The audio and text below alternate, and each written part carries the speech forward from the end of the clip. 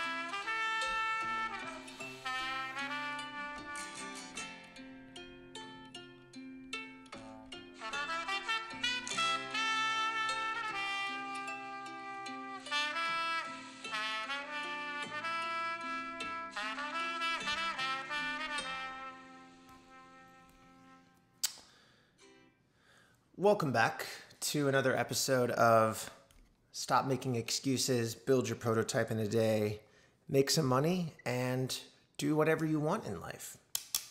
I'm your host, Ryan Kulp.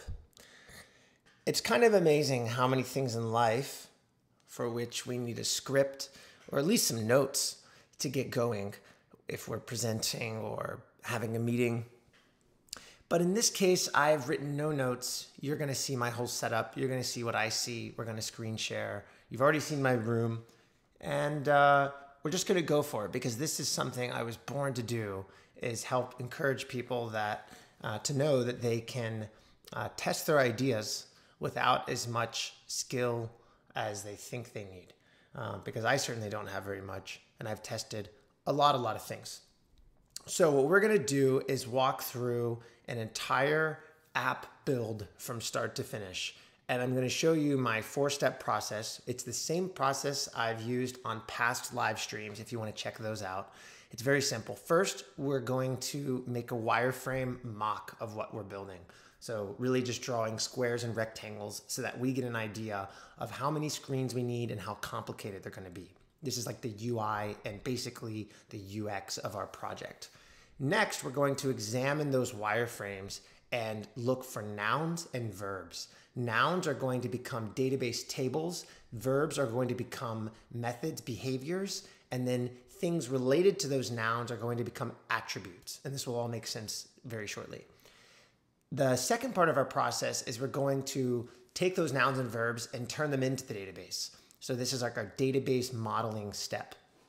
And uh, those are going to be done through something called database migrations. It's really not that complicated. Basically, making a database, making tables, connecting those tables is very similar to making a spreadsheet where you have an ID column and then you do VLOOKUPs and HLOOKUPs and you connect this sheet to that sheet by some shared parameter. The third step is we're going to build the front end. So that's just taking our wireframes and making them high fidelity, high fidelity, high quality, and we're going to put them into HTML and CSS code. We're going to do that using Tailwind CSS, which is a free open source um, design style guide system. It's a utility CSS design system. There's a lot of names for it. But basically, Tailwind is going to make our inputs and our buttons and everything look really nice without us needing any type of design skills. And lastly, step four, we're going to connect the front end to the back end so that when you click buttons, when you hover the page, when you uh, you know interact with the form, the verbs are the same as we anticipated in step one, the wireframes, those nouns and verbs. So that's the whole process. Let's jump in. Uh, and by the way, if you like that song, it's called Homeroom and it's by a guy named Ryan Kulp. So search Ryan Kulp Homeroom if you like that jazz song at the beginning of the video. what are we building? This is always really important. I've got a bunch of live streams, and the ones that I guess are the most cool apps is uh, are the ones that get the most viewers. Go figure. So I want to pump you guys up about this app that we're going to be building today. We are going to be building a uh, package insert microsite. What is a package insert? It's stuff like this. When you order something on Amazon or maybe from a Shopify store and you get some sort of insert, it could be square, rectangle, it might have a coupon code, save 10%. It might have some clever copywriting. It could be uh, an upsell. You know, hey, go buy our accessories. Here's one for like a coffee, free coffee that I got the other day at an event. These are inserts. Here's another one. And actually, some of these I got in a swag bag um, at a founder event a couple weeks ago. Uh, naked wine. This one's kind of cool. It's really simple, though. It just says, you know, here's about our brand, and it's addressed to us. Here's a $100 off. So, sort of like these are coupons or advertisements, but I'm specifically calling them inserts because we're we're interested in the things that come in packages when you already bought the product, but maybe you bought it on Amazon and now they want to continue doing business with you. And lastly, I'll show you these. Here's more from that same Naked Wines brand. This is a huge piece of paper, I know. That's because they're supposed to be like this, right? They're supposed to be torn out if I can get one. And this can kind of go over the bottle of wine, right? So this is a cool example of a package insert. And uh, on the other side, it has a gift code. Package inserts. Why am I interested in package inserts? Well, there's a self promotional reason why, but we can skip that and say, look, Package inserts are something that a lot of e-commerce brands are adopting, especially when they sell on marketplaces like Amazon. They are adopting them because they want to um, uh, build relationships with customers after they buy their products. So our big idea, what we're building today, is a microsite where people can search for package um, insert inspiration, right? So I sell wine and I might Google wine brand package inserts. I want them to land on our site. We're going to have uploaded and searchable examples of different package inserts so that they can get ideas for how to make inserts at their brand. I'm going to check the chats. What's up, Stetson? Someone says can't no sound in the right speaker. Um, does anyone else only have sound on one side? Hey, 안녕하세요. Yeah. I have a little bit of a Korean audience because I spent the last few years in Korea. So hello, you can you can chat in English or Korean. All right, uh, that's our idea, and now we're going to jump into part one, which is the wireframing. Now, typically, when I get to the wireframe step, and let me switch so you can see my screen. When I get to the wireframe step, I typically use a program called Balsamiq. This is Balsamiq. There's a web version and there's a, uh, a desktop version. I've been using it for years and years. You can pay like one time and you own it forever. You don't have to pay a SaaS fee, which is nice. And Balsamiq has basically a bunch of little icons and widgets so that you can quickly create what looks like a web page. So I can have a web browser, I can grab rectangles and make what look like images. I can add headlines. Let's go there, add a title, you know, some awesome hero. I could do all this kind of stuff, right? And uh, Balsamiq just makes it really quick to visualize what your website or app might look like. And it saves you time because if you go directly into coding, you might write a lot of code and then you hate how it looks. This lets you just drag and drop stuff. And once you love it, then you convert to code. So making wireframes is a technique of measure twice, cut once. That's essentially what you get to achieve here. With us, I've already gone ahead and made some sort of wireframe, other side, and it looks like this. It's really trash. Let me go back to my camera only. It's really simple. Uh, all you'll see are some boxes. And the reason for that is because for this project, I wanted to work with a designer. So in this project, I hired a designer and I said, here's the concept. We're gonna have a page with a bunch of package inserts, maybe three columns, four columns. We want people to view them. We want people to contribute. They could upload their own insert because we want user generated content. And I need an admin panel so that I can accept and reject contributions. If someone uploads, you know, a dick pic, obviously we don't want that automatically to be accepted. So we need a filtering mechanism, which is just a few screens. We need the home page. We need a page to view all, like a search page. We need a page to look at just one package insert. So let's say I click on a specific wine insert, it blows up and we see more information. And I need a contribution page, a page where someone says, upload my insert. Those are the four screens we need. And then because we don't want dick pics, we're gonna have the admin panel. So five screens total. So I wanna show you this. It really means nothing, but I'm doing that for a reason. I'm showing you this because this is how little, this is how little information you can give to a designer if you have a 20 minute conversation with them and they will create what you need. Um, in tech and project management, it's all about managing expectations with specifications, with clearly articulated specifications. If I was working with this designer remotely, I would have had to do more than that. But I was working with this designer in person. So we spent 20 minutes, we drew five boxes. I explained everything I just explained to you, what package inserts are, why they're useful, and why I want to make a site for them. And the site, my goal is to rank on Google, right? So that's why I'm calling this a microsite. If 30 to 50, 100 people per day land on this site, um, I think I can convert them to one of our other projects that makes money. But this is going to be a free content microsite. So that's what I sent to the designer. Let's check out what the designer uh, gave back to us because it's pretty sweet. I'm going to open up Trello and then show you my screen again.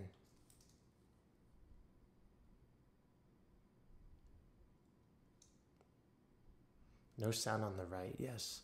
Let me double check on my microphone and see if I can make the sound better.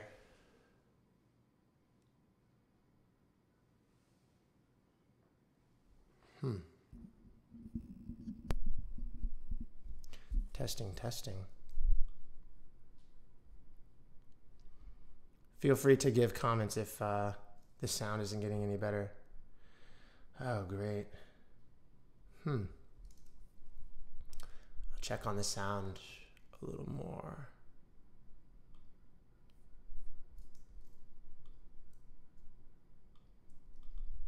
Input.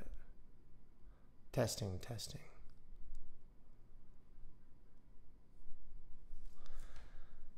I don't have a way to make this more mono on my interface. Sorry, guys. I did a recording before the live stream and it was uh, coming through both speakers on my end. That might be how it is on the YouTube recorded playback and just not the live. Mm. Let's see. I'll try one more thing.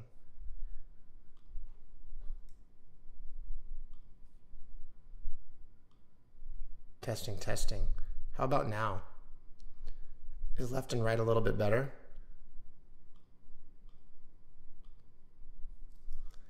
Yeah, I'm seeing left and right. I'm right in the middle. I'm looking at the mixer now. Let's just switch it to mono. All right, how about this? Do we have sound on both sides? Let's settle this once and for all. Testing, testing. Is my sound on the left and right?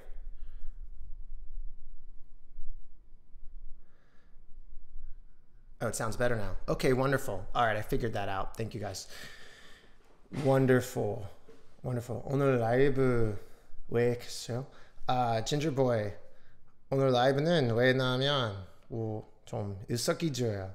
아, 이런 프로젝트 아, 해야 돼서 라이브 하면 you know I get two benefits. 혜택 두 가지 입을 거예요.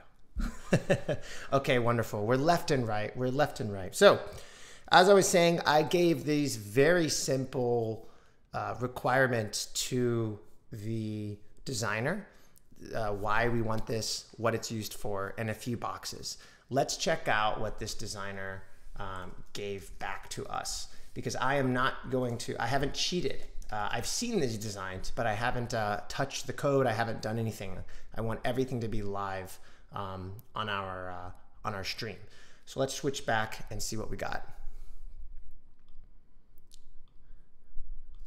Here's going to be our home page. I'll put this stuff in the middle. Here's our home page. We're calling this tool Insert Booth. And uh, as you can see, uh, it's a website to go look at package inserts. We've come up with different types of inserts. There are requests for reviews, giving people discounts, giving something away for free, and just talking about your brand. So if you look here, um, I can switch back. This is an example of a discount. This is an example talking about our brand. Um, this is an example giving something for free. It's just a $50 gift code. And uh, some of these, if I can find them, are going to say, hey, can you please leave us a review? We really appreciate it. So that is what the home page is going to look like. Let's go to our second page. Remember, we have four main views and then an admin panel. Here is our view for just looking at one, which is pretty nice. You can see that the way we've hacked it here is instead of making a brand new page, it's just a modal. So it's kind of a cheat code. If you're trying to write as little code as possible, it's just a modal. Now, this may not be great for ranking on Google, however, because this isn't going to be a page change. So smart sunglasses insert, uh, package insert, but we can look into that later. Third tab, third page out of our four views is going to be uploading your own package insert. We really hope this works out, right? Because I can't order everything on Amazon. when I order stuff once a week, maybe I get an insert, I can upload it. But eventually, we want this site to have hundreds of pieces of content, which means we really have to encourage people to contribute. So we've got this big contribute call to action and this nice page. Uh, and hopefully, they'll be able to click and take a picture from their phone uh, and not just upload from their device. So we'll have to figure that out. And then here, they're choosing what type of insert is this, and they can give us their email. Maybe if they give us their email, we will um, uh, let them know what their listing went live. And lastly, we have an admin panel. Admin panel will allow us to uh, mark uploaded inserts as as um, you know approved. Maybe we can change them. Maybe there's like a typo um, in the description or the brand name or the URL. So we can adjust that all here. Any of these things that they provided, you know, could be wrong, and we might want to adjust them in our admin panel. So those are our screens. We've also done some keyword research and um, you know we'll see we'll see how it goes. So we can look back at these now. We're almost ready for step two database modeling right? I wanted to skip ahead some of the css html on this live stream. And again i have a commercial goal for this. So i didn't want to use my own poor design chops. I've built a lot of things and you can see them. They look okay but i wanted this to look a little bit better or a lot better. So we worked with the designer. But let's pretend that we just made these Let's pretend that we made these using Balsamiq. The next step I mentioned is we're going to look for nouns and verbs. So let's do that. Let me grab these all out. We're going to look for nouns and verbs. Put these all in one spot. And we're looking for nouns and verbs because, as I mentioned, those become the database tables and attributes and the functions. So just looking at pretty pictures, we're actually doing the pseudocode for our entire app, which is pretty neat. So let's put these in order. Start with our home page. All right. Our home page nouns. Nouns. Well, package inserts, those are nouns. Here's a noun, package insert. Here's one. And if we look at it, it has a few different attributes. It has maybe an industry attribute, which we can see here in search. It has a title, smart sunglasses, and it has like a type of insert. So review request or discount or whatever. So that's one noun, package insert, three attributes, title, industry, and the type. Um, that's pretty good. Down here we have an email newsletter. Cool. All of this can go directly to our newsletter. We don't have to store these emails in our database if we don't want to. We can send these directly to MailChimp or wherever. So we got one noun, package insert, three attributes. Let's go to our next tab. Let's look at an individual one. Here we have that same noun, package insert, but we have the title, which we already looked at, the type, which we already looked at, industry we already looked at, but also brand. And if I hover here, it looks like this will maybe link to the Ray-Ban website, this icon. So now we actually have five things. So now we're gonna start recording, um, recording these ideas down in our text editor. I personally use Atom, but it's becoming deprecated by GitHub.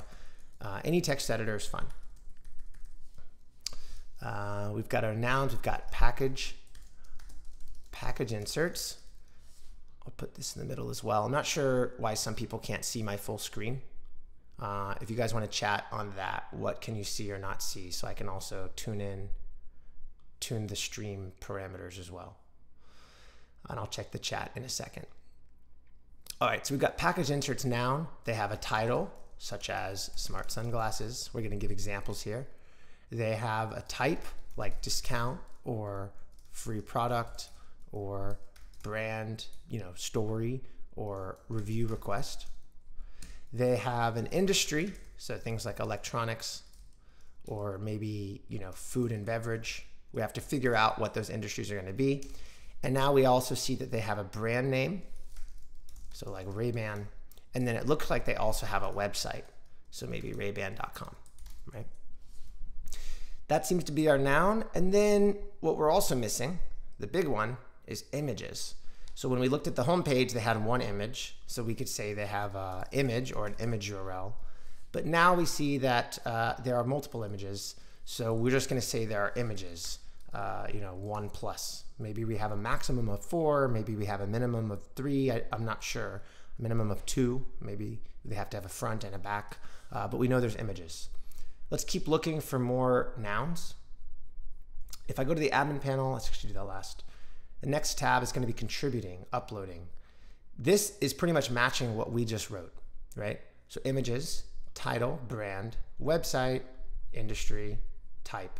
Now, this industry should probably also be a drop down or checkbox. We don't want everyone to type in their own version of an industry because if you go back to our homepage, we want to sort by industry. So we're going to determine 10 or 15 industries, right? Um, so I think we did that well. And then they can give us their email. Okay. So here we have an opportunity or a decision to make. This email, should it be related to this? Like maybe submitter email. It could be an attribute, or it could be an entirely new table like users, and uh, they have an email, and then users have many package inserts. I think this could be neat later, but for now, uh, let's keep this app as simple as possible. Um, not because this is a live stream, but because this is an MVP. This is version one. So whether I'm doing this live or not, I want the version one to be very simple and we'll learn as we go. So we'll do submitter email. I could just do email, but it's not really clear what that means. So we'll do submitter email. That's another attribute. Lastly, we go here and uh, we're still just looking at package inserts, but you can see that we have statuses of our package inserts. Uh, here's our timestamp. So of course we'll have timestamps. We can just write the word timestamps. Created at, updated at when you use a database tool, we're going to use Postgres, we're going to use Rails. Um, they're automatically going to give you timestamps when you run your migrations, when you set up your database. So it's not super important um, to actually write down that you want timestamps, but I'm just doing it so we can see everything going into this. We have the submitter's email, This is an avatar, but I don't think we're not letting people upload their own avatar. So we're going to probably use something like Gravatar here, where it just uses their email. And if they have uh, a publicly available avatar, we'll use that. Here's the type, here's the industry, status. All right, status, pinning, approved, rejected, right? That's something we need to know. So let's do status. And that could be like pinning, approved, or rejected. Pending, I guess, is the state when they are submitted. The person hit go and we haven't looked at it yet. Approved is we say it's good, rejected, we say it's bad. And then, of course, in this admin panel, we want an edit button so that we could potentially fix any typos that they might have given us here. But an edit button is a verb, right? That's a behavior. We want to edit. So we want to create um, package inserts, verbs. We want to create them, which is like submitting, edit them, and that's it, right? Because when we edit, we can, you know, fix typos, we can change the status. We don't actually seem to need a delete button. That could be nice. Maybe someone uploads total trash and we get spammed and we need a delete button. Um, but right now it seems like we don't need a delete button, right? And then of course we want to list them, we want to view them, which is what we're doing on this page. So view them, create them, which is like submitting and editing them. And that is kind of our whole our whole database. I don't think we need any other database tables. So this is going to be this is going to be a really easy step two, database modeling. Let me check the um, live chat and then we'll keep moving forward.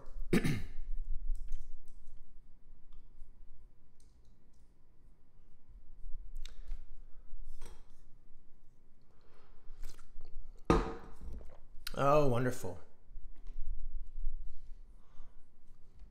Seriously. So you're not seeing my screen share? Wow.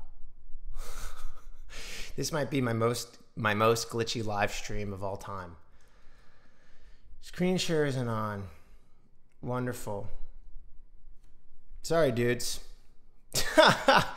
my uh, I set up a stream deck and it looks like the streaming tool has to be open for the hotkey to switch it.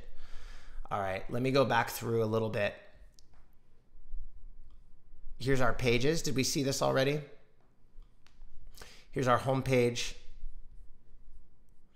Seeing all our package inserts. Here's viewing one package insert. Here is uploading a package insert. And here is um, managing the package inserts as an admin. So just four screens. And over here, I've set up the database table. We have our noun here. We have our attributes. When were they created? Title, type, industry, brand, website. They need images. The submitter is going to have an email. We won't have a users table. We'll just attach the email from this tab. And then we're going to have a status. And for verbs, which are going to be the functionality, uh, we want to view them and create them and edit them. Sorry, guys. I thought uh, you saw my screen that whole time. Okay. All good? Only see one fourth of the screen. This is just like the worst thing ever. Okay. Let me adjust. Uh, let me adjust some more screen settings.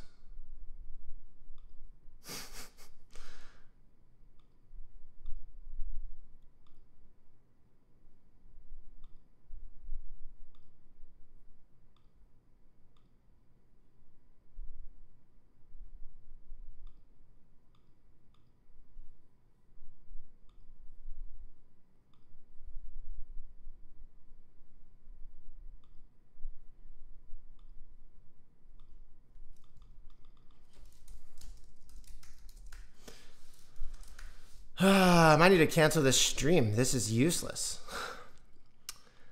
Um, I am using a widescreen. I can't not use a widescreen. Um, I only have one screen, so it's not like I'm trying to use two.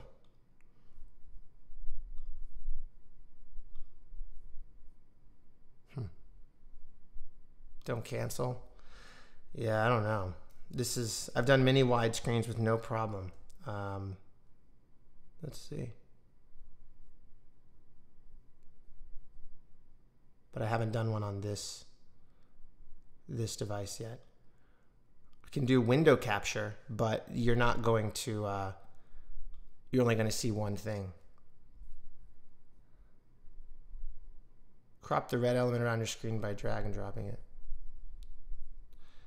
From OBS, Alex.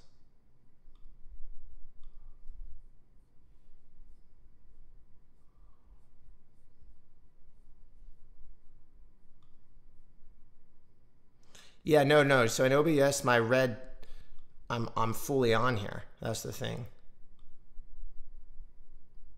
Here we go. Okay, let's try this.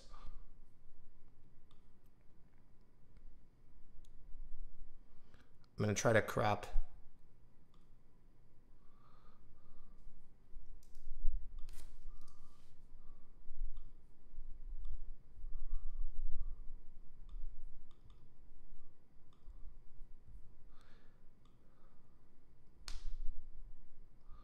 I would have thought the first thing you guys would say is that you couldn't see my screen. uh, okay. Okay, how about now? Maybe this is good. How about now? Better? kind of tiny. Now make it bigger. If I make it bigger, it's gonna blow up. Uh, I can't. Uh, doesn't look like I can manually adjust. It's gonna scale it all equally. I could kind of try to just use the middle of my screen.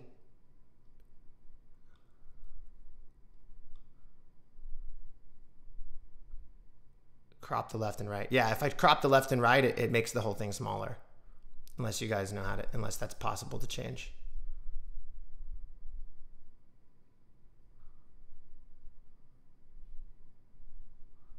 Fit to screen. That's, that's fit to screen. Stretch to screen. This is stretched, so this looks kind of whack, right?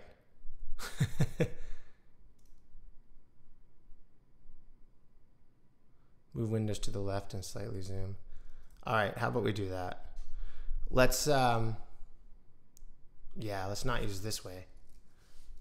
I can try using the left half of my screen, like it's one monitor. Let's try to set that up.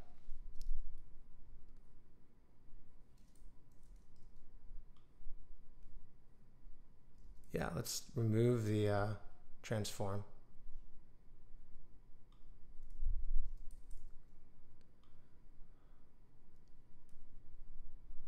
And I'm going to try to make the left half of the screen full screen, perhaps.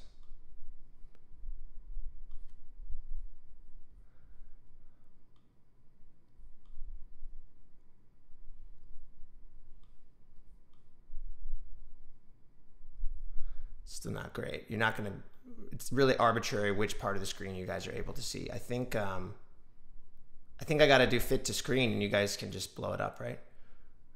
and I maybe won't use this computer next time. This way you see everything. To me, this is this is what it's supposed to be like, right? All right. Groovy worst worst live stream technical difficulty ever. Um, yeah, I zoom in, Alex, and then I'm gonna cut off the bottom. Uh, I can't make half of my screen full screen. Half of my screen is a square because it's the widescreen monitor. So it's not like uh, it's it's two screens. Half of my screen would be a square, so you'd have a bunch of black bars either way. Um, anyway, let's go with this. Let's go with this, and you can uh, you can go full screen. Uh, I would imagine it wouldn't be that bad, but I got to keep keep moving. Um, okay, so we have our database table. We only need one. Now we're time to run our migration. Step two and then we're going to take this front end that's already basically done, which is pretty sweet. And we're going to then hook up our back end. For our app, we're going to use Ruby on Rails. That's what I use all the time. And I have a boilerplate app called, um, called uh, SpeedRail. SpeedRail has a few things already installed. I don't want anyone to think I'm cheating too much. Uh, it's really probably two hours, maybe one hour of work, maybe 30 minutes of work, depending on how fast you are. I've added the Tailwind interface, I've added users, I've added Stripe for payments. We actually don't need the user authentication, or we will for our admin panel. We don't need the Stripe because we're not taking any payments. So uh, we're not really going to use a few of the things that are in here, but I'm going to use this repo anyway, just so we don't have to redo the really boring stuff that there's already a million tutorials showing. So I'm going to follow this as if I was not Ryan C. Kulp and make sure that the installation steps are okay. So step one, we're going to clone the repo. I'm going to go into my terminal and I'm going to uh, go to a folder where I can put this stuff.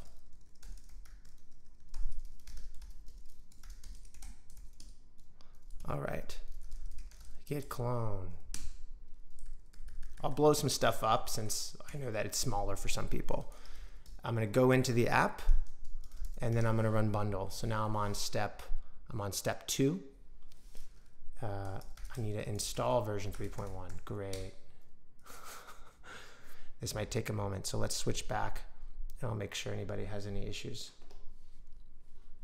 This looks fine.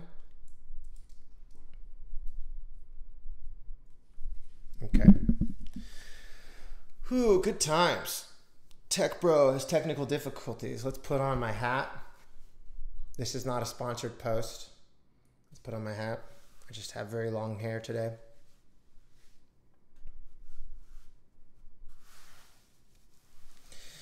All right. Today we're working with uh, an iced Americano, homemade, and water. So we're gonna get everything done with those two things. I try to go to the bathroom first, but you know, we'll see. This might be like that South Park episode, like, Mom, I need more hot pockets, and he just takes a shit in his computer chair. We'll see. Uh, we're just letting my computer install Ruby 3.1.0. Apparently, I don't have it. I think I have a later version, but I'm just going to use the exact code we have already so that as little is changed as possible for the sake of the spirit of this project to live stream something from scratch.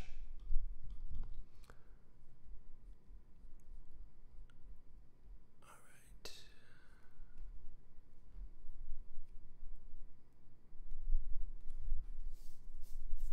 Okay, it looks like it's mostly done.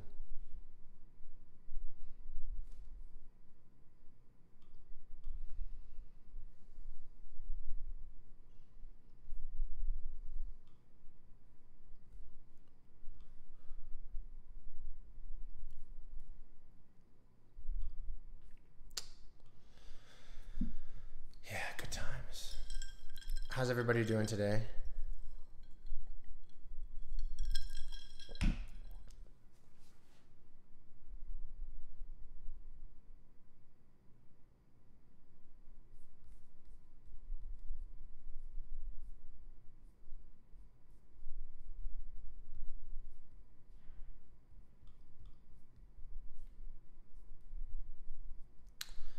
Nice. Full-time job. Nice. Watching the live stream. Multitasking.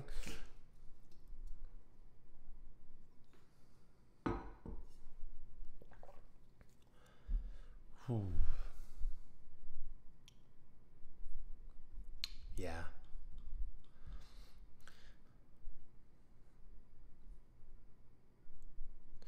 Very good, very good. I'm multitasking as well. I needed to build this app for work anyway.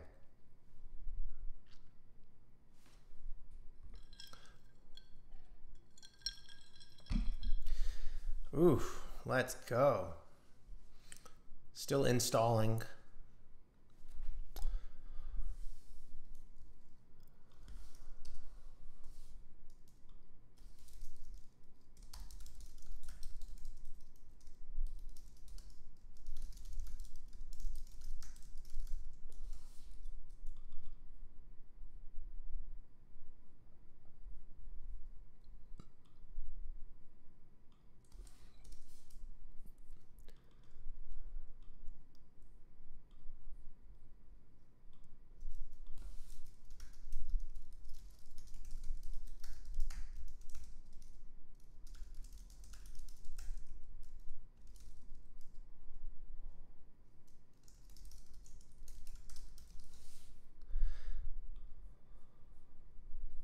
Okay, sure. Yeah, great idea. So actually, we've been fin- we've now finished installing Ruby. We can keep building, but let me give a quick reminder or touch up on what it is we're doing and why. So there's something called package inserts. Package inserts are sent when you buy products on Amazon or wherever, and usually it's the brand trying to upsell you or get a review or give you a discount for a future purchase. They just want to connect with you directly because when you buy on a platform like Amazon, if the product was fulfilled by Amazon, that brand doesn't get any of your contact information. They get your first name and your postal code. They know your city. That's it. So I've been saving up these package inserts that I'm receiving, and um, and uh, make sure you guys can see me. I've been saving up these package inserts, and our goal today is to build a microsite where people can upload and sort different inserts for inspiration for their own e-commerce businesses. And what my commercial goal is is to um, essentially uh, convert some of these visitors to a product we have that helps them get more reviews using package inserts. Hey Brad, how you doing, man? So that's kind of the scoop, Alex. Uh, it's going to be a Rails app that people can search and sort. And now we're installed Ruby. So I'll one more time show you all the views and then let's uh, get building. So here's going to be our home page. Sort by inserts, by different types of inserts or industries. Maybe you want to look at discount codes for food and beverage industry. Uh, here's what it would look like to view just one. You can download it. Uh, sort of like Unsplash, right? Unsplash has stock images. We're going to have inspirational package inserts. Here's the page where you can upload your own. Uh, maybe your own or maybe the one that you received in the mail. And here's the admin panel so that we can make sure nobody's uploading any dick pics. All right, so we're back to coding. Uh, very good. We've done step two. Now we're going to try Rails G rename. We're going to do this step, step three. After finish bundle. We're going to rename this app to Insert Booth. And the reason we're even renaming the app at all is because when you install an app or set up a framework like Rails, uh, the app will be called application or whatever. And when you start having a lot of different code and you start deploying code to servers, you really want things to have a base name that makes sense. So all that this command is going to do, railsg rename, it's going to just literally find and replace strings of text across around 20 files in the program. So rename itself is a Ruby gem. This does not come built into Rails, but I love using it uh, and it saves me a lot of time setting up new apps. So we're going to call this insert booth.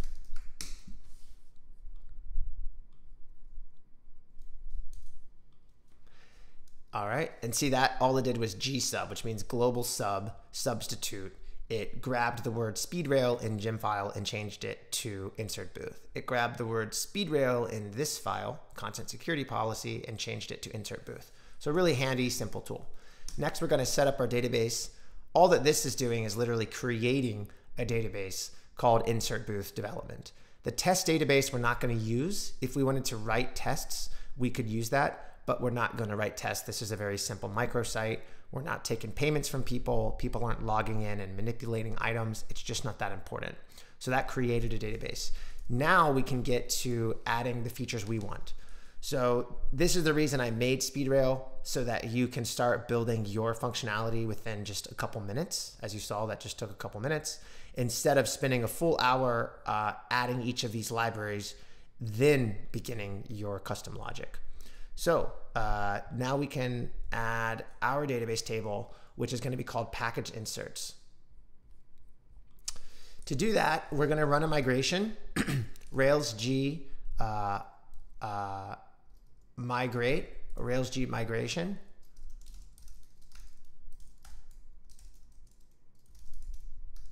Uh, and we're going to um, create a package inserts table. Am I even doing this right? Create package inserts, and we're going to add our nouns. I told you timestamps are going to be done for us. Uh, so we're going to go ahead and work on our other nouns. So those are going to be title, space, and then type, industry, brand, website, submitter email. I'm going to come back to the images here. And status. Now, each of these attributes has a data type. Uh, data types are things like uh, string, integer, float or decimal, right? Big integer. Really, data types are just string, integer, uh, Boolean, so like true, false. And each database you use, each framework you use might have its own variations. So integer here also has big integer, um, float, and decimal. So when you run your migration, you need to determine what each of these is going to be. But if I'm looking at it, because we created these examples in parentheses, these are strings, right? String meaning it can be uh, alphanumeric characters. Uh, if it was an integer, that means it can only be numeric characters, right? And we could do something else if we wanted it to be only alpha characters, A to Z.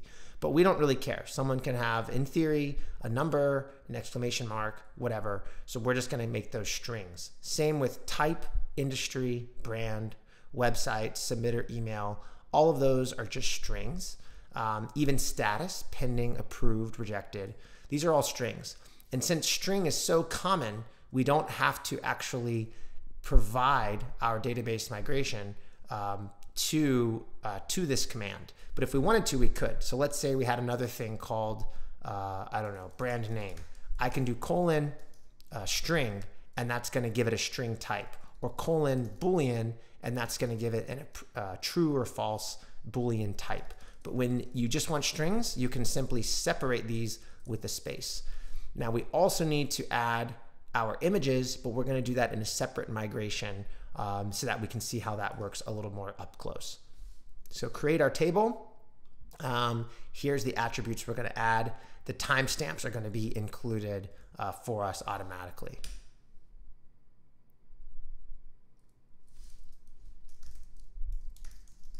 And I just needed to write the word migration, not migrate. All right, so this has created a file called create package inserts. Let's look at that file. Open up our whole code base. So we just added insert booth.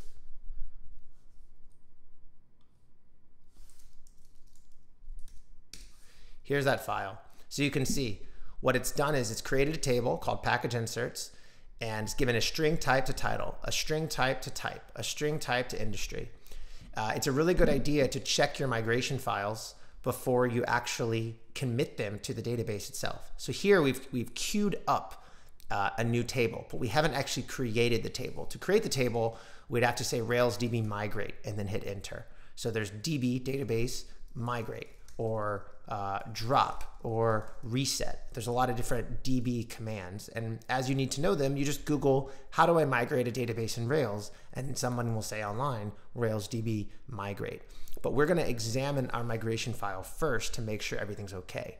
And already I can tell you from experience, from a lot of experience, this word type is not gonna work. That's because type is what's known as a reserved keyword. This is common in a lot of different programming languages because the programming language or the Rails app itself has the word type somewhere in their code. So we can't use type, it's gonna fail uh, or it will give us issues. So we're gonna maybe call this, um, you know, insert type. And it's a little annoying because package insert dot insert type, you know, we, we might not want to reuse the word, uh, but for now, we're going to just use insert type. Uh, and we'll just say, you know, as a note to ourselves, type is a reserved keyword. Title, industry, brand. Submitter email, we're going to want to do validation. Validate, uh, it's a valid, you know, it's a real email. Uh, there isn't an email type though, an email data type. So we're going to do that through client side in the in the browser, and we're going to do a little bit of backend validation. Status, uh, where it's going to be you know pending, rejected, approved. We can actually do this differently. We can make this an integer and make it an enum, enumerable, where status of one equals pending. Status with integer two equals rejected, uh, but it's not that big of a deal. Again, this is an MVP, so we will keep it as a string. But these are just some considerations. Uh, as you're creating your migrations, you really have to think about is this going to create technical debt? Is this going to have any issues for me later? Should I use uh, strings versus uh, integer enumerables for things like drop down statuses? Um, all of these things are important to consider. And next, we've got timestamps, which is going to have that uh, created at and updated at fields built in for us. And as you noticed, we didn't type in uh, timestamps here, they're just done. Uh, so now I can do Rails DB migrate, and let's try to create that table. And it worked. Uh, and if I now go into the Rails console, Rails console or Rails C, you can actually see we have a user table and we have a package insert table. Um, oh, we need our model. So let's get our model here. The model is uh, the code representation in Ruby of the table. So it's just the same thing, but singular, package insert, uh, and uh, singular. And that's going to inherit from the application record. This will just allow us to put code in this application record file that all of our different um, sub tables can use. That's all we need. Let's reload with exclamation mark. And now package insert is uh, something we can access. And this is really neat. So now we're writing Ruby code to underneath run SQL commands. And if we wanted to do this whole process a little differently, instead of Rails G migration, create some table, I could have said Rails G model, create some table, uh, a Rails G model package insert, and then type the same stuff, title, brand, this, that, the other. That would create both the migration file itself as well as this model file. So this is something people like about Rails is that there are these what's called generators. So Rails G, that's the same as Rails generate. I'm just using the shortened version. Rails G, they both do the same thing. And these generators allow you to generate lots of different files and commands sort of all in one. So think of Rails generators as like macros. All right, so we've got our database table. Uh, I'm going to check for comments and then we're going to go back and look at our wireframes.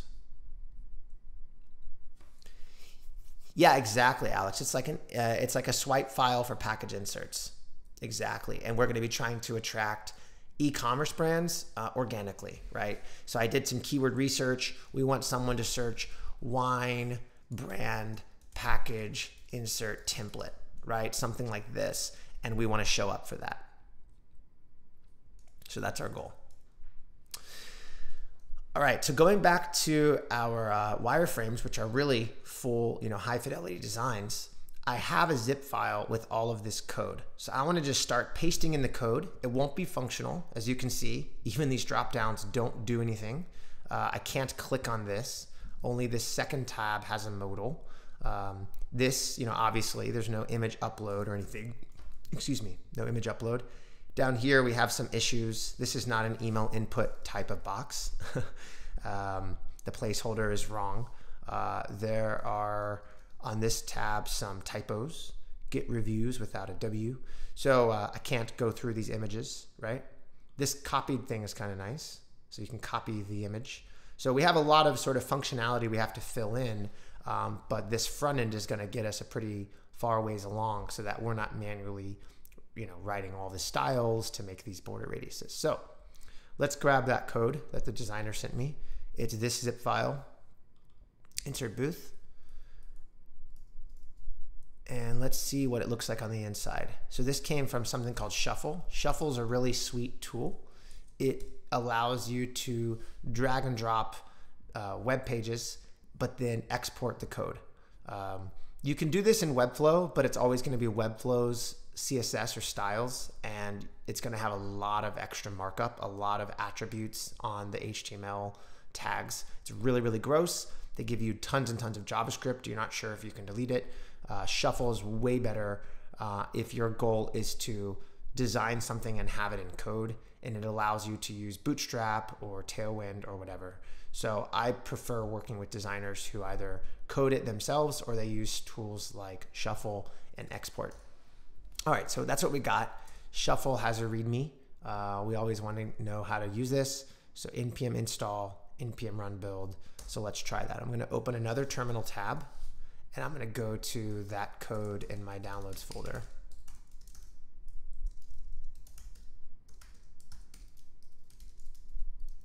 npm install. Switch to uh, node 16. That's something called NVM. It lets you have multiple node versions Node versions. And it said npm install npm run watch, and we should be able to then see it. Okay, let's see if that really works.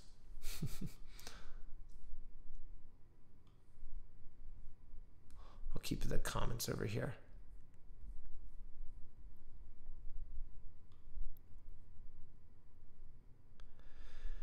Great. npm run watch.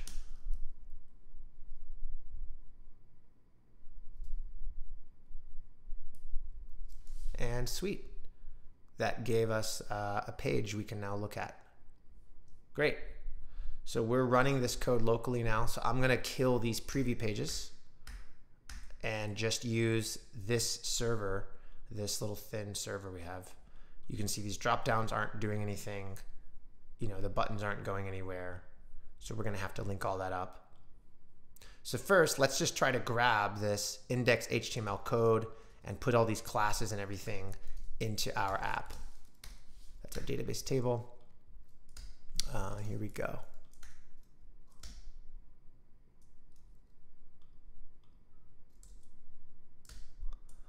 All right, we're gonna open up both code bases. They're both called insert booth. So let's see how we can organize them. Oh, this one's actually called shuffle.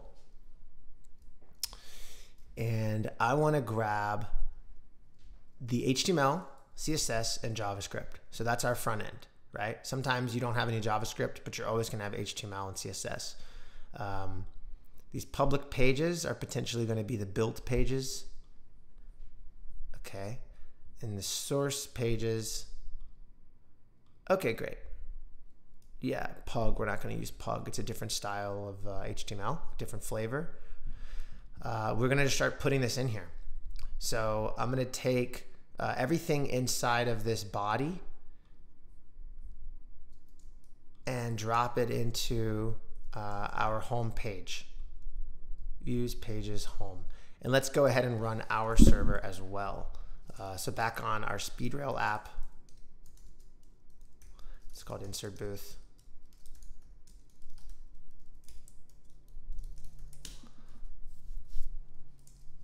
Let's just run Rails S for Rails server and go to localhost 3000. Mm, I need to set some attributes. So let's continue our README of our uh, of our code base. We did down through step four. Now we're going to do bundle exec Figaro install, which is going to let us have what's called secrets, app secrets. So these don't necessarily have to be secret like API keys, although they are great for API keys. Secrets can also just be switches and things that you want to change without deploying code. So let's say you want to have a 14 day free trial. I think this is a great example. Um, in my opinion, I always would rather use a secret and write the word 14 just one time and have all of my code reference, you know, environment variable, uh, free trial days. And then our marketing site, our pricing page, everything will use this value, which allows me as someone, if I don't code, to log into a server and just change 14 to 7. And now our entire app will update to 7 uh, without writing any code. So that's what secrets are for. So we just used Figaro. It's a tool that lets you manage secrets and it created this file called application.yaml inside of the config folder application YAML. And you can see it's grayed out. That's because our git uh, uh, ignore file uh, doesn't let us save this to Git, which means this won't be on GitHub. Uh, we're going to make this a private repo, but even a private repo, you share it with the wrong person and they might get your secrets and you don't want them to have your secrets. Uh, these comments, this stuff behind the, um, the hashtags just shows us how you can use it.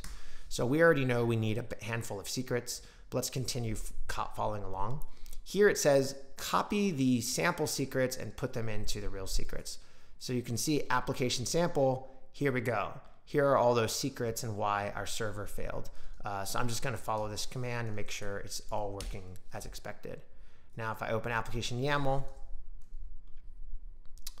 it's gonna have those secrets. So let's go ahead and rerun our app, Rails server.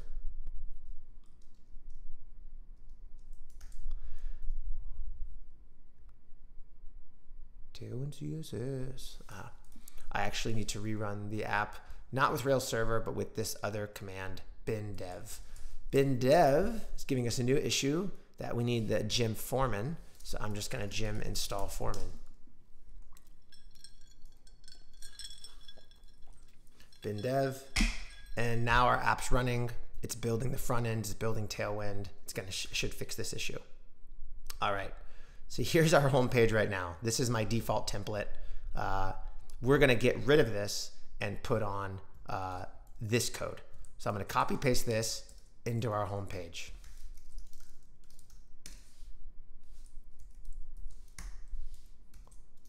Reload. All right. We don't have images, obviously. The colors are wrong, right?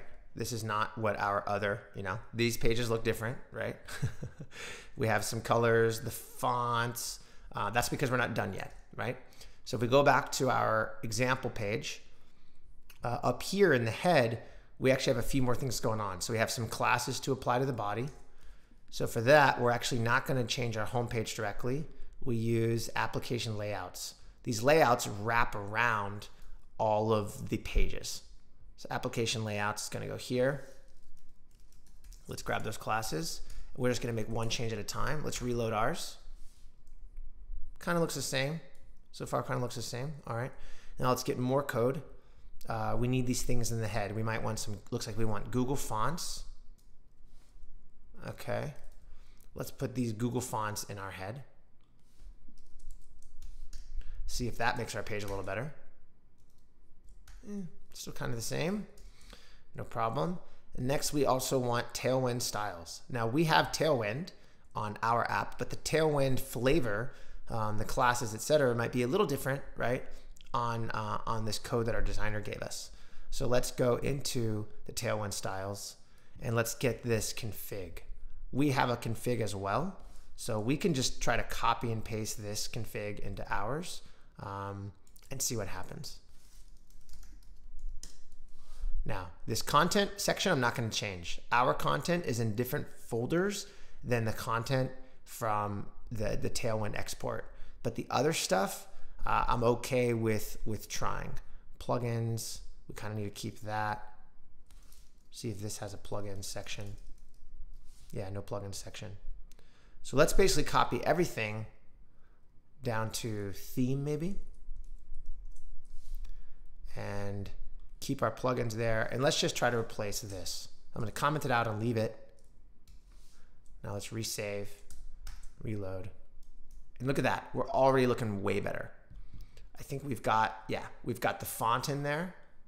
We've got a better, a slightly better looking navigation, although this is still junky. Uh, we've got drop downs. We've got the three columns. Uh, the images aren't there, obviously, uh, but we're looking much better already. So now let's go back and let's abstract our navigation. Because if you look at our code, we have a navigation here from my Speedrail and we have a navigation from our designer. So let's just grab the designer's navigation. Um, we know we have a contribute button and a browse button, browse and contribute. I'm just gonna search the code for the word contribute. Looks like there's three instances. What's the topmost one? Line 130, line 21. All right, this seems to be the navigation. This kind of section. If I get rid of this and reload, yeah, it went away. Okay, so this is our navigation.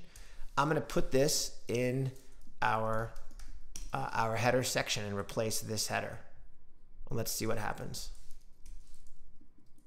I'm just gonna actually delete it all. And look at that. Now we've kind of moved our header. That's good. Next, we want to maybe get our images working. All right.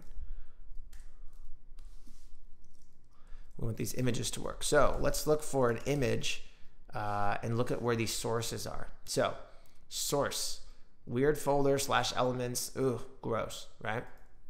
Images, dummy image. So we're going to try to do this as cleanly as possible. Here's all those images that we're not seeing because we don't have them. We're just going to grab all of them for now. Okay. And move them to our app assets images for now. We might want to, you know, um, change them later, change where they are later. Do that. And then also in images, oh, there's also this thing, UNIL assets, I don't know, that has more images. Oh gosh, right? All kinds of images. We probably don't need them all, but let's put those inside of here as well.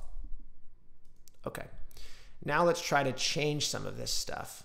Um, in Rails, we don't hard code to images because the image assets are compiled along with the code whenever you deploy, which means that the actual link to an image is not going to be this clean. It's going to be more like um, 56703 dash line circle, and it's going to change every time you rebuild the code. So to handle that, we actually use uh, the asset pipeline um, image source that lets us type in direct clean link to an image and then it figures out where the image actually is. So the way we're going to do that, I'm going to just take you one example. Um, do we think this is line circle? What is line circle? I can search for this file now. It's probably this, this light gray line thing. Um, and we can uh, we can verify that. It's probably that. So first, uh, let's go back here and change just this image to a Rails style image, which is image tag, and then we're gonna pass in this path. Give it the same classes that it had up here. Comment out the, the broken one And there we go. We've now updated and fixed this little background image. So that's sort of our process. We're gonna do this for each image now. We're gonna swap out hard-coded images for images done the Rails way, as people say. And I'm also just cleaning up the HTML. You can see some of the indentation is nice, kind of not bad. And some of it, like here, there's a div. Um, this anchor, I want to move it there. And you can see how as I'm clicking around, the color is actually, the syntax highlighting is kicking in better um, because it just, it wasn't sure how to, you know, how to handle this code. it doesn't make a difference. Okay, the code is just as functional. It does not matter. Um, but I kind of often clean up code because it makes it easier to uh, just to maintain. So for example, these are like um, you know, tabs or these are drop down items. I want the code to look the same as close to the UI as possible. All right, I'm actually going to even close this file and reopen it. Uh, and you can see our, our syntax highlighting is already a little bit better now. So that's one image. Here's another image. I'm just going to Command C, Command V, and replace the one beneath it.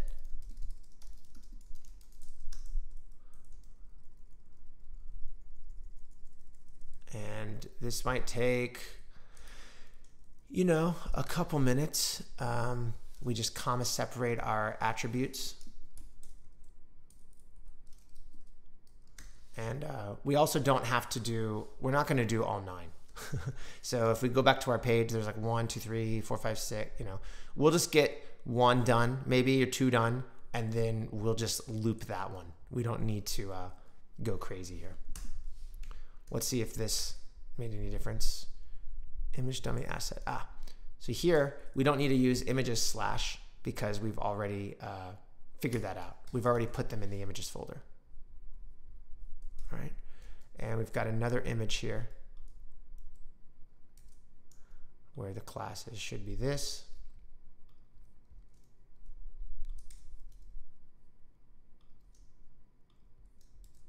And uh, and the source is just this file name because we've put it in our images folder already.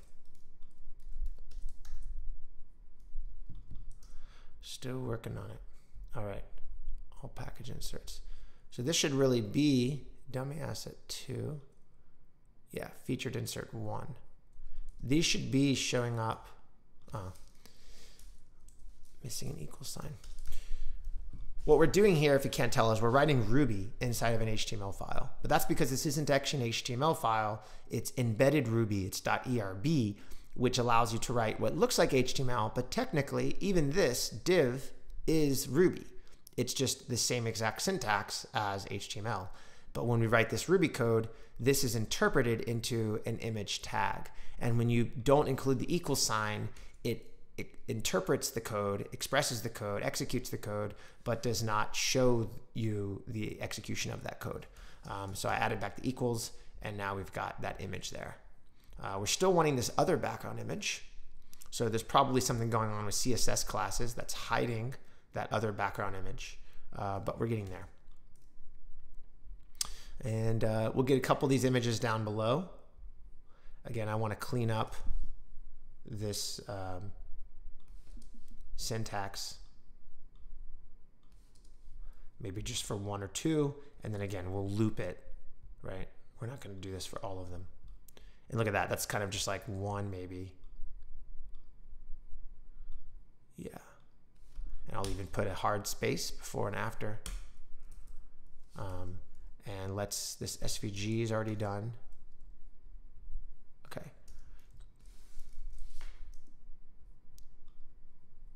All package inserts. Here's one and here's one. So here we have two ready to go. Uh, and we need to fix these, these images again.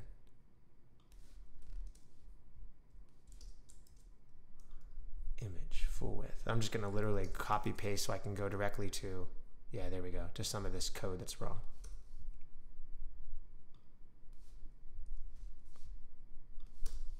I'll check the chat. Try to remember to check that chat. Tailwind plugins.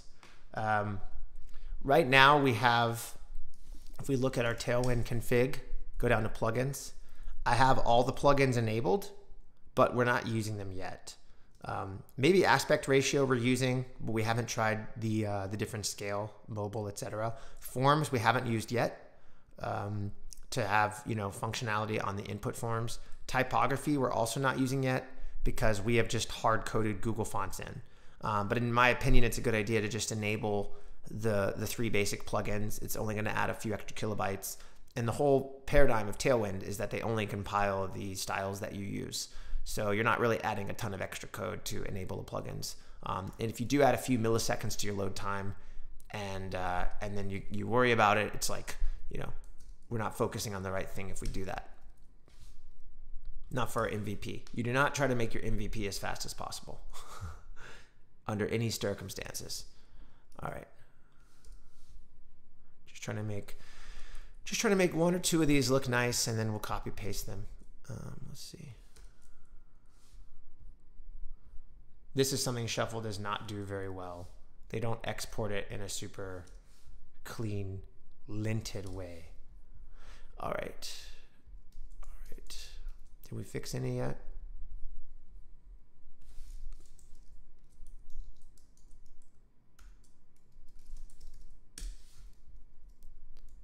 Still working on it. All right. Here's our first image. Uh, we're going to make this the Rails way. Image tag. First argument has to be the source itself. We don't need source. You just type in what it is. It's image, comma. Then you can add whatever you want in any order. Alt text, uh, width, style, proper, whatever you want. But instead of equals, you just use colon. So it's really similar to HTML, right? This equals this. These two lines are the exact same code uh, when you load it in the browser, except this one's actually going to point to the real image, and this one will be broken. let's comment it out to make sure. And there we go. We got our working working image. So it's really looking pretty good. Um, and we can grab just this full this full sort of div, which we think is maybe here. Is this like begin image or be, begin uh, item.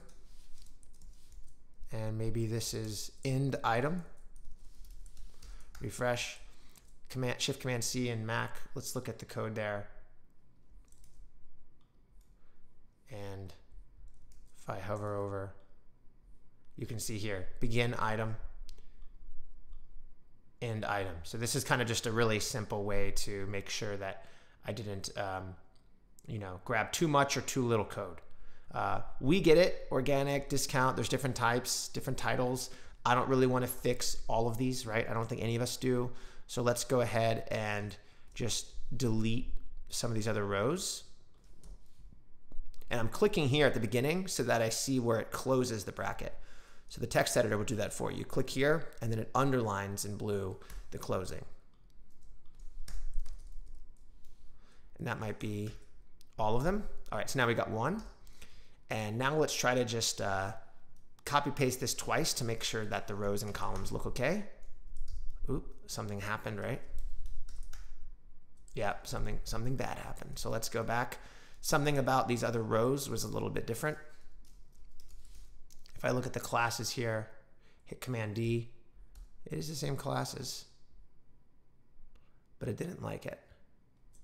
So I'm going to try to actually loop this six times. We're just going to wrap six dot times do around this and uh, try to generate a bunch of these. Maybe it's just uh, our browser. Yeah, that's all it was. We need to just do a little more CSS later to um, to clean up the breakpoints because it was it did not have the, the right padding. All right, so that's pretty cool. I'm gonna go back to deleting these. We don't need any of these. Um, and now we have, great. Now we have less code, cleaner code. Um, and then further down, more package inserts. We might do an auto scroll or you know whatever. Here, this is not full screen. I'm not liking this. this container um, is not exactly you know it's not as wide as my computer, right? So that container there, you know, maybe max width should just be 100%, or at least for like this footer, right? Maybe this container here should should have a maximum, you know, 1400 pixels, but this container here could be different. But we'll figure all that out later. And then down here we have an email input that we're not doing anything with yet, but we can go and at least make it an email type. So let's look for that form input. That's this right here. Let's start by, uh, by adding a placeholder so that we at least know this is working.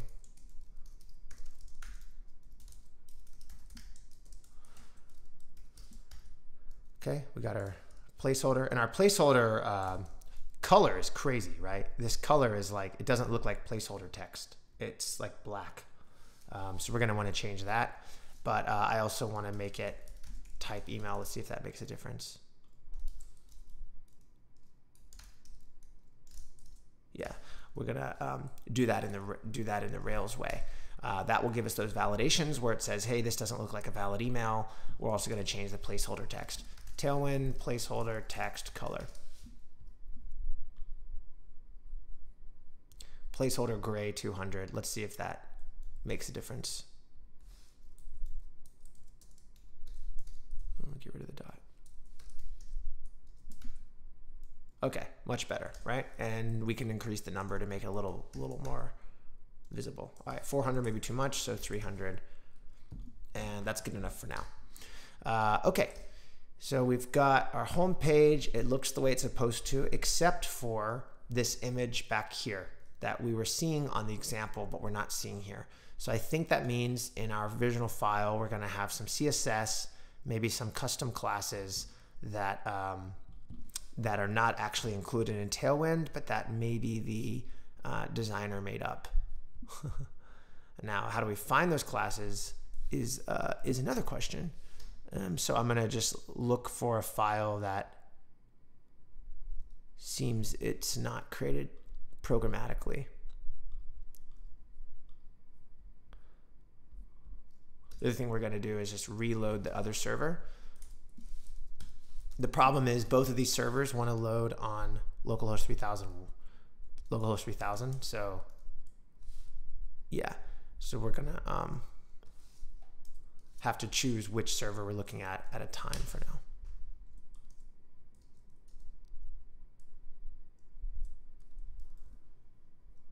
Now, what's the class stuff going on over here?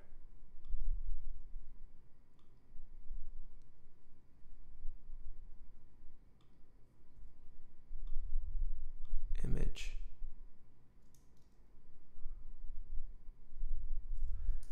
The classes look the same. They look very tailwindy to me, so I might have just missed a spot.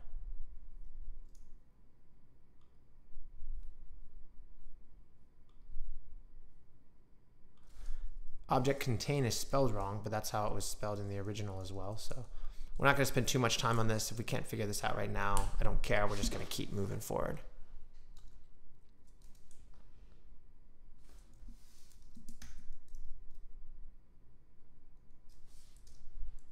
Yeah.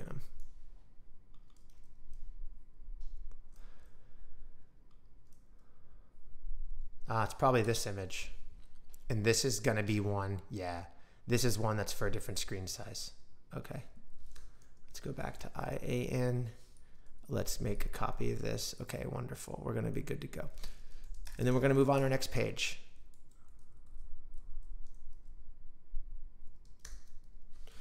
Here's our classes. It's a lot of classes. Here's our source, comma, classes, equals all that. And then we're going to get rid of this images slash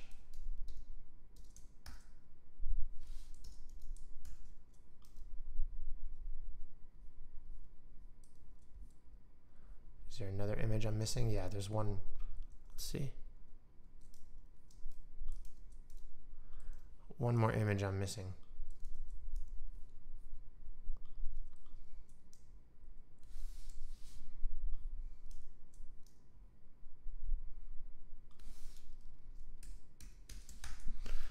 Okay, there we go.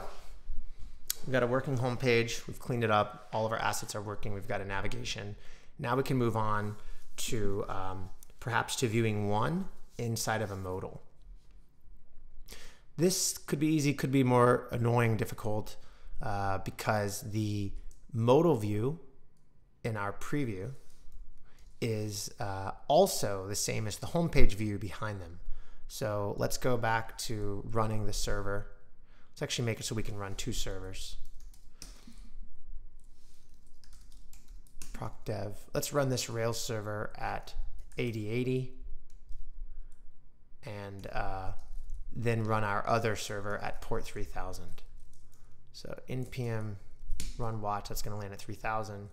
And hopefully if this works, this will run this server at port 8080 and let us look at both apps at the same time and really save us a lot of trouble. So here's port 3000 and this should now hopefully work at 8080. Yeah. we have to see if there's more spots pointing to port 3000.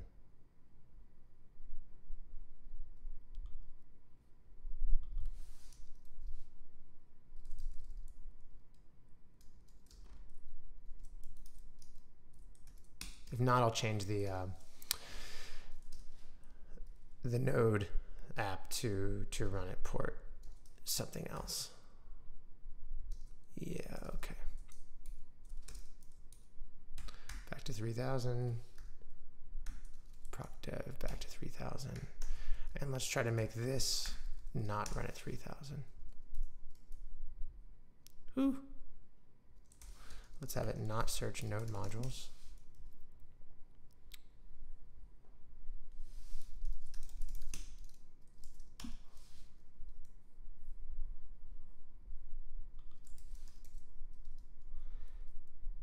This might just be a waste of time. Okay, okay. Yeah, this is gonna be a waste of time. I'm not gonna mess with it. Uh, we're just gonna struggle a little bit longer using, um, using both of them. So what's currently alive right now?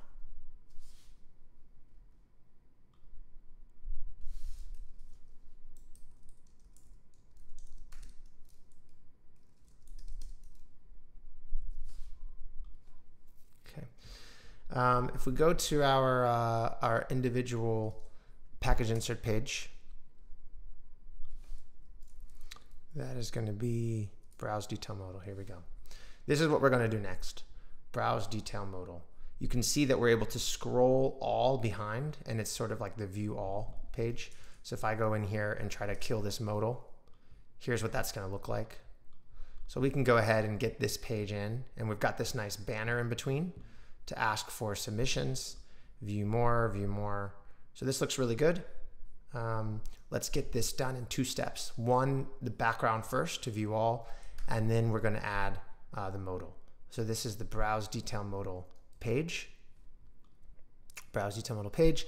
We're going to do kind of the same thing we did before, except we don't need to grab the head, the header, the fonts, and we don't need to grab the uh, this nav bar. So I'm to kill the nav bar. That's going to be the same.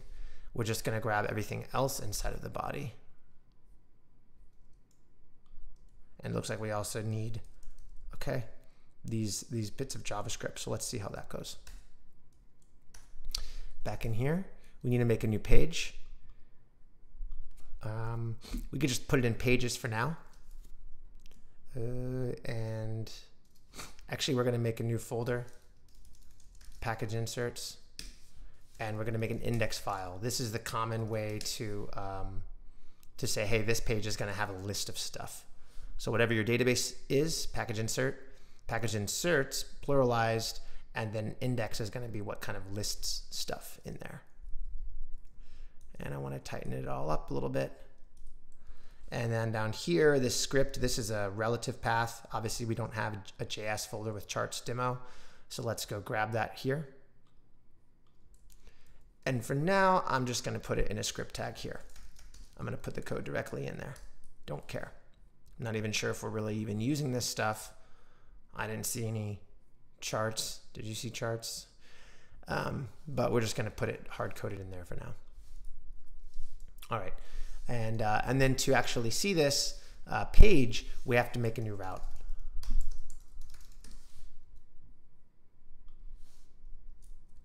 We're not going to use billing portal. Um, so we're going to get rid of this stuff, some of this stuff. To do, delete. Okay. We are going to use this admin panel though, so that's going to be nice. Resources. Resource is something that's a, a, a database, or for now we're going to say something that's connected to a database. Uh, package inserts is our database table. We only care about the index view, which is going to let us list stuff. And I'm going to make that controller package inserts, and then you have to affix controller. And just like when we were making our model, if you remember package insert model, we inherited from application record. Here we're going to inherit from application controller. And then we're just going to make our index view. And uh, this isn't going to do anything now, but soon to do, it will grab package inserts from the database, right? So it'd be something like package inserts equals package insert dot approved or something like that. And we don't have any of that built yet, but um, that's just one of our to-dos. For now, we're just using these hard-coded images. So we should be able to kind of go to uh, localhost slash package inserts like that. And again, we want to change that URL. We don't like that. That's gross. Um, but we're going to have to do one step at a time. So first, let's hard code the HTML and see what it looks like.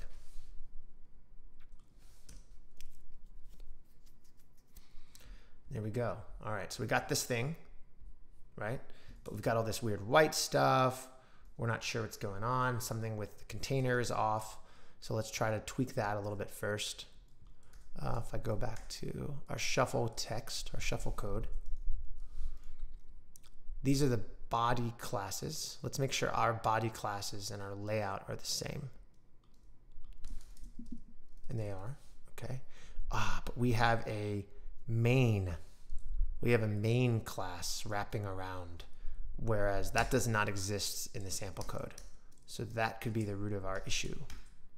And it is. Look at that. We got rid of the white stuff. It's centered. Let's go back to our homepage. And look at that. Our footer is now looking good. So attention to detail so important. I don't always do it. All right. So now we've got our sort of layout ready to go. Uh, it's finally working the way we expect. Just going to clean this all up a little bit. Again, this doesn't make a difference to the functionality, just makes it easier to maintain. So now we've got our package inserts tab. Image is broken, that's expected. Let's uh, use Chrome Developer Console and just delete this um, modal screen so we can kind of make sure this looks good. And it seems, you know, seems cool. Again, image is broken, that's expected. This image, we want to have it working. So let's get that image working. Um, then really we can just start working on the modal, fix these drop downs, and we can ignore all this middle stuff. We already have uh, a little widget that's going to show one of those. We fixed it. We made it the Rails way. And ultimately, these are not going to be a static page content. These are going to be pulled from the database. So we want to get to doing that as quickly as possible. Again, right now we're on step three. Step one was wireframe, mock it up. Step two is our database modeling, which was really easy. We made one table called package inserts with attributes like title, brand, URL, status, things like that, and verbs, which is what we're working on now, uh, viewing all of them, making one of them, viewing one of them, right? And then lastly, we're going to do the back end, which is where we pull them from the database, uh, we let people upload them, and we have the ability to edit them, again, the verbs. Okay, these drop downs are already totally broken. We could try to tweak those a little bit if we wanted to. Um, review request. Just looking for where this drop down is. I think it's not actually a drop down. It's kind of like a fake drop down. It's like a div. So we're, we're going to probably have to re, redo this, but let's at least clean it up for now. Yeah, so here's our drop down. And it's already open. The drop down's open. So I'm going to just replace this with a really simple drop down. Let's make sure this is the one by just copy pasting it.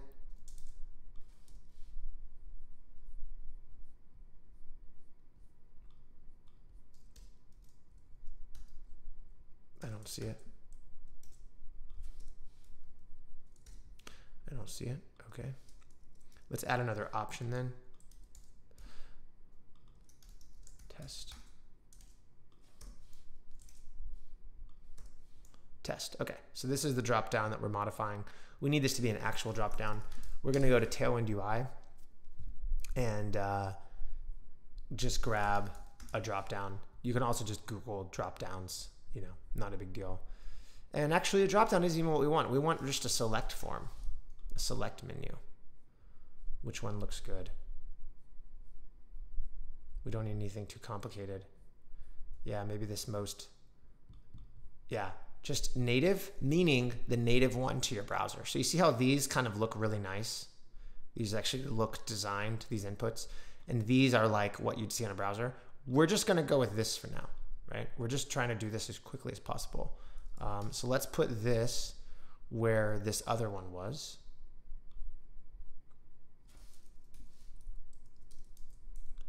and see how bad it looks and then make it match the styles of the one that was in our design mock. Okay, see how that's all not great, right? That's fine.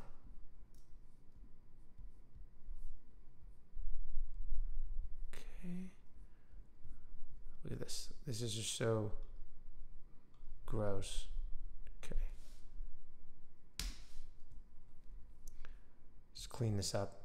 Can't really read anything when uh, when the code is all, all the way over there.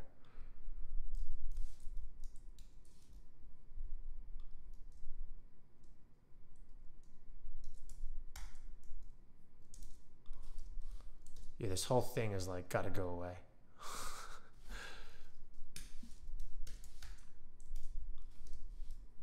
okay, for now, we're gonna go with that. This word location and just say type. I'm to get rid of all of this. Okay, type. And we can make this big, you know, we can make this nice and big. Uh, we can have, um, you know, a default selected option, obviously. Um, we can even change this to text large. Text large, let's see. yeah, already looking a, like a little bit better. Um, cool. And I'm gonna kill. Uh, now we're gonna just take these these types and map them over because those are those are correct. Discount free offer. And by the way, these types we decided during the wireframe step. We said, you know what? There's probably a lot of different things you could put on a package insert, but uh, we're just going to classify it into these four buckets telling your story, asking for a review, giving people something for free, or offering a discount. There's also maybe like upsell, you know, so I can add another one, uh, upsell, but we can adjust these anytime. And now let's just get rid of this whole thing. I hate loading this page and seeing this. So I'm just going to search the code for this thing and just say, uh, I don't know, display none. Uh, there's a class for this in, in Tailwind. Hide. Invisible. yeah, okay, invisible is good for now. All right, so that's one drop down. Let's make our other drop down kind of same thing. Here's that.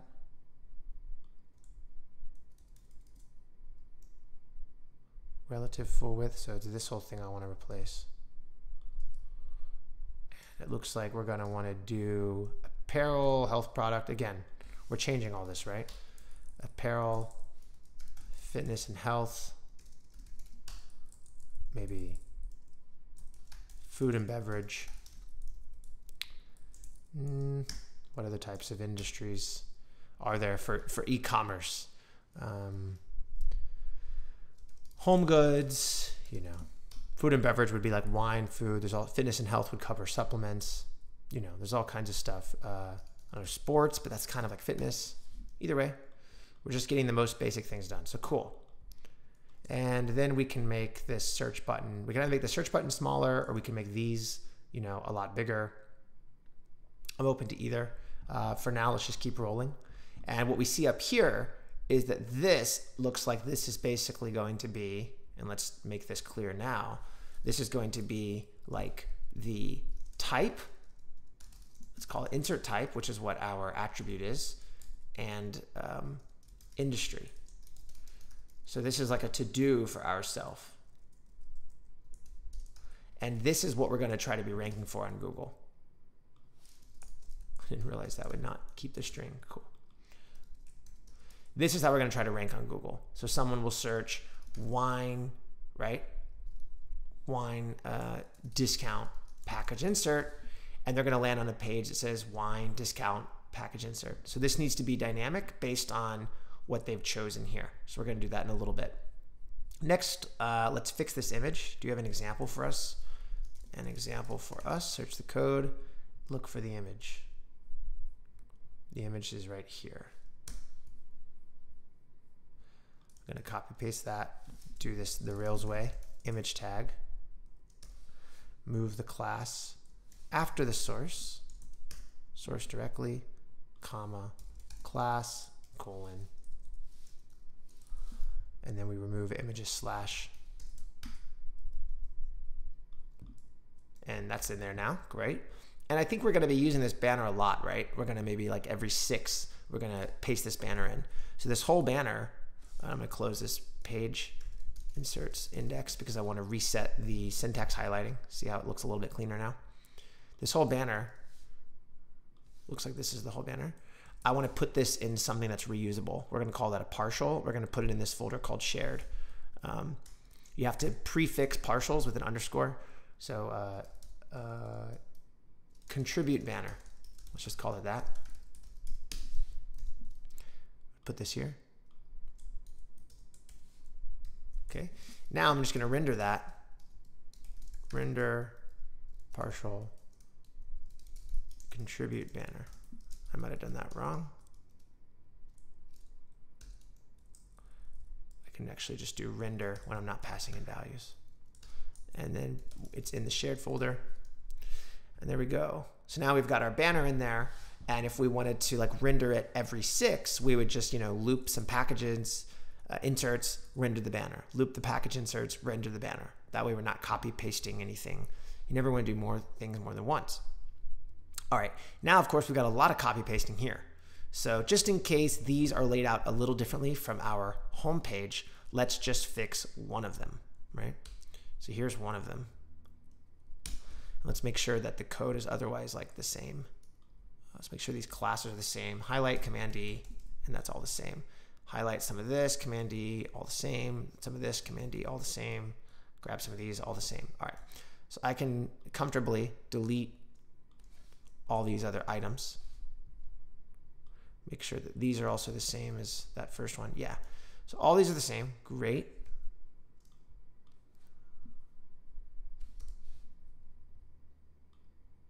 This is that closing tag. So if I were to um, make just one of these work, uh, we're good to go. So let's clean up the, the highlighting or clean up the, the linting, the syntax like that and like that. Okay. I'm keeping the first one just in case I, I accidentally delete something.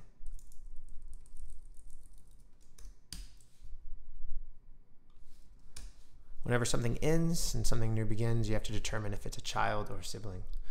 And we're just kind of YOLOing that right now. Okay, so this is kind of like a cleaned up one.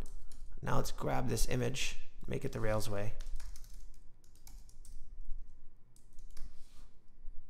Put the source first, comma, class colon classes, close the tag, get rid of the images prefix, images slash prefix comment out this one, command forward slash, and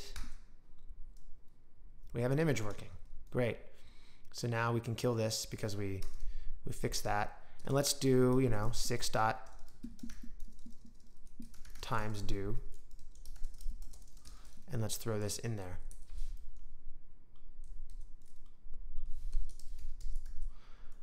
Okay, now we've got our six things and our banner, and then we can do six more. Um, but if I'm going to do six more, and it's going to look just like this, six dot times do, and then six more below, again, now we've repeated ourselves, right? So let's cancel that, and let's take this thing and make this a partial as well. So let's call it, um, we can actually put the partial in this file because we, we're only going to probably use it here. And let's call it, uh, you know, you know, package insert or something like that. Maybe package insert small because these are this version and our modal version is going to be like the big version. So maybe package insert small for now. All right.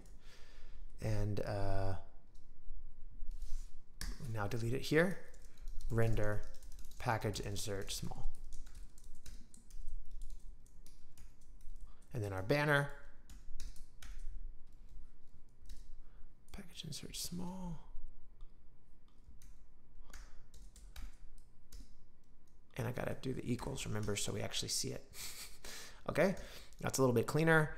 But then again, still six times, and then the banner, and then six times. Now we're just copying and pasting this again, right? So it's still like, ew, gross. So instead, what we'd probably do later is we'll do something like having all of our inserts, um, and we'll do in groups of six. And then in there, it will automatically render our contribute banner every six. So again, it will it will be a lot better, but for now, um, we're gonna do it like this. So for now, we just do two dot times do, and then in there we do six dot times do. So now twice we're gonna render six and then the banner. Let's see if that works. Six, oop, 12 banner, did it all wrong because I didn't add the banner. Shared, contribute banner. So we do the six and then we do the one banner and then we repeat the whole process. All right, six, banner six. That's the concept. Again, we'll make this even cleaner later. This is another example too, where you could use secrets to say like, how often do I want their, the banner to be? Um, you could actually set that up as an environment variable and then change how often the banner is without writing code. That could be good for marketing, A-B tests, you know, that kind of thing. Great, so we got six banner, six banner, etc. We got drop downs that actually open and close. The search button doesn't do anything. That's intended because that's backend, right? We have to send a command to the backend to do something. Um, and now we have finally viewing one. Uh, we added this invisible class. Let's remove the invisible class and start looking at this. Same concept, we're gonna have the broken images. Otherwise, the styles look nice. We've got a working thought bubble, that's cool. This is the tool that I'm gonna be promoting with this free website. I want people to look for package inserts and then sign up for our tool, Get Reviews AI.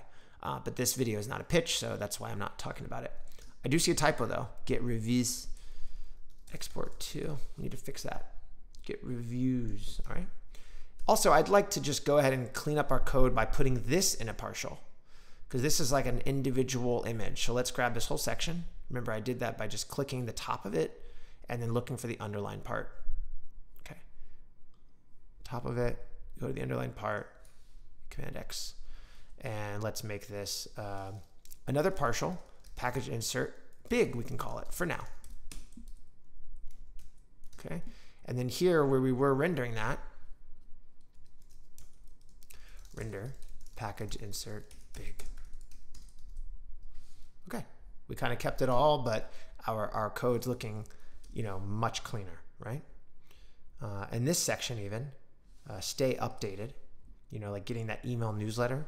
This might be the same code as our homepage.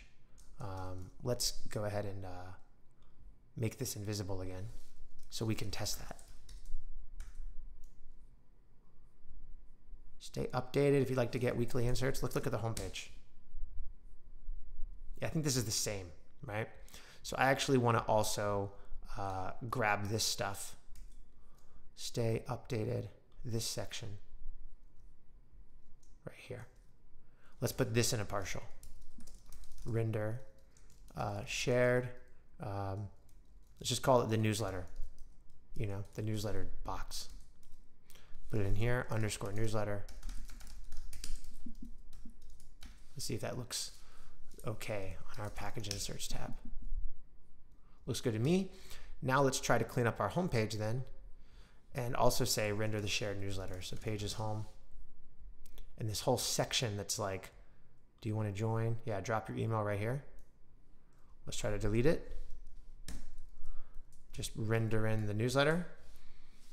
Refresh our homepage. Looks good to me. Cool. So we're not done with that newsletter, right? We need to fix our email. Oh, I accidentally got rid of the placeholder text thing. So we're going to have to fix that. That was right here. Where's the input? Yeah, we did a placeholder like gray 300 or something.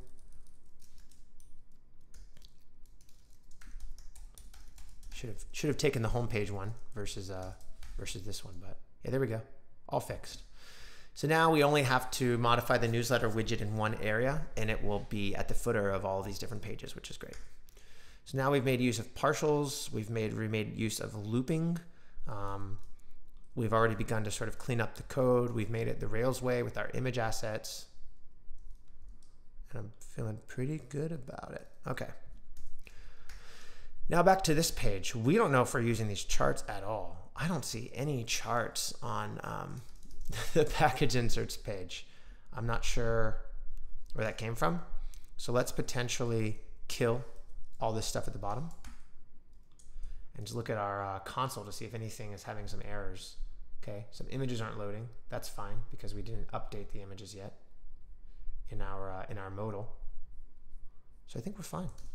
All right, we got rid of JavaScript. Look at this. Our page is so much cleaner. Barely even have to scroll to see everything. Let me check the chat.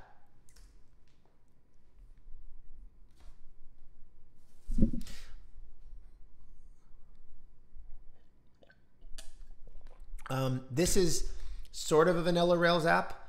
Um, I use my own called Speedrail. Jumpstart is pretty sweet. Jumpstart is cool. I've used it a few times, but uh, typically Jumpstart for me is overkill. So I, I, you know, I don't really use it too often, just for a couple apps. Yeah, thanks for asking.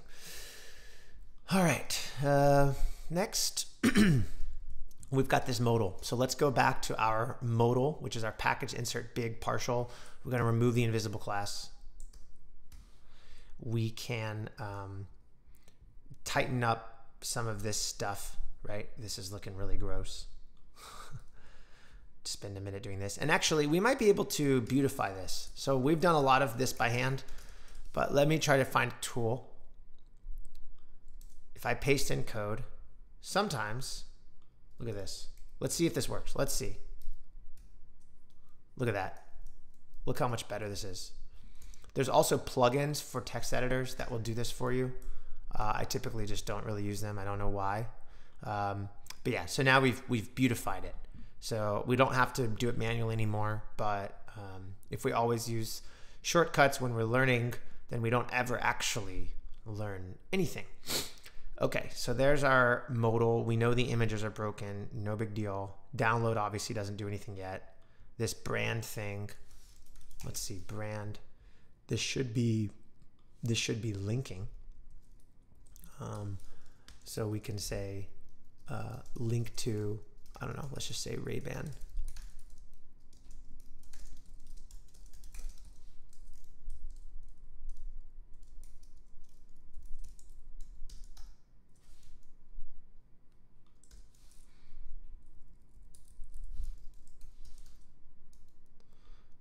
Okay, so now we've got now we've got our link. We screwed up the display. I think it S, I think SVGs are by default display block in Tailwind. So I'm just gonna write inline see if that fixes it. Yeah, there we go. And then we want it to open in a new tab. So we're gonna add target blank. All right. So again, we're just getting the shell. All of this is gonna have to be dynamic, right? maybe even clicking discount could run a search where it says, you know, discount package inserts. Maybe that would happen once you click this, right? We don't know yet. We haven't decided. Same with industry. Um, these images, we can, you know, tweak the images. Let's change this from ERB type to HTML to see if that fixes our syntax highlighting. Not really. Big. All right. let's get one of the two of these images to be improved. Image. All right.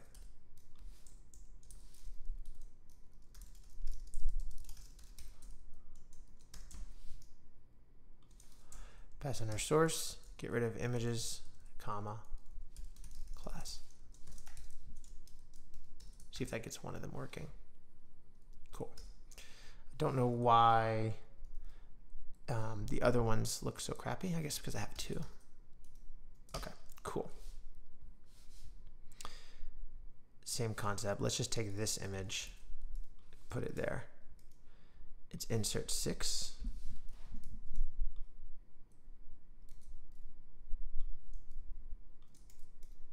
That's the class. Getting these thumbnails working, great. Now we can just change these to insert five. and insert 10.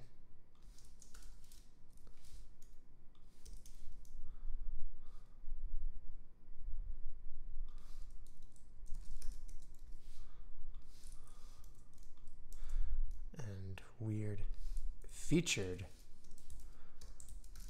featured insert 0 1 okay does that give us all of our thumbnails it does Great, and we've still got this nice working little modal. I'm really surprised that this um, that this uh, thought bubble worked. Now we need this functionality, right? We want to uh, to click here and probably probably hide it, obviously. Um, but we'll see. You know, maybe we'll make this its own page, kind of thing. So that's all cleaned up. I kind of think we're ready to work on the back end. Uh, oh, no, we have a contribute page we have a contribute page. So let's uh, spin down this server, spin up this server, and look at that contribute page. oh, nice. Okay. Is it contribute? It is. Sweet. So here's a contribute page. It's a form. This is going to have to be totally redone because Rails has a way to do forms safely so that you don't uh, have people um, hitting your server with a bunch of data remotely. So it has CSRF protection.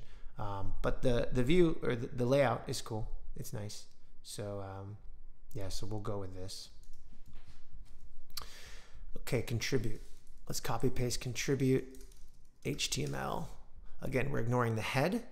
We're ignoring this body part. We're getting this and we can actually ignore the uh, um, you know that part of the footer that says like hey give us your email or whatever but let's do one at a time let's get this inner body div here to here And let's make a new page. This can also just be a hard-coded page. This isn't connected to like a database yet.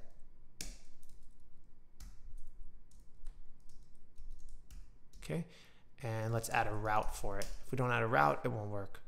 Pages, let's add it here.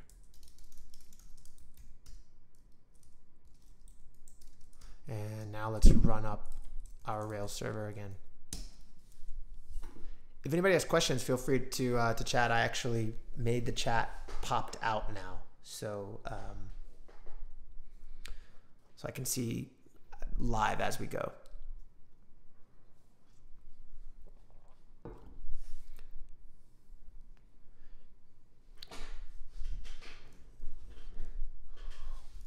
All right, Christian says lack of autocomplete seems like playing on hard mode. Autocomplete in what way? Like a method name or? Okay, let's get rid of this double header. Let's get rid of the header at the top. I think that's the first section. Because we already have a header. Okay, good. And this footer is pretty good. Do our other pages have this footer? Because if they do, yeah, they do we should actually make this a partial and make the footer a partial because not everywhere is going to have the email capture and the and the footer. So let's do that. Um, let's go into our um, our let's call it newsletter and let's rip out the part that's the real footer, which I think is this. Yeah.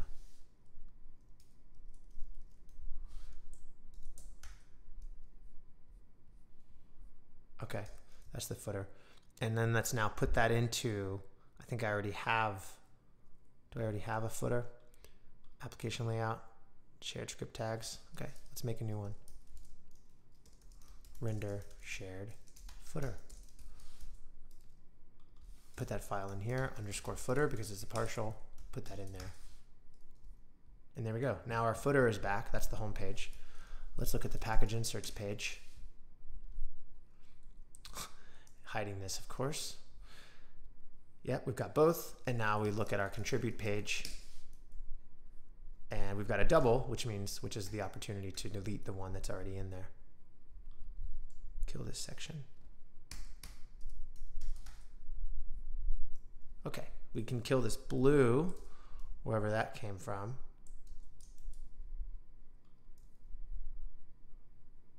DVG blue. That is in our footer. I think we don't need that. Okay, now it looks like that. Home page looks, ooh, this needs to be, yeah, okay, I see. So on these pages, it needs to be background blue. Um, so I'll say unless, okay, cool. Let's, let's do this. We're going to customize this a little bit. Um,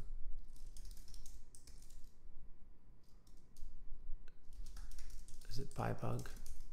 We're going to debug in here.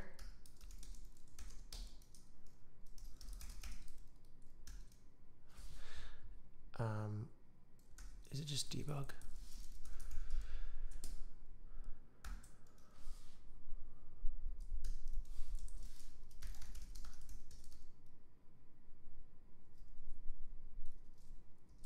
Oh, I don't have binding pry on this on this app. Okay. Anyway, um, pages action. Let's try that. We're going to basically just hide the blue unless it's on the right page. This is the home page. If I go to the contribute page, it's contribute. So on the contribute page, it's not bad to maybe have the back, uh, no, on the, the, contribute page, it's fine to be white. On the home page, we uh, need it to be blue, right? On on the package inserts page, we need it to be blue. Um, okay, so it's going to be blue unless we're on the contribute page. Okay, so that's what we're going to do in here. We're going to dynamically say um, BG blue unless the page is the contribute page. Let's see if that kind of quickly fixes our problem.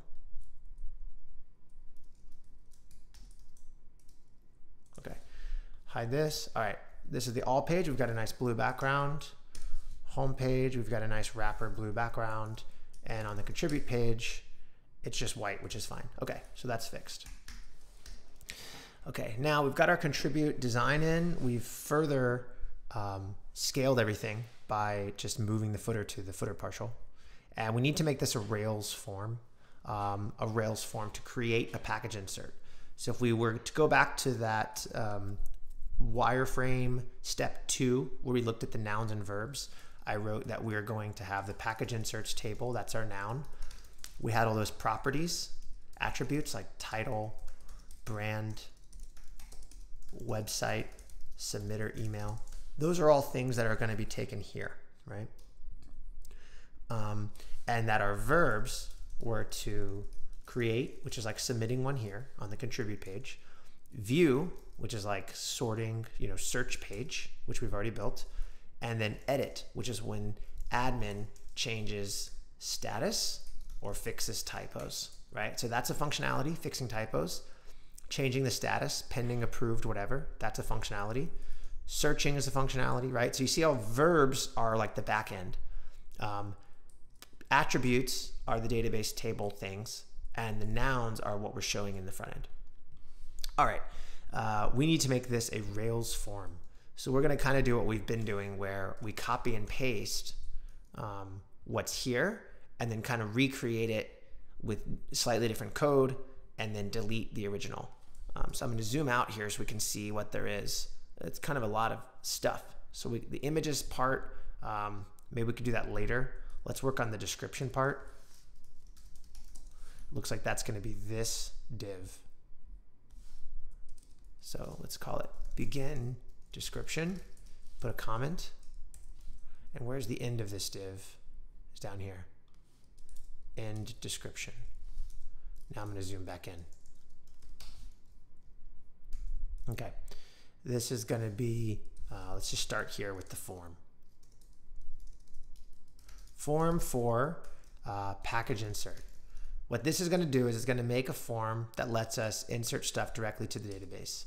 Um, however, right now, I think if I if I try to run this, it's going to give us problems because we don't have uh, a way uh, to actually create those. We haven't whitelisted a route. So right now, we only allow you to view package inserts. We also need to let you create package inserts. So that's part one. Let's put this whole div inside of there. Let's indent it a little bit. Let's reload our page because our highlighting was trash. All right, package insert. And uh, we also need to give ourselves a package insert. So this variable didn't come from nowhere. Uh, I created this. I could have called it something, right? Every variable, we get to name it. I'm going to use the Rails standard and use the singular version of our, of our table name, package insert.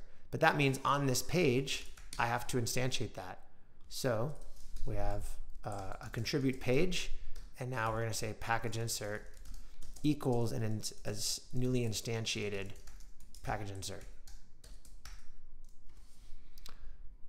So, okay, now we have it, but you know, you don't see anything yet, right? Title. We could change this input to be the Rails way. Um, so we're going to say uh, f dot uh, input or f dot text field. Let's see. And we're going to give it the attribute that we're trying to do, title. And then we're going to give it the class. So it's sort of like when we converted our images. And then the ending of our tag has to be uh, percentage sign. Placeholder, type tag. We're going to get rid of all that for now. And it might not be text field. All right, so now if I look at this, you see how it has a name attribute?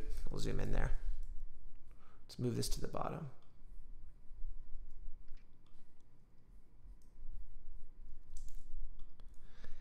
This input has this name attribute, package insert title, and an ID. We did not hard code that in. By saying it is for the title attribute, Rails automatically generated an HTML element with those. That is going to then map to those attributes in our database. So now we've made this input uh, Rails friendly, right? And now we can actually save this. And if we scroll up further, here's that form we made. It created this form class and everything we made now is inside of it. This hidden input has an authenticity token that will prevent people from trying to hit our server with this data remotely. They won't be able to do that because they would have to load this page and get this value. So a little bit of basic security built in by just adding one line of code. Uh, next, we can convert a couple more fields. Let's convert this uh, brand field, which might be the same same classes. So that's why I copy pasted the whole thing. Yeah, same classes. I just need to change this from title to brand, kill it, reload, and now we can see that the brand input is also ready to go. So I kind of want to just see if we can make it submit. Um, let's go below the bottom of our form and make another, you know, another uh, input that's like a submit type. And this is going to look bad. That's okay. F dot submit and give it like a label uh, upload, you know, for now. Let's just see what happens. Okay, looks like crap, right? What we're going to do is we're going to click to submit. It's going to hit our server with this data, but it's still not going to save. And we'll explain why. Um, started a post to package inserts. The action create could not be found for package inserts controller. So go to our controller, and all we have is a way to list stuff. We need to create. Okay. Now let's try it again. It's still going to fail, but we're just going to go one step at a time so you can see why it's failing. Title here, brand. All right hit upload. It hit our server with that authenticity token, which is awesome. And then it gave us these attributes, the titles that we typed in. I typed in title here and I typed in brand and then I uploaded. No template found. It doesn't know what to do. 204, nothing happened. All right. Back here, we need to whitelist these params. This is something Rails calls uh, strong params. And you just take the singular of uh, your item Package inserts is our table. Package insert is singular and uh, affix underscore params. And again, you don't have to do it this way. You really don't have to do it this way. But when you do it this way, you write less code and you're done faster and you can build apps in a day, which we've done many times on this channel. Um, so we're going to say if package insert can create one with those params, meaning it, it passes any validations we have. Um, you know, maybe we just go to the to the the home page. And then if they don't, maybe we go to the, uh, the contribution page for now, and we'll, we'll fix this error uh, or alert. Let's go to our flashes, flash alert. See if we can make any of this fire.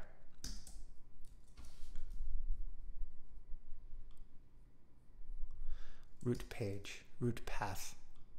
That means it actually worked. See, we got to this code, so it actually worked. Let's just do it again though. Let's go to contribute page. Let's hide some of this. Um, Ray Bans. Let's call a new Wayfarer. I should have uh, made sure my my voice was here. Revenge and uh, upload. And look at that. We got this nice little message. Thanks for your contribution. Okay. So now we're inserting into the database. We're not inserting all the fields we need. We have a few more inputs we need to Railsify, right? So let's just do that now. We need a website here. So I'm going to just go on underneath here. This is going to be the website. Uh, I might want to add a placeholder, rayban.com, right? Delete the fake input. Let's go back to our contribute page. And we're just going to go one input field at a time. See that? And here we actually have uh, placeholder gray text. I didn't have to hard code the class. Looks like that was, yeah, placeholder gray 200. We kind of like placeholder gray 300, I think. A little bit, a little bit darker.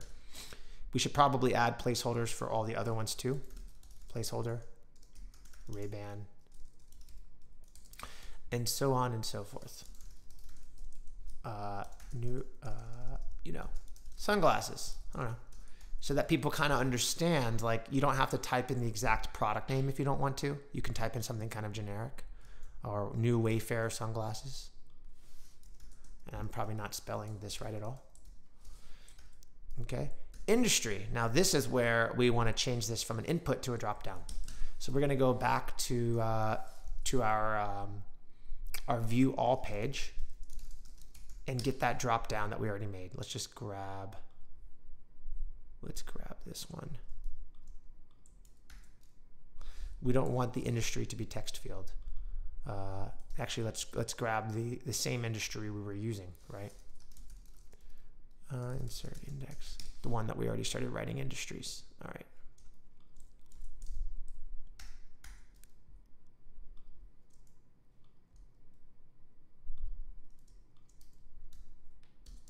How does that look?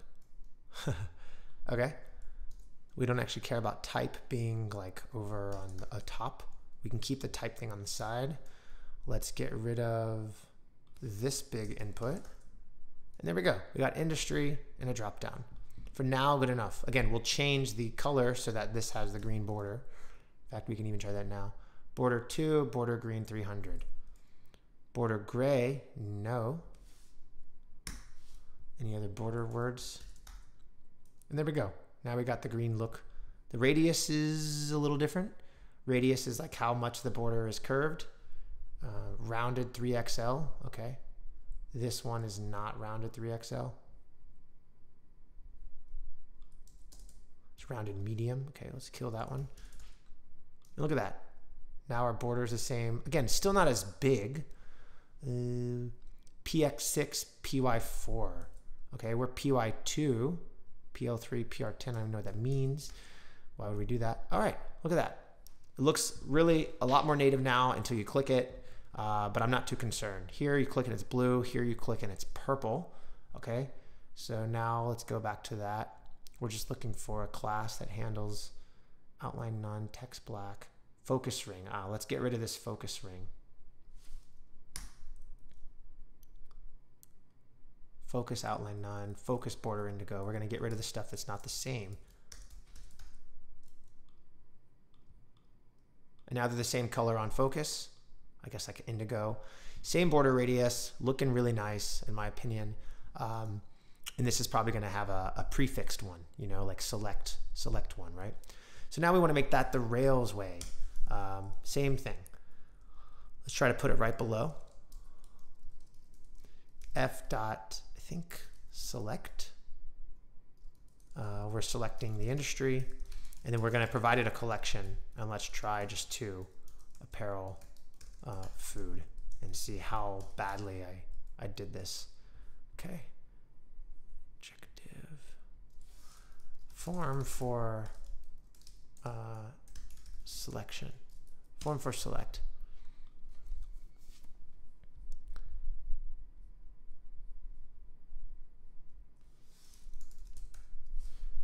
Select option and tags. Select tag. Let's see if that fixed our page. Not yet.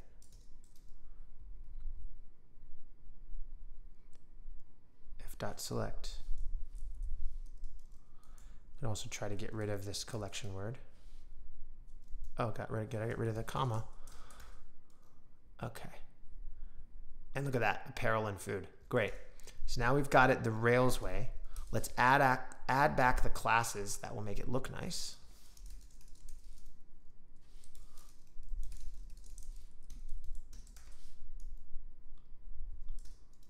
Okay, we're not looking nice yet.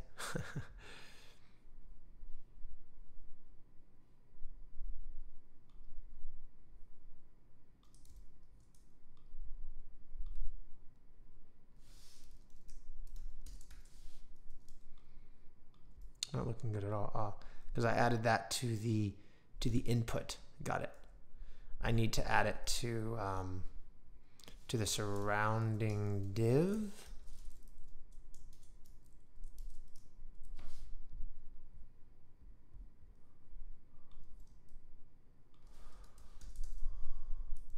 Okay. A little bit better, but still not still not right. Um, but this is what we're sort of what we're wrestling with input HTML might be the way to do it. And then this might put it around the, the full thing. We don't want it to be on the on the drop down options. We want it to be on the uh, on the surrounding select class itself.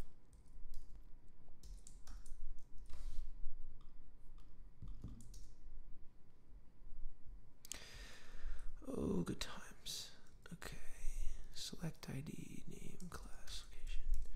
This one is on the select, the classes.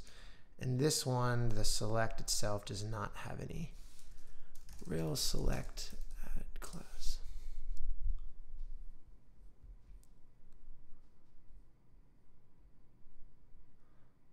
Uh-huh.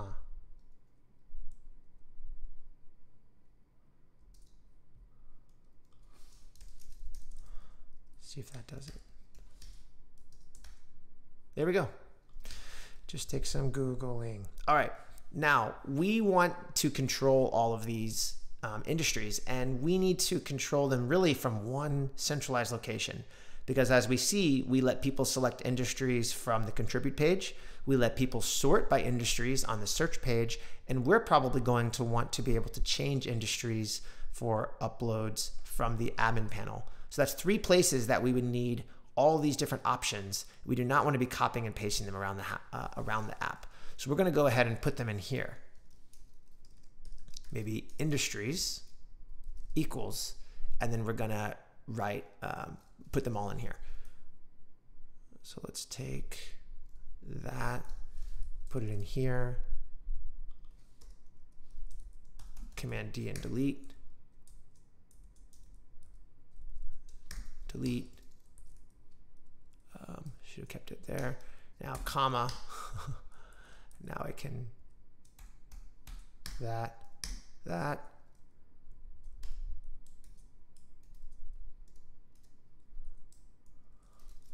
And uh, that gets us a little bit closer.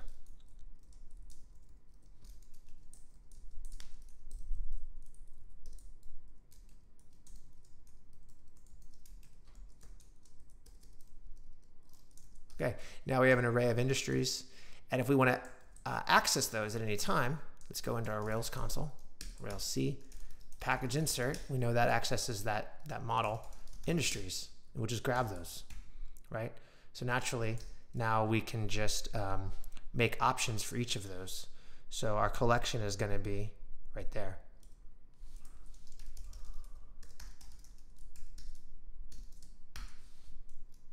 And now they're all there. So that's really nice because now anytime we want to add more options, we just go in here and add them. Or again, we can make this an application secret so that someone could just open up wherever we host our app, type in a, a, a new industry, hit enter, and everything would update on the app automatically. All the drop downs, everything would just work great. Uh, so I can kill this, this one, and we might not even need this empty div surrounding our select either. So now we have a way to, to add a nice drop down. All right, we've got three string inputs, a nice industry drop down. Now we need these checkboxes, right? These, uh, these ones will work okay. These big green ones that look nice are not actually connected. So let's see how we can fix that. Got these SVGs, inputs, type checkbox. Yeah. So I think, are these buttons? Um, it's actually, uh, Let's actually beautify this on one of those tools so we don't have to do it ourselves.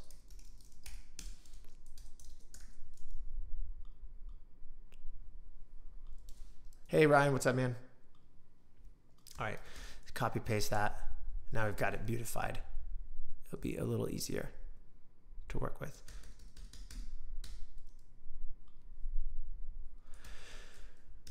Groovy. Make sure we didn't break it when we beautified it. Okay. And what are these big green ones? These are SVGs, right? So we can kill the SVG and kill the button and then we won't have that issue. kill the button, kill the SVG.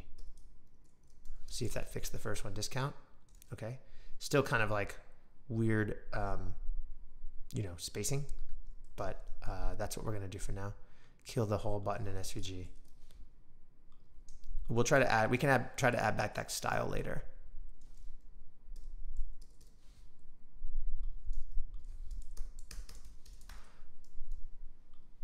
Okay. All right. Um, we need this to be, uh, we can make these checkboxes, you know, but then that lets them choose multiple. And if you look at our homepage design, we don't have a way to show more than one type here. So I think we should just let people make people choose one, which makes me think we should just go ahead and make this another drop down because that's how our search layout is going to be as well, right?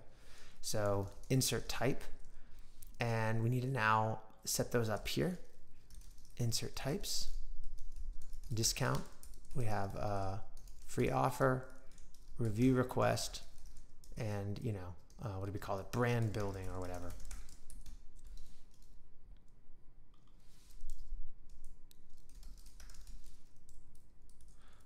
See if that looks okay.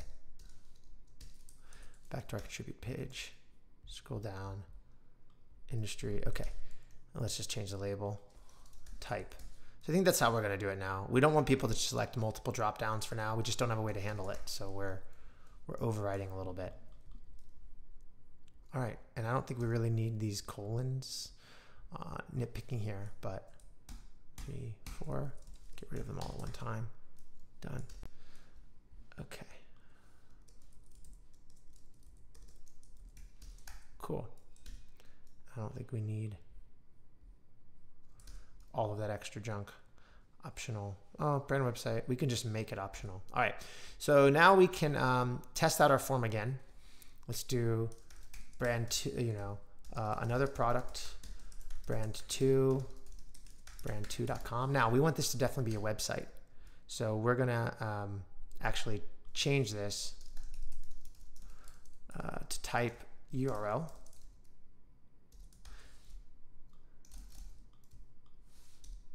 There you go. When I try to submit, it says enter a URL. So that's good. Uh, these can be strings, whatever they want. We can make minimum character counts, but for now we don't care. We're going to make them required true. Required true. Now if I reload, I try to hit submit, enter. You see it tells me uh, please, you have to fill out this, okay? Enter, try to submit again, and that worked. That's all I needed. But if I do put in a website and hit enter, it's gonna say it has to be a valid URL. Right, close enough. Uh, industry, these are not required, but we should make these required.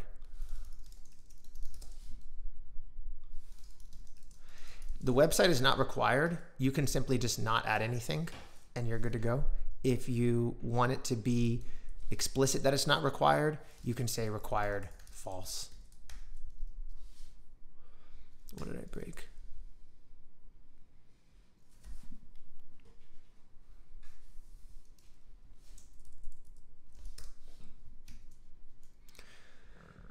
Mm-hmm. Probably one of these has to be in a different order. Yeah. I want to make these required, I might have to do it in here. Let's try.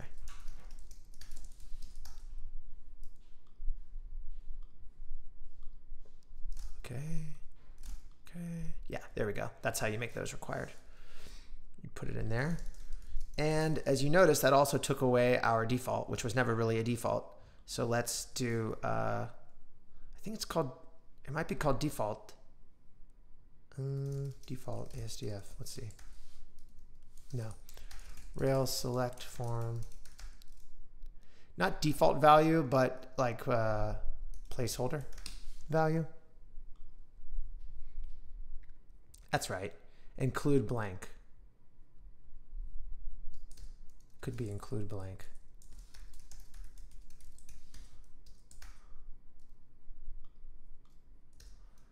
Let's try it out here.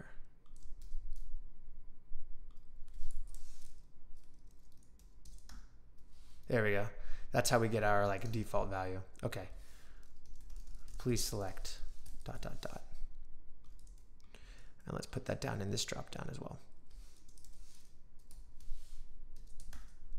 Okay, now these are required.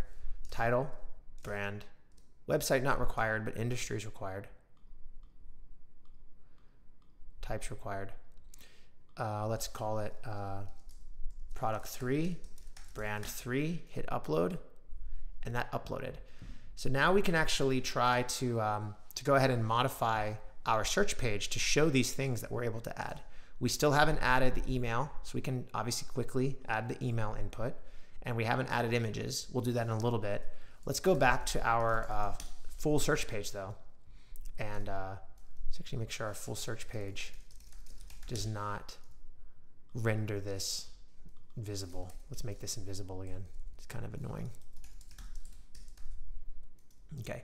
Instead of loading these hard, uh, hard coded ones, we can load um, ours from the actual database.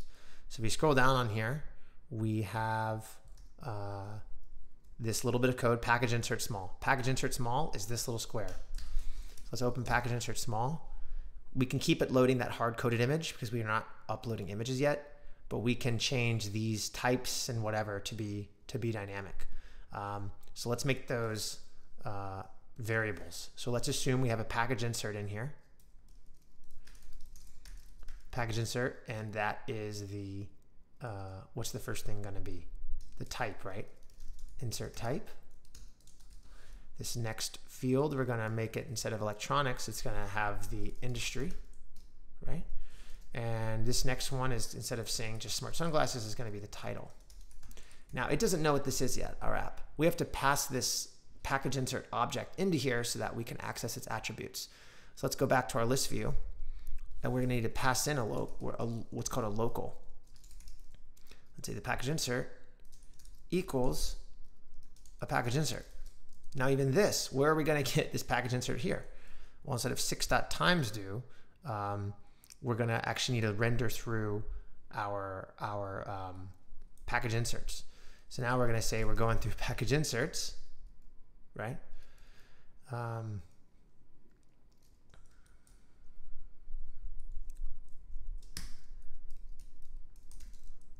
okay. And we're going to call those package inserts. If a lot of this stuff is really confusing, that's fine. I teach all of the Ruby stuff in a free course called Fundamentals at founderhacker.com slash fundamentals. Um, totally free. You can learn all of this important stuff. And, uh, and then after you finish that, you can join us in 24 hour MVP where we're going to be doing things like this, building three different apps, easy, medium, and hard, in five, six hours each, like we're doing today on the live stream. And uh, through that, I'm going to teach more in depth, you know, why I'm doing things a certain way. We're going to look at more documentation. We're going to work with APIs. We're going to do all kinds of cool stuff, take payments. Um, so if this is confusing, that's fine. This video cannot really substitute as learning to code on the, the, fundamental level, for that you're going to want to uh, just take our fun free fundamentals course. All right, package inserts. And uh, to get that, see how we're working backwards. We're starting from the front end and we're working backwards to the back end. Um, we're gonna do exactly this. Look at this, I put to do. Package inserts equals package insert dot approved. For now, we don't have any way to say what's approved, what's rejected. So let's just grab them all and let's see what breaks. Did you mean package inserts? Uh, package inserts. Right. So because I, uh, this is a really weird thing, but when you want to pass values into your partial, you have to say that it's a partial. I'm not sure why. Um, all right, cool. Look at that. Title here, new Wayfarer, ASDF, right? Product three. These are all things that we added, which is pretty cool. And the reason why we're not seeing our types and industries is you're thinking, hey, we plugged in industries, right? We made those required. That's because at our controller level, we are only submitting, we are only allowing these things to pass through. Now we're adding title, uh, industry, you know, insert type. So now we're actually gonna have to create some new ones. Let's go to our Rails console, package insert, and let's just get rid of them all. Cool. Let's go back to our contribute page and add a couple. New Wayfarer, Ray-Ban, Rayban.com. Uh, apparel, and it's a discount. Cool. Now let's go to our, our uh, package inserts page and look at that. We have our new Wayfarer. So now we're reading directly from the database. We can even go back to our homepage and make sure the homepage is doing the same thing. And let's just see, without checking the code, let's see if we can render them on the homepage the same way, um, the exact same way, uh, with the same partial. Maybe the code here isn't any different, right? That's what I'm trying to figure out. Electronics food. Let's Go to our home page. All package inserts. Smart sunglasses. Where did we put that? Smart sunglasses. Ah, six dot times two, right. What if we got rid of that?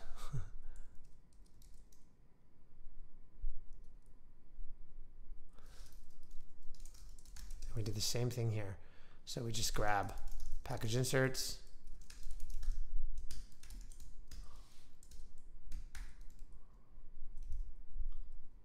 We get rid of the six dot times do thing.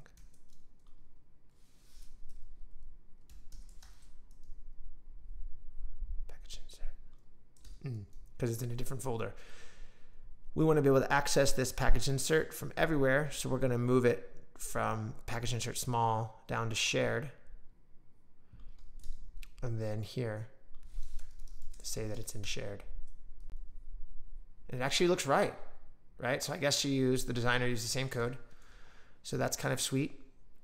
Um, that's pretty sweet.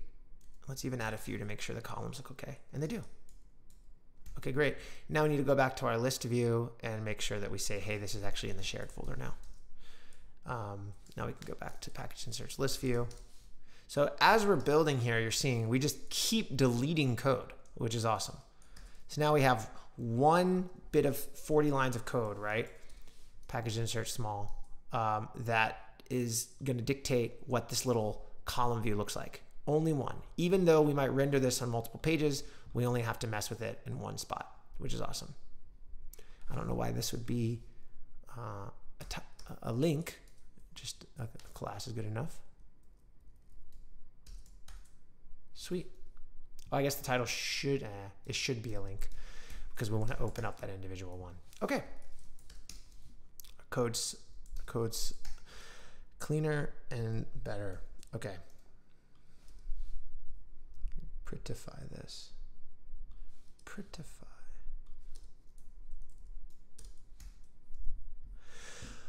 Okay.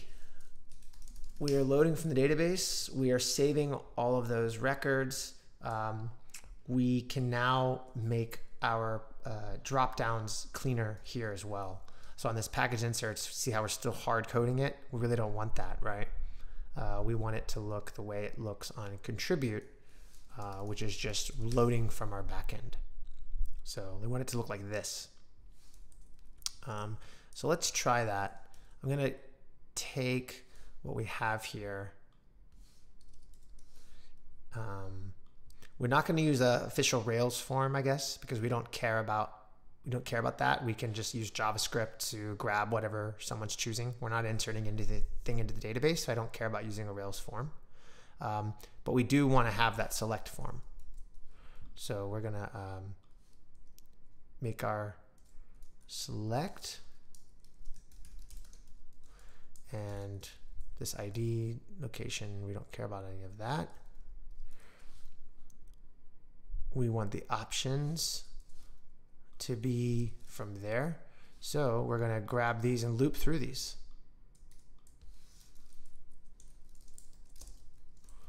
Dot each do industry, right? Mm -hmm. All right and we're going to just make an option. Option HTML tag.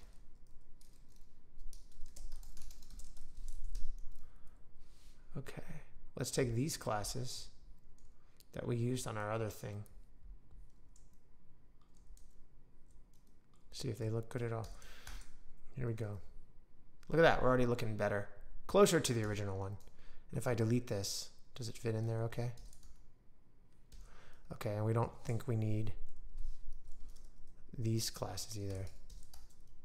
Great. Okay, that looks cool. And uh, now we're just going to put it down here too. Except instead of industries, it's going to be insert types, right?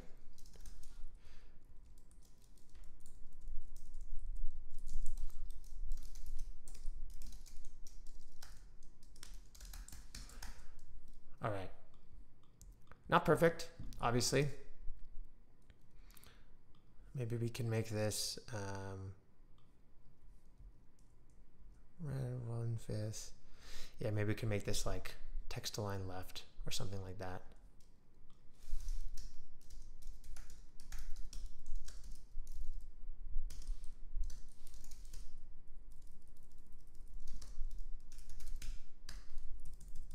Yeah, we'll figure it out. But for now, at least we are loading things dynamically. I think this just shouldn't be one third. I think they shouldn't be set up like that. Yeah. Oh, and this definitely shouldn't be absolute right. Maybe that's why. I'm using the same classes.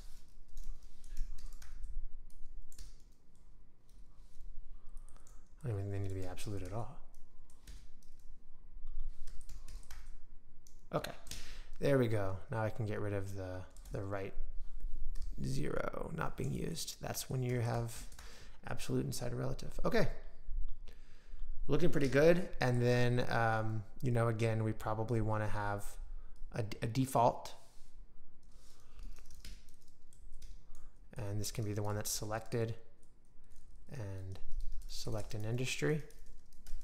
See if that works okay.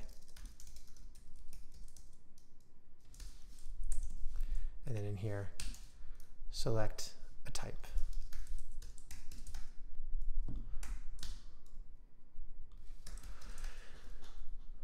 Groovy. oh, it's like loading every single time. Duh.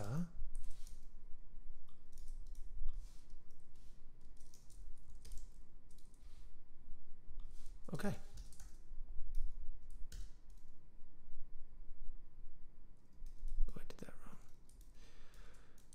Forgive me.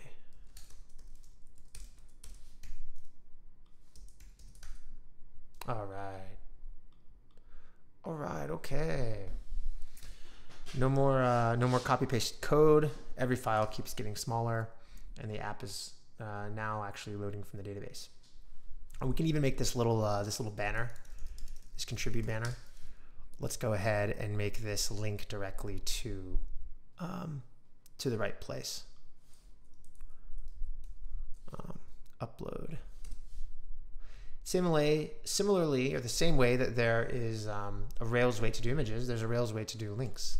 And so instead of doing a uh, anchor tag, you do a link to tag, and then um, you can you can pass in a relative path like this, like contribute path, right? And as long as we name that path, yeah, um, you can later say, hey, I want the contribute page to be like slash upload, right? And you can decide that in one spot of your app. And everything that's pointing to contribute path will go to that new slash upload page, which is really nice. So upload now, boom. Now we're going to our contribute page, right? Groovy. We fixed our banner. Our contribute page needs to add images. We need to put this probably in the center not sure why it got why it got um, weird when we added our form, but something about our form made it not made it not centered anymore. So let's look at that. Maybe this needs to be like higher width. But you know what we're going through today, which I haven't done in other live streams. Usually we code every single thing from scratch. Here we're grabbing styles and HTML from a designer. Uh, and as you're seeing, there's new challenges. Um, when you when you get the designer work, we don't have to figure out pretty pixels and decide what colors look good or border radiuses or even the general layout, which is really great. But we do have to spend time just matching up uh, the designer's work with um, the Rails way or whatever framework you're using. So we we kind of just figured out how to do that. We just need the form class um, let's just fix it for now, like hard code width 100%. And I might not have done that correctly. Let's see. Yeah.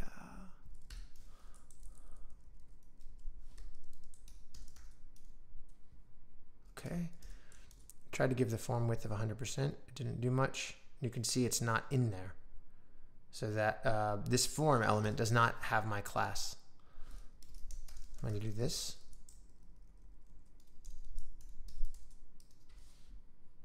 still does not have my style.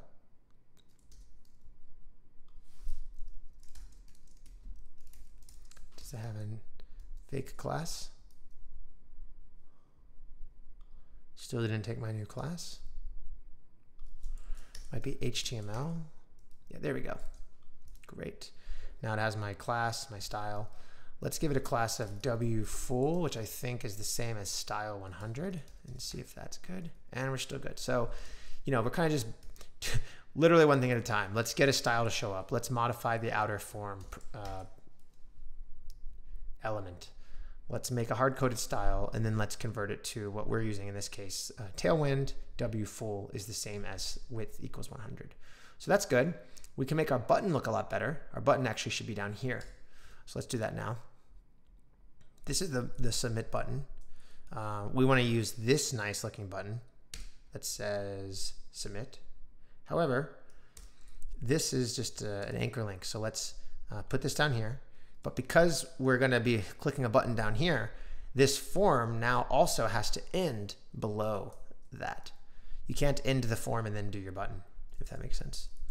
So let's put this all the way at the bottom. We could also put it here. It doesn't really matter.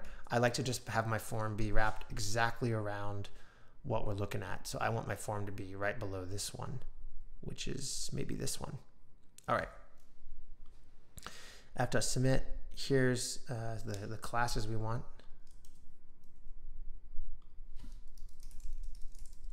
And the way we wrote it, the designer wrote it, is just the word submit. So let's comment out the hard-coded button.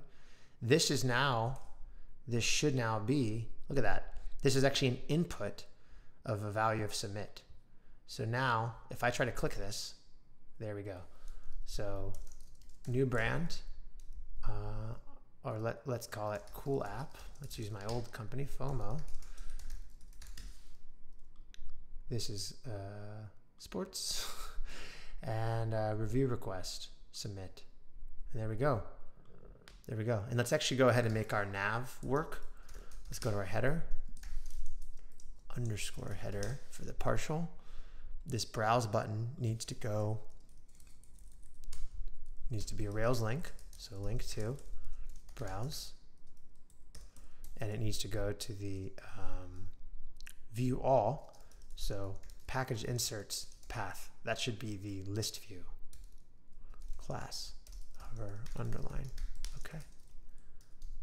Let's see if that fixed our nav. Browse. Boom. Landed there. And now we've got um, this FOMO thing, cool app and everything. And our homepage should have that too. Homepage has both of those as well. So awesome. Back to contribute. Let's fix that in the nav. Here's another, right? Broken link or doesn't do anything. Make this the Rails way. Hi, Norm. Thanks for joining. Link to contribute. And this is going to be the contribute path. Yeah, we're two and a half hours in. Had some technical difficulties for about 10, 15 minutes. Um, so we'll see. I think this will be like around a six hour build, but maybe, maybe it will be longer. So now contribute goes to contribute, browse goes to browse, and that's working on every page. Awesome. Because it's one partial, one header. It's a really nice way to do it.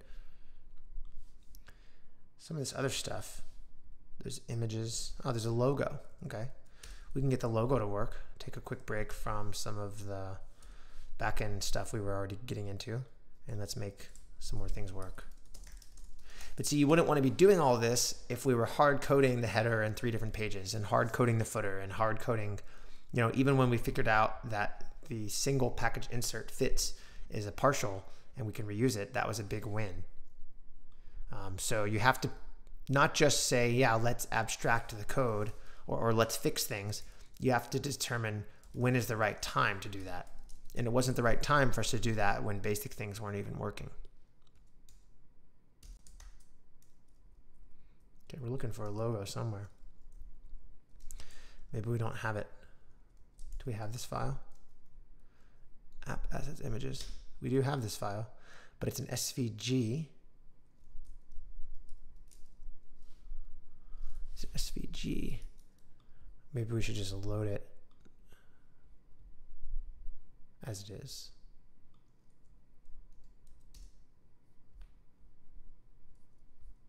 Oh, this might be only on mobile. Mobile's got to get fixed. Okay. Nav bar. This is a hidden nav bar. Okay. If it wasn't hidden, what would it look like? Ah, look at that. Kind of like a side nav. So this might be, yeah, this is like the mobile side nav, and we're gonna have this as the logo. Okay, cool. And this might not be working correctly either. Um, so I might want to ask the designer about it. Here, 2022, uh, I want to quickly look for all instances of 2022, uh, not in app assets. So let's do bang app assets. It's in the footer, it's in the header. Schema, let's also ignore. So really just footer and header. Let's open these up. And we're going to put embedded Ruby here, date.today.year.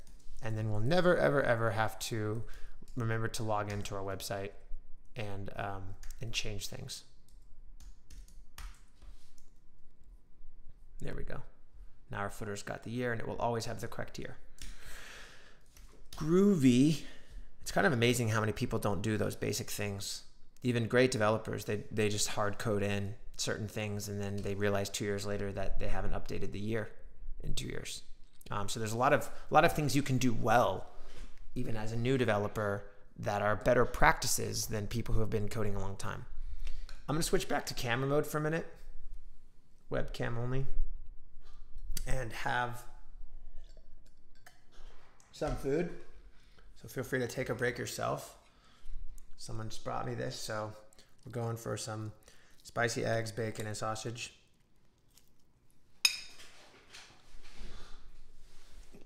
If there's anything you guys want me to talk more about, just let me know.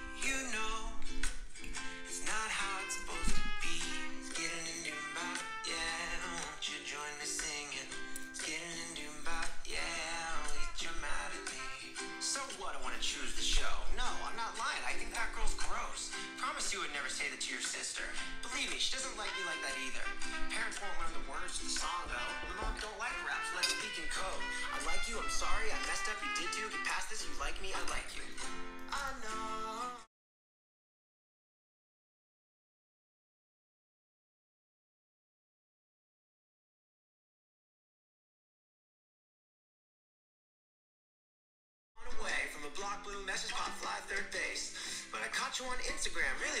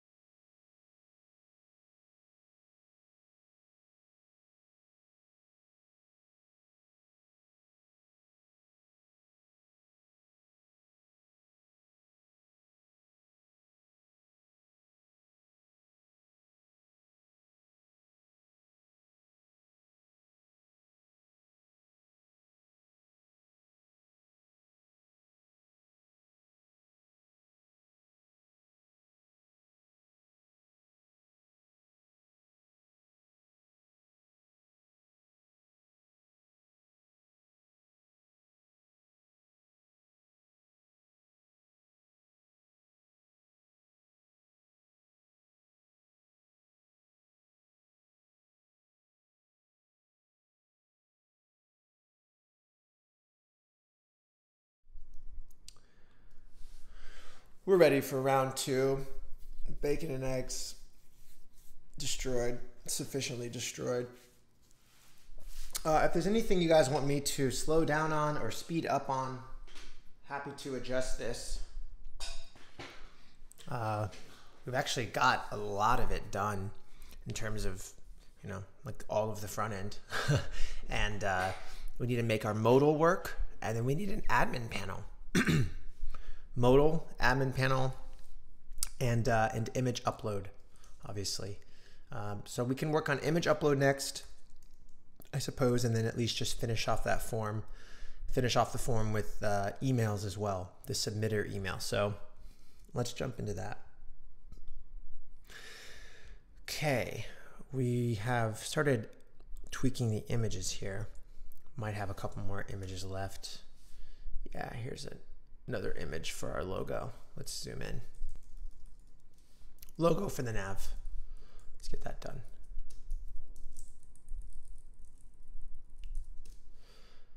Rails way.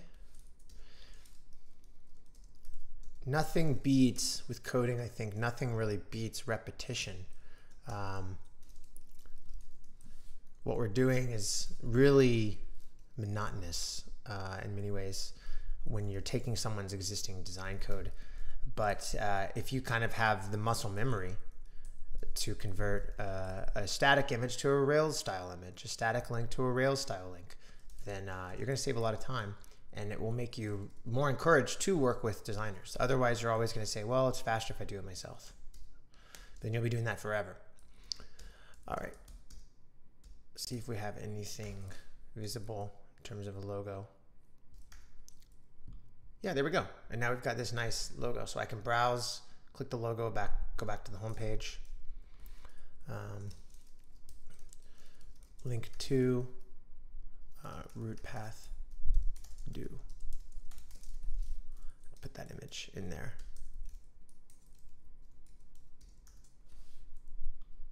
Boom. Great. Contribute, go back to the root path. Great. I think we've pretty much fixed. And let's add the same thing here for the mobile. For the mobile menu, which we haven't tested yet or fixed, but um, you know, we'll get to that later. Mobile menu is like a finishing touch thing in my opinion. We don't really care right now uh, about that. Okay, let's go to contribute.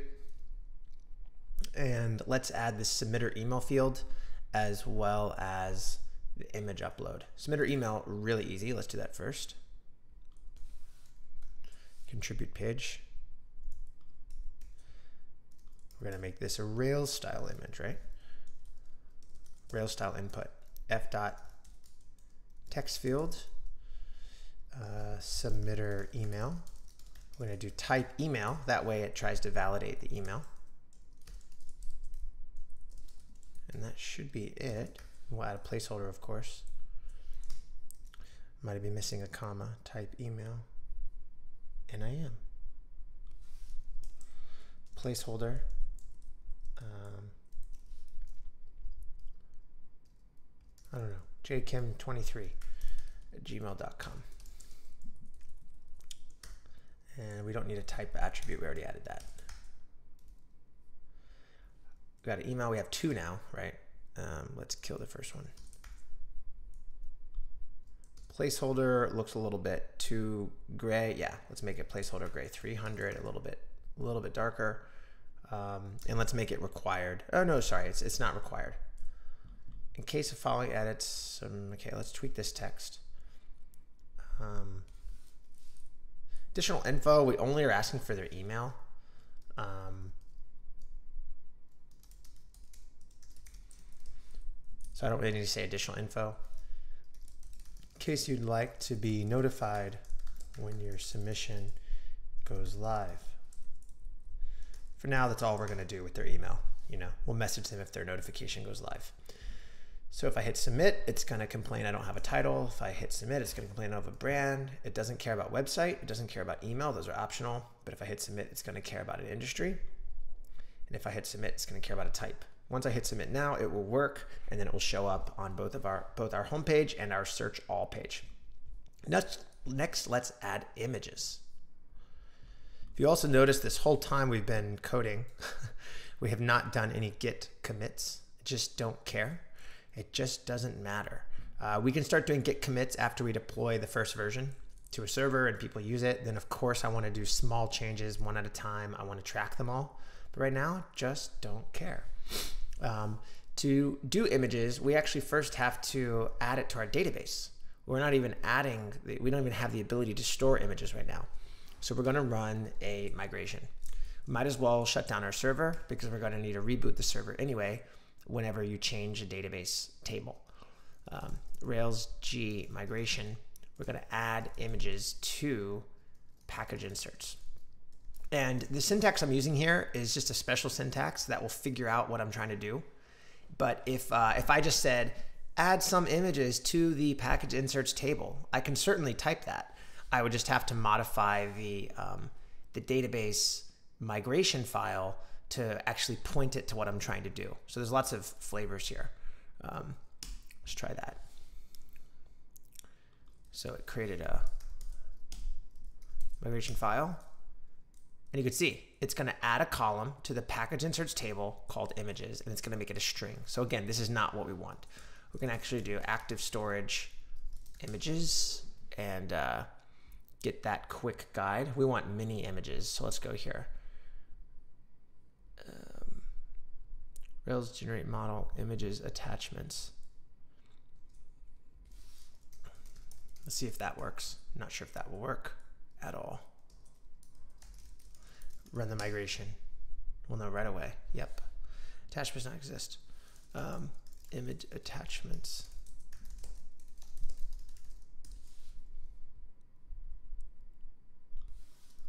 Migration. I know how to do a migration from scratch. We're trying to do a uh, migration when we don't have the table, when we already have the table.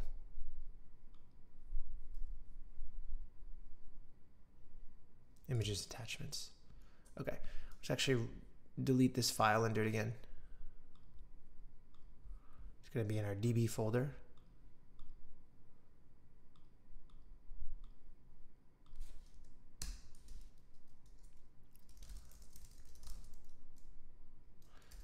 Uh, really just do the same thing. Images, attachments. Let's see what that calls it. It didn't get it at all. okay, add column to package inserts. Attachments. I've actually not done it this way. I've never really used active storage, which is the Rails built-in way to uh, attach images and stuff. I typically just do um, uh, I, I point stuff to S3, Amazon S3, and then I add it that way.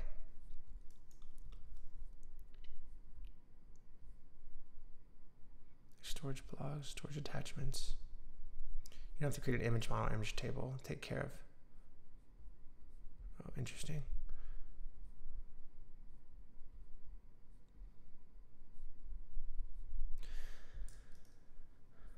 Maybe that's what we're missing. Yeah. Okay, Rails active storage underscore install.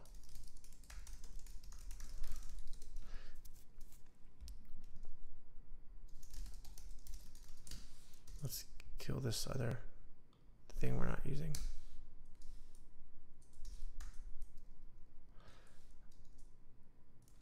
Let's see. Okay, and then let's go to our package insert and try this. Has many uh, attached images, something like that. Has many attached images, yeah. Okay. Let's run Rail C.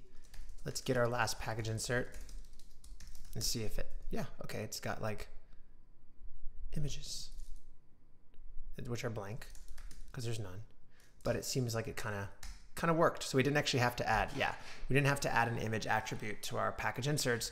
We just had to add this concept of attachments to our overall database and then inside of our package insert model, we're saying, hey, the package insert model wants to use that, that feature. All right, and uh, let's see, let's go back to our insert controller. We have to whitelist this, right? And since we're whitelisting multiple, I think we just do this. Images, yeah, like that, just like that. Okay, and then on the form, on the form, uh, form, file, form for image.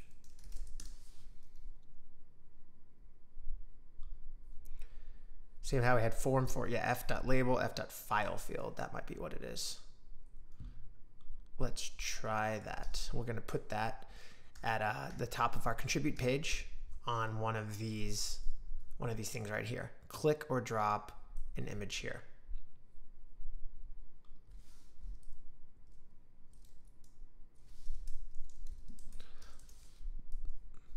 Oh, and we got to rerun our server. Let's see. Right now, we're just going to be storing these images on our local server, but obviously we are going to want to put these somewhere public, uh, like on Amazon or something like that. It's complaining about the form. That's because I don't start the form until way down here. So let's move the beginning of the form till uh, to somewhere further up. There we go. Okay, this choose file. Okay, sweet, sweet. Um, obviously, I don't like how that looks. So let's see if we can actually, I don't know, click. Let's see if I can just start changing things one at a time. Choose file. Um, maybe we can make it, we have to decide if we want to try to make this form field thing look like this nice box, or if we want to hide the form field thing and have this nice box, which is already designed for us, maybe this could like secretly click the form field thing, if that makes sense. Um, might be faster to do what I just mentioned, the hack, but probably better coding to just do this right. So, um, for example, if we if we make this class the other class, what would happen? Oh, this got a big SVG. Um,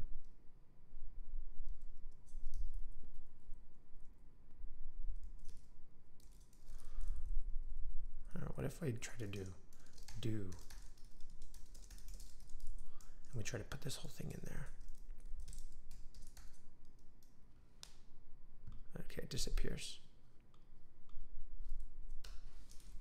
Okay the thing we're looking for is this div inside of the button which is what we did. Okay.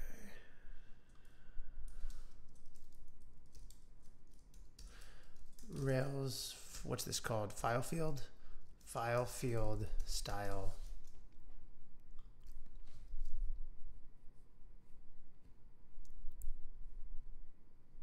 Display none. Oh, you just throw it in there and you make it hidden, I guess. Let's try that. It's kind of what we started to do. So I put it inside of here. Okay, and then just hide it and then we need it we need everywhere to click on that thing.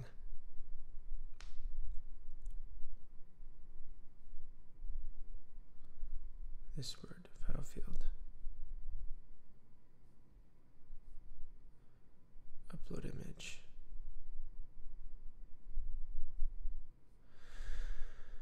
Okay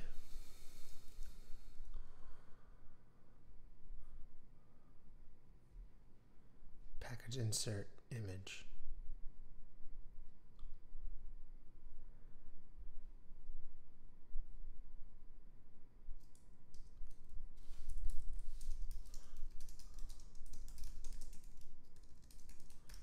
Visible. Okay, it's hidden now. But because it's hidden, uh, we can't click it.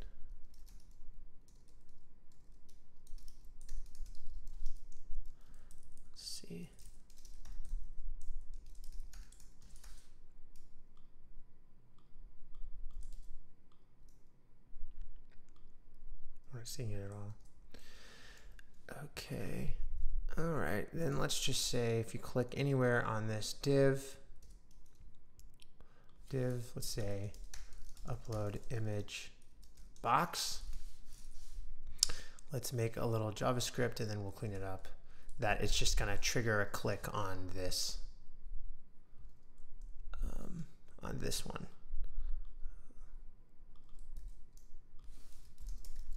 Let's see if that did the trick, does the trick.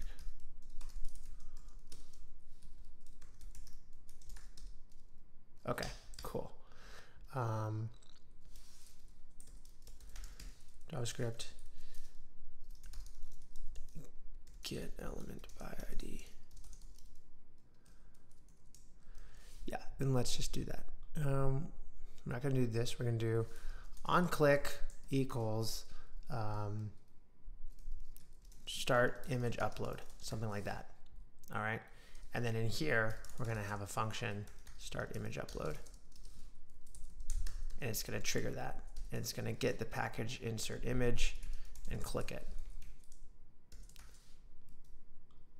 And there we go. Now this isn't as sexy as drag and dropping. So for now, click to add an image. We're just going to keep it really simple. Click to add an image, right? And really all of those can be the same way. All of these can have this on click start image upload. And again, we might have to really tweak this. And let's put this script down at the bottom. Start image upload. On click start image upload. Um, each of these really are on click start image upload image two three and four Okay, let's see if that kind of does the trick. Click, upload, click, upload. Great. We'll make at least one, I guess, required, right? So required true. If I try to hit submit now, it's complaining about title. I really want it to complain about not having an image either.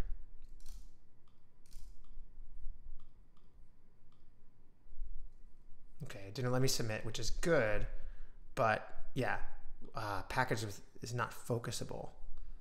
Right. Um, because we have it displayed none. If I were to get rid of this, would it give us an error if I try to hit submit? It does. Please choose a file.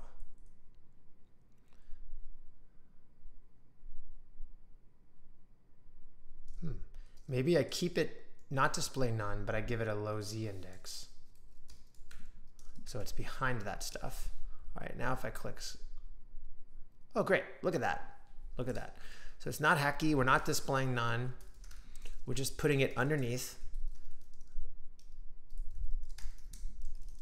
And then we get the benefit of these client-side validations.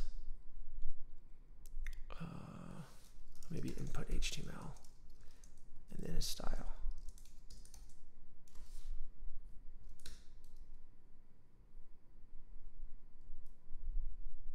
Hmm. Actually, might be a way to do Tailwind CSS Z index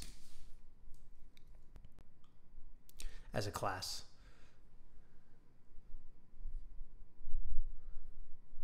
using a negative z dash one. See if that does it. Okay, I still see it. Negative z dash 10. Don't see it. Okay, let's hit submit. And it goes up here and says you have to add an image. Wonderful. Wonderful. All right, now let's uh, let's try this with real Ray-Ban. These are my glasses of choice.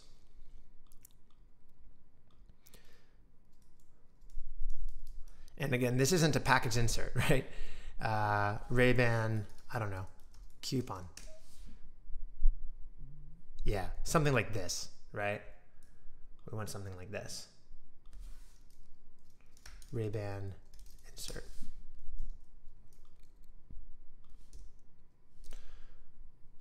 Okay, now the image I think is in there, but we're not previewing it. So we're going to do another little search to see how to, you know, to how to preview that in the way we like it. Industry apparel. It's a discount, right? Um,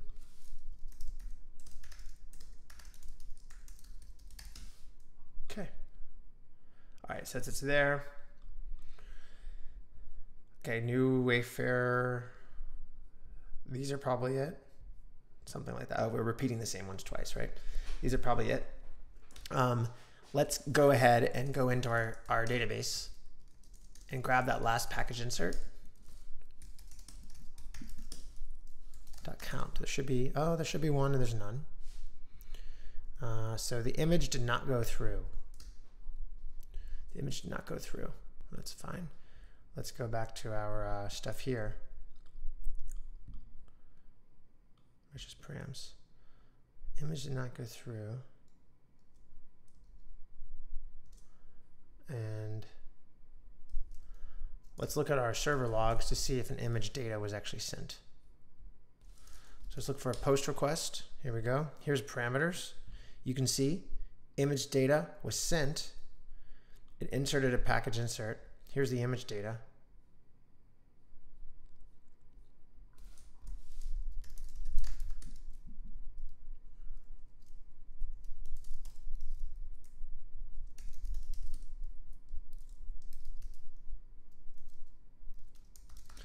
See if it's anywhere in our in our server. Doesn't seem to be. So it's in there. Package insert controller. Okay, let's try just image and see if that makes any difference. Okay, contribute.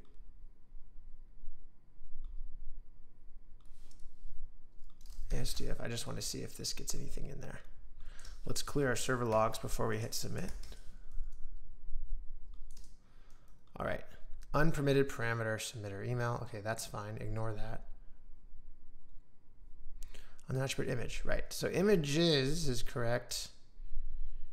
Images is correct. Um,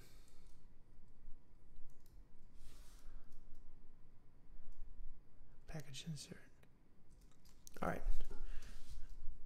What's gonna try this?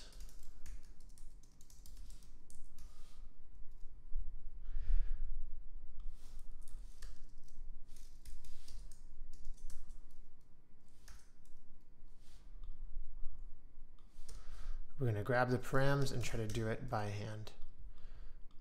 Mm -hmm.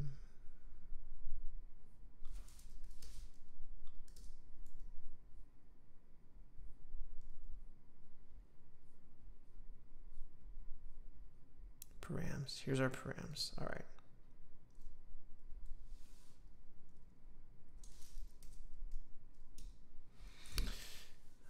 Params. Uh, we're going to... Um, debug this. Then we won't have to touch this again.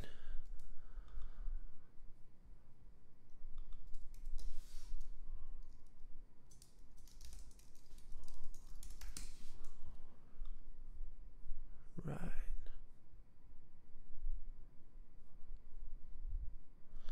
Right, okay.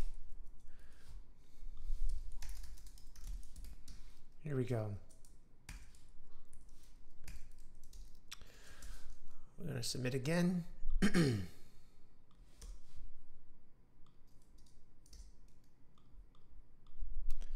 See why this image isn't going through. So here's our params. Now we get to work with this in real time. We should be able to work this in real time. Binding dot break. And let's go ahead and whitelist our submitter email as well. It's complaining about that, but that has nothing to do with what we're working on. Run just the Rails server. Let's go ahead and re-grab this image. Submit params. There we go. Now we're working with this stuff. Package insert params. You can see the images are not in there. Params params.keys, params package insert dot keys image. It's just one image. Um, so that's probably what's going on. That's what's going on. So if we were to actually change this to has one attached image, we're just going to make it work and then add more.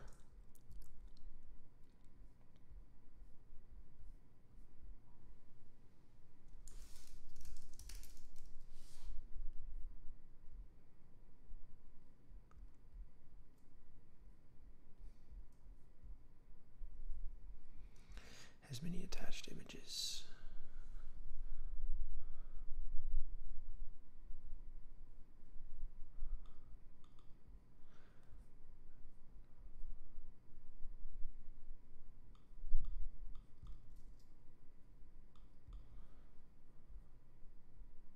Images. Wonder if I should actually change this to images instead of image. All right. Let's rerun this.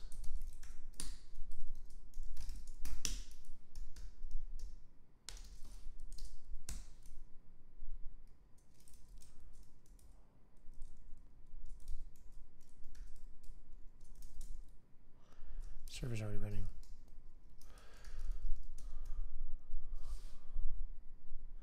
shut down some servers. Gross.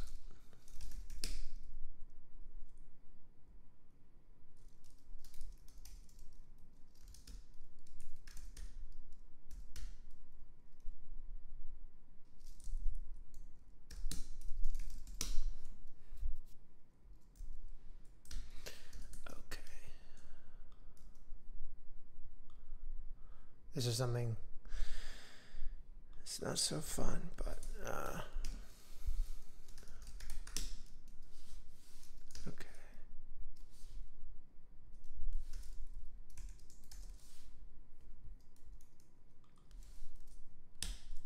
Okay. I'll see if I can run the server. All right. Let's keep that up. Boom, boom, boom, boom, boom, boom, boom. Okay. We've now changed our file field to images instead of image, and it didn't error on us. So I think that might be what was going on.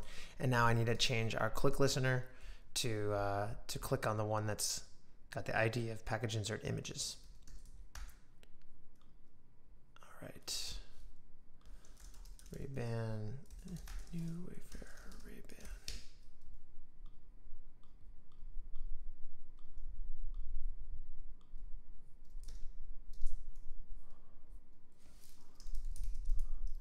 Uh, package insert params. Does this include the image?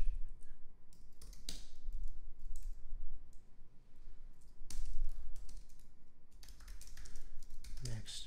This debugger, this new debugger in Rails is like total trash. I hate it. And uh, it's making us do what you just saw me do. Um,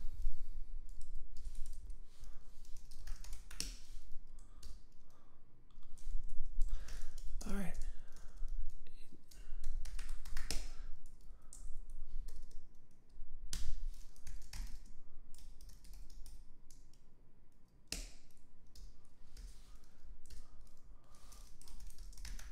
Okay, we might have figured it out. Looks like uh, we were using image in one spot and images in one spot, and uh, so the the parameter was not being acknowledged it was not being uh, approved by our security setup. Apparel discount. Okay. So something happened. Now let's look and see if there's actually anything in there in our database if the image was stored. Transaction created an insert, but yeah, see, unpermitted parameter images. Package insert images. Um, but it is permitted. So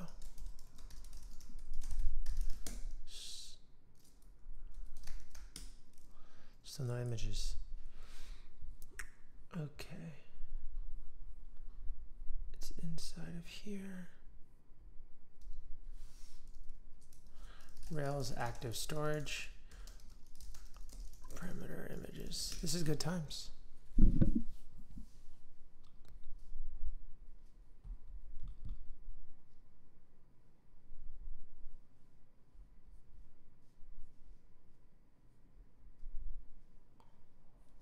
Direct upload false.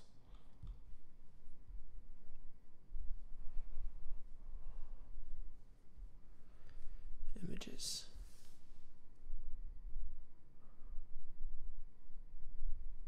Attached images. Images, multiple true, direct upload false. Hmm, let's try that. Good times, good times. Whoa, whoa.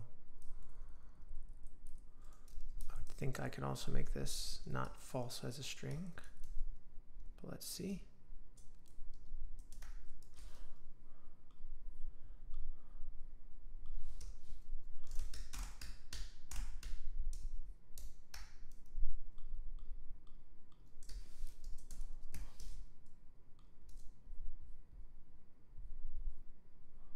Did a lot more stuff there. Look at that. Insert into active storage attachments. Looks like we saved our image. Um, so let's grab our last one. Package insert dot last pi.images. And there's one. Dot first dot URL or um, you know. Please set active storage current URL options. Can I generate URL for using disk service? Okay, great. Wonderful.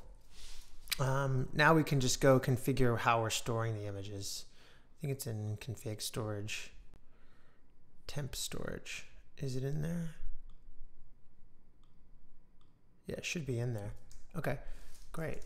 We're saving our images. And we could go ahead and put these on S3 so we're not figuring out how to do storage two different ways. Just uh, put them into S3. So let me change to webcam only as I uh, get us logged into our S3 account and create some type of credentials. Doo boo.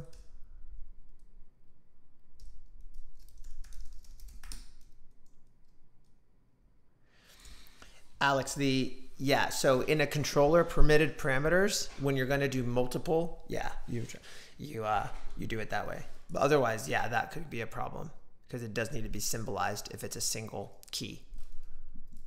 Get reviews, AWS. I'm just logging into AWS now. And um, if this was a brand new project from scratch or like not a company, I would just let you see the AWS keys and then I would swap them later.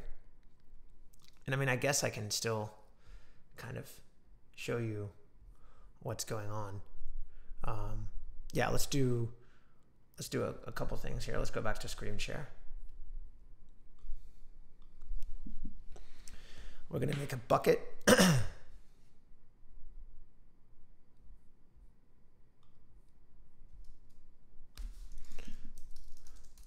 insert booth dev and like insert booth prod, something like that.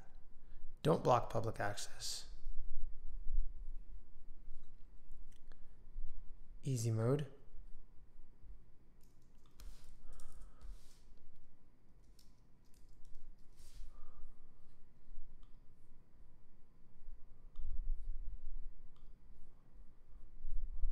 Okay, let's make insert booth dash uh, prod.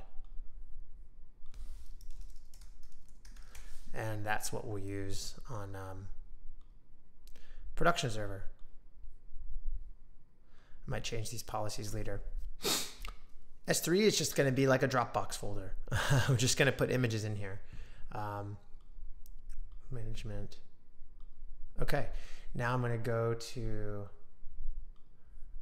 uh, make some new credentials, and that's where I'll probably turn off the web camera really quickly. Um, let's do that.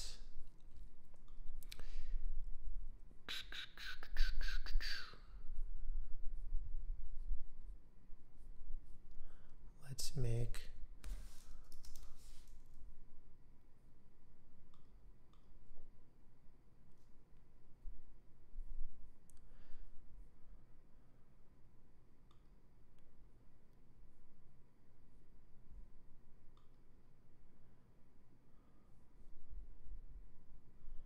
Okay, great.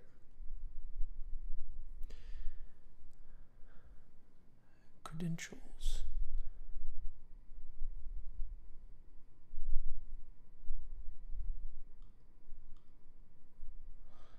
Great. Create access key.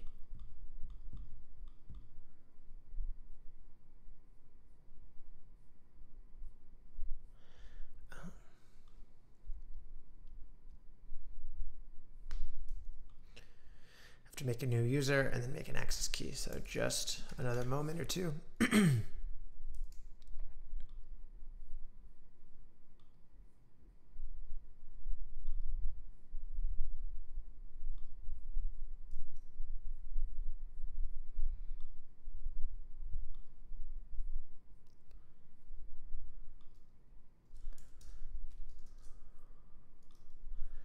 Okay, cool.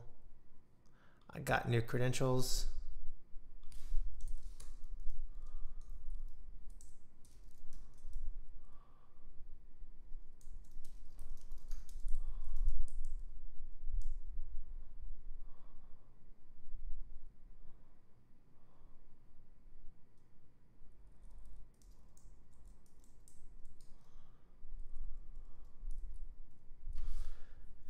I'm just adding the credentials now and then we should be good to go and we should be able to start uploading.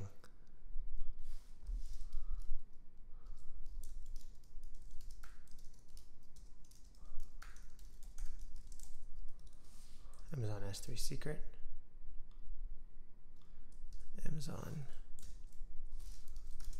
S3.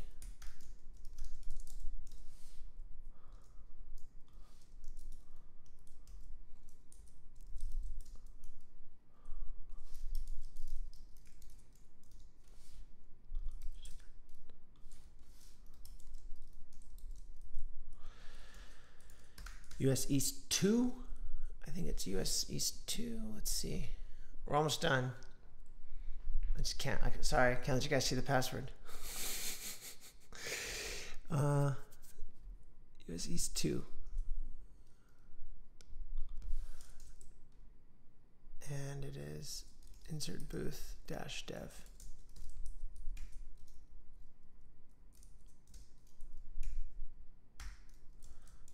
Okay, let's switch back to uh, to screen share.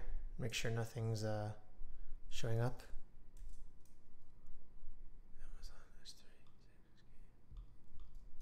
Okay, back to screen share. All right, so in here, uh, this storage YAML, we're saying, hey, we're creating a service to point stuff that's going to be stored. In this case, images for package inserts. So I've set up this bucket and we're going to go here and say that the service I want to use is the one called Amazon Dev. Later, we're going to make this, um, you know, point to dev or prod, you know, uh, dynamically. But for now, we're going to do it this way. So let's see if I can uh, go back to our place, upload. Um, we can delete all these pages. Contribute the Ray-Ban again cannot configure service Amazon dead dev. I might need to uh, to reboot the server because we added a new config.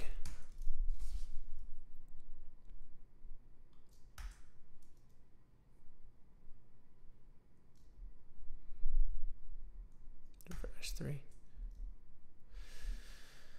Oh my. Um, ah, I see. Yeah. We need to add uh, S3. AWS. Yes, I need to add this gem. Okay. I used to keep this included in uh, the Speedrail, but I didn't. I built a lot of apps without requiring anything uploading, so I didn't want to uh, always add all of this extra code. But now we're adding it back. Yeah, it adds a lot of little libraries. Okay, now we've got the S3 adapter, I believe.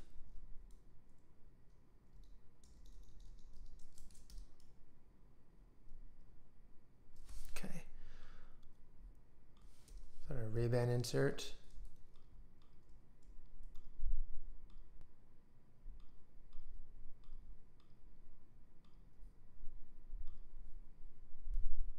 Okay, something happened here. It access key provided does not exist in our records. Hmm. Okay. So I guess that means the image did not get pushed up here. I might need to double check my my passwords, turning back off uh, the screen access so I can just double check that. Maybe I pasted something wrong. Amazon S3 secret, Amazon S3 access key.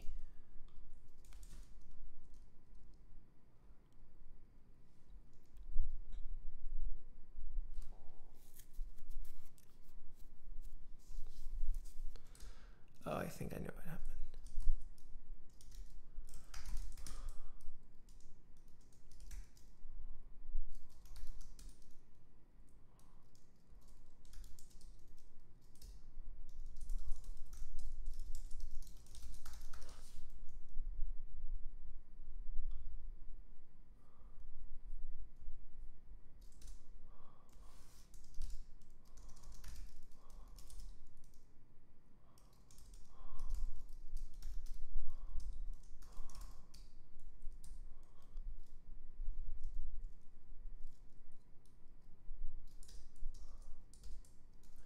access in in YAML. My uh, my storage passwords file isn't accessing the um,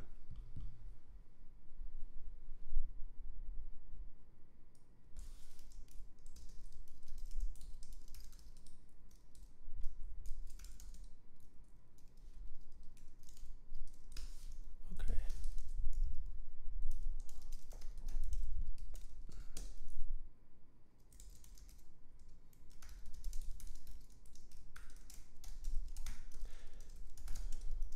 Okay, cool. Let's see if this works.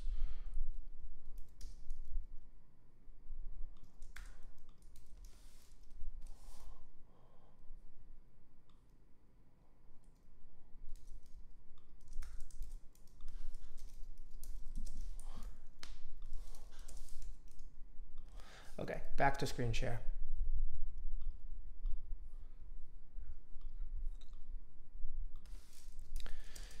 Okay. Let's see if that does the trick.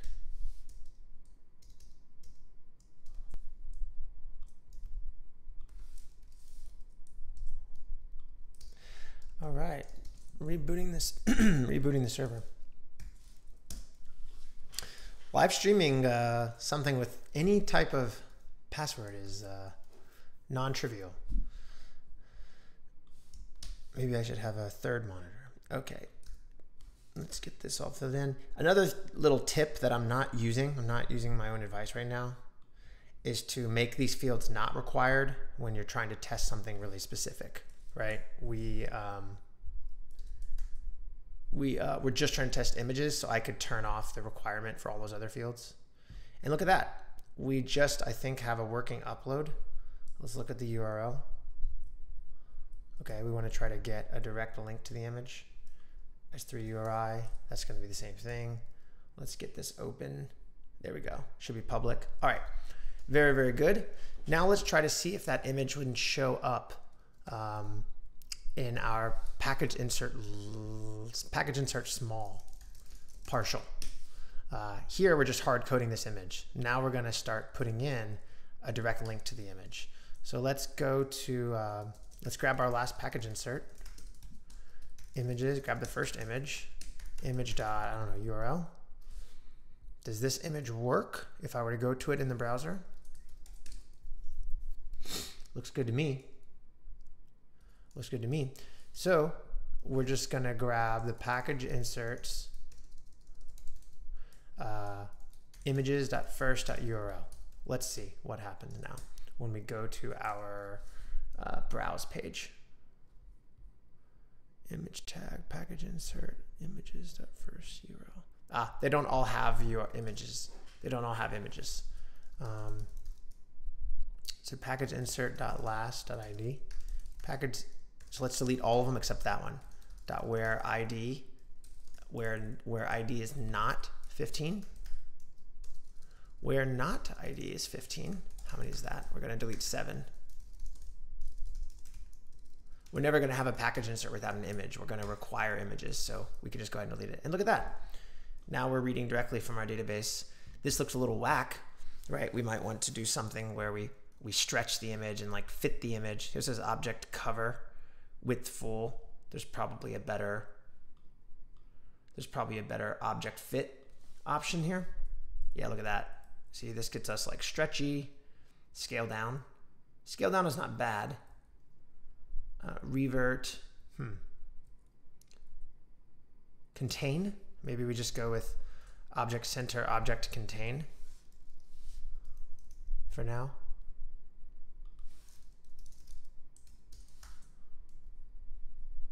Okay, look at that. So now we're inserting images. We can upload, add email. We got required fields. Let's try it one more time and see if it's even possible with our current setup to add multiple images. I'm gonna uh, do more Ray-Ban, you know, coupons, and let's just add like a coupon back. Okay, we got this one. Let's say that the back one is like this, something like that. Ray-Ban insert back. I have no idea if uh, if this will override our first image or actually attach multiple images. We're about to find out. Ray-Ban insert back, Ray-Ban insert front. No idea. New Wayfarer, you know, 2x, I don't know. Ray-Ban apparel discounts.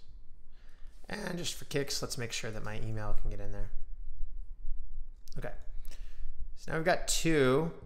Um, I think that the back override overrided the front. Let's see. Package insert last. pi.images.count. Just one. Yeah, good times. So I think something about um, the way I'm doing the form on the contribute tab. We're only grabbing one. File field images, multiple true, direct upload false.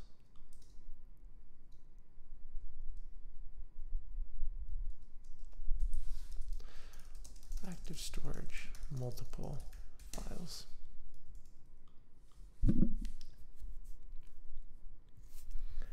File field photos, multiple true. We've done all that. Ah, uh, you know what? I think painfully straightforward. Oh, that worked. We can't remove an already chosen file. Okay, so the user either has to Watch this. The user either has to select multiple images here. That's what that multiple true flag provided.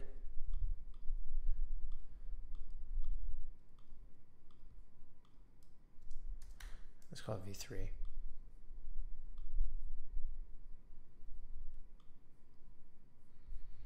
Look at that. This will now have both. So we can get the last package insert, images.count should have two. It does have two. Um, but we'd rather kind of do a live preview and then let them do it. And you can do it like this. You can just have, we still can't remove an already chosen file. In order to actually show files, it looks terrible.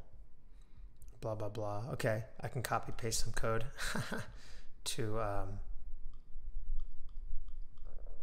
data action. Nice. Maybe I'll add this. But I'm okay with just uh, simplifying and uh, adding it multiple times for now. It's really not a big deal. And letting each one be multiple. Cool. So images, and then down here, we're gonna do the same thing. This SVG span and then that. SVG span and then that. Okay. Let's go to contribute.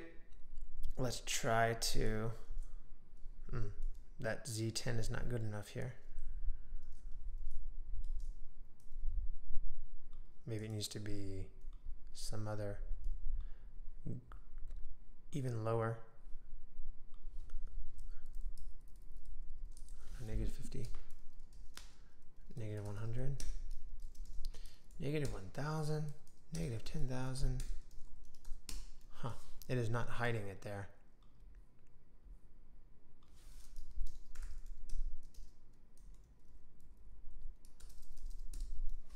Interesting. It is not interested in uh, loading behind there. Inside the button, inside the div, into the button, inside the div, to the button, inside the div. Huh. In either case, we can copy paste this file um, and keep adding images.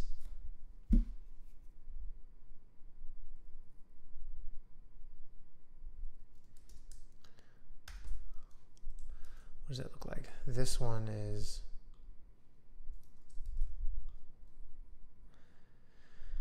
an input package insert images. Package insert images. Hmm. You know, we can YOLO swag this out and have one big image thing.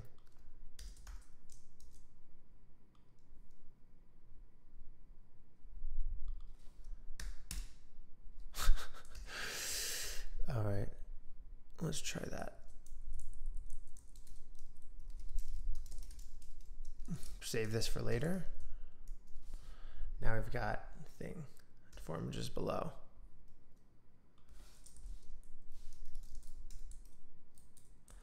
Dot images, front, back, etc.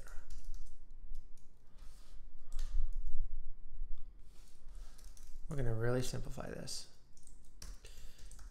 Okay, click to add images. We're trying to live stream and build quickly. So front and back, um, new Wayfair, front, back. Let's make sure it worked. Apparel, discount. Okay. Wayfair, front, back. Let's grab that last package insert. There should be two, and there are two. We're happy. All right, now let's get our modal and then we'll get our search, which gets us into the back end. And that's really like the whole back end for the consumer experience. We've already built upload and they can search. Then we just build our admin panel, which is a little more copy paste front end code. Fake filler. Oh, that's cool. Yeah, right on. Thanks for sharing. So I guess it kind of like scrapes the page. You can click a field, type in what you want, click a field, type in what you want, and it will just repeat it. That's pretty sweet. That's sweet. Um, okay, yeah, maybe I'll try that sometime. All right, so we got all that debugged. Let's add our modal. Here's the not so fun part. So if we go to our package insert uh, large, we called it like a large, right? That's our package insert big. Okay. We have it on invisible mode. Here's what it would look like. Okay. Uh, we have a few options here. Uh, one would really be to just make this a modal that only exists once on the page. We pop this up and we fill in the attributes. And I think that's kind of the way to do it. Um, so to get us started there, let's set it to invisible. Let's call this the, uh, the modal, okay? And then let's make it so that when you click one of these, it removes the invisible class and starts filling in details. There's a few ways to do modals. It knows the the field, creates a fake. Yeah, right on. That's sweet. All right. Um, we're going to start adding new attributes to, to these fields. Not new things that the user sees, but uh, some event listeners. So if we go back to our package index file, which has them all listed, we have our, our insert small little thing. We're going to just work on our small and we're going to look on our big. So we're going to add stuff to this small so that the big one uh, opens up when the small one is clicked. So first, let's just give it an ID. Um, maybe we don't even need that. We just need to on click actually. On click, it could just pull in, um, you know, open modal, okay? And we can pass in ourself, pass in ourself. Um, and then uh, we can give ourselves a data package insert ID. This could be anything, but there's a thing in, in HTML and JavaScript, data attributes, where you just prefix data and then you do anything you want. Package insert uh, dot ID. All right. And then back on our index page, um, package index, we only need JavaScript once that says, hey, there's a function called open modal. That is going to take the modal document get element by ID modal, and it's going to uh, remove class classes dot class list maybe dot remove invisible. Let's see if that does anything. Click, and you saw that the modal showed up. Great. Great. Um, on click of the div. Okay. Um, I can remove this link so that really when you click anywhere in the div, right, it should just sort of be a link. Let's see. Cool. All right. Now, of course, the modal itself, we need to have a way for it to go away. um, this is the part that needs to be invisible and it will make everything go away. So um, let's let's basically say if you click anywhere on this modal area, well, not the inner area, but if you click on the outer area or the X, for now we'll just make it the X. Or if you click like the escape button, something like that. Okay. SVG, let's grab this SVG. And uh, on click, let's say close modal. Okay. And this can be in here for now. And all we're going to do is grab that same thing, grab the parent modal classlist, and then just add back invisible for now. So I click a thing, opens the modal, click anywhere, nothing happens, click the X, closes the modal. Very, very simple. And then uh, we probably also want to let the escape key do something. So um,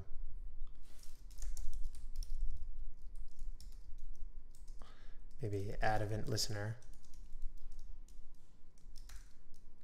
Key up, maybe.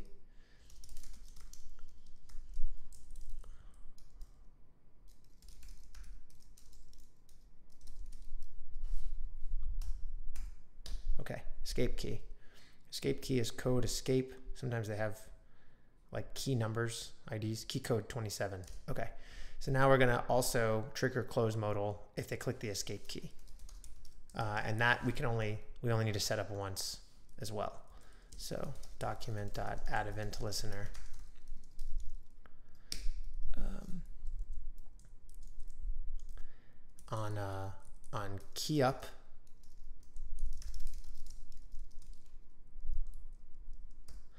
we're going to say key if e dot key code equals 27 because that seems to be the escape key then we're going to close the modal. Okay let's see. Escape close escape close or click and this close. Great. I think it's a really simple way. Obviously it'd be nice to like click this gray area but if we do that, the gray area is apparent to all of the non-gray area, so we have to add some blockers so that we get the outside. I've done this before. It's not a huge deal, but for now, I just don't care that much. And so we'll just go with this uh, escape key or clicking the X. Great. Open and close. Now we want to actually put the right data inside the modal, right? Because obviously clicking here is just, you know, grabbing, grabbing the same stuff. Now we could take all of the stuff that's here, so these three fields, and we can pass them through, right? But we'd also then have all these image URLs that we'd have to pass through. We could try that. The other option is to click and then have this make an API request for that modal's um, content.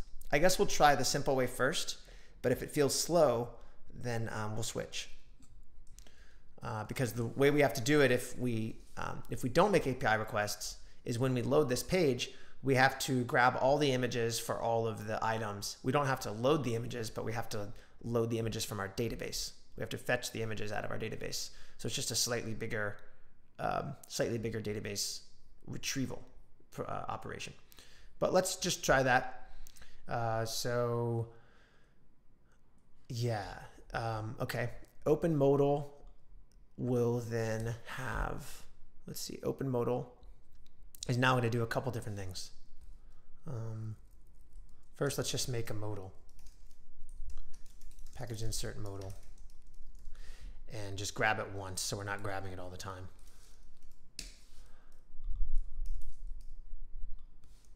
modal.classlist, invisible, stuff like that. All right, when we open the modal, we want to also fill in these details. Um, here's our modal. So this like type discount brand, this needs to be all changed. So we're gonna make these empty.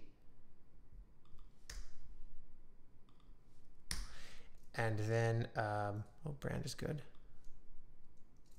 Start adding IDs. So, you know, modal uh, brand, right? These are going to make these uniquely identif identifiable. Modal, uh, I just call it insert type so it matches our database. And up here we had like an H2 hit right here. We call this modal uh, title, right? This is going to be ID modal industry. And that's about right. Type brand. Uh, we probably need a URL to that brand. Yep. Link to. So that means this is now going to need to be not the Rails style because we're not loading the data from the backend. We're loading it dynamically. So we just need to go back to making it a regular link. We don't know what this is going to be yet. So we'll leave it blank and we'll say modal uh, website, right? So here's how this is going to work. Someone's going to click. We're going to then dynamically with JavaScript fill in all these fields. So you can see how this is going to work now. Get element by ID, modal title, new Wayfair. Right? So we're just going to do that kind of thing on this open modal command. Very simple. Um, let's get our modal brand, modal website, modal insert type, modal industry. And what it's going to equal over here is going to have to be taken from the thing that clicked it. So this open modal open modal, we're passing in this, right? Why are we passing in this? Because we want to be able to have access to all that stuff. Data, um, modal title equals like that. We don't actually use the ID for now. We don't care. Maybe later. Data modal title, uh, data modal uh, brand, data mobile website, data mobile modal insert type, and then industry. Okay. And then, of course, we're just putting in the same data we're already showing, right? We're putting in package insert, right? Dot insert type, package insert dot title.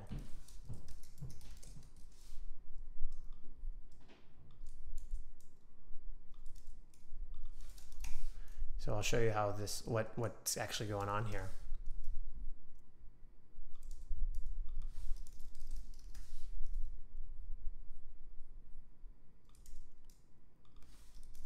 Okay, let's refresh the page.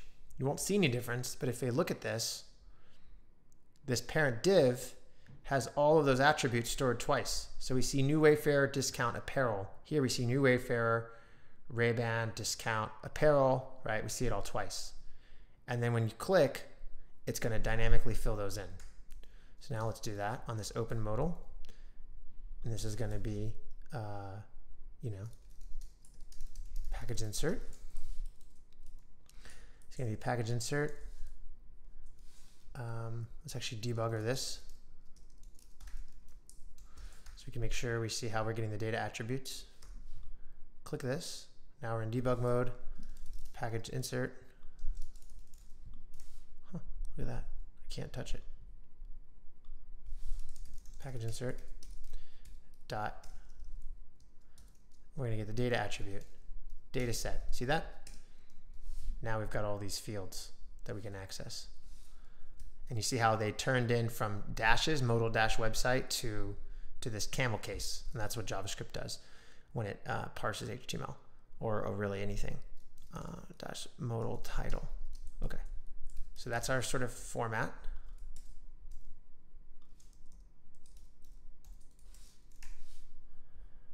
Modal brand, modal website, modal insert type, modal industry. See what happens. Let's get rid of our debugger. So see, we open the we open the modal and then we fill in these details. Look at that. Our types are missing. Uh, I think type says not set property of null inner text. Okay, we're not seeing our industry or type. Modal insert type. We might not have done that correctly. Modal insert type. Eh, should be fine. Let's look. Type is ASDF. Okay, so it had a problem with that. Modal insert type, and it couldn't get our industry. Maybe I didn't put it, um, insert small. Maybe I didn't put it in here. Data model title, brand, website, insert type, industry. Data model, industry. Mm-hmm, mm-hmm.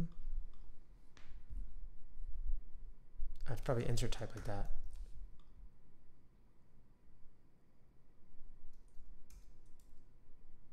No, that should be right.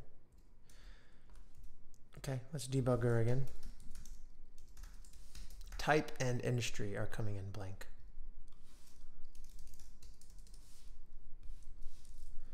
A data set. Modal industry, modal insert type. Modal industry, modal, oh, you know, it's because some of them I think we might have had blank. Modal insert type. That's right. Modal industry, modal website.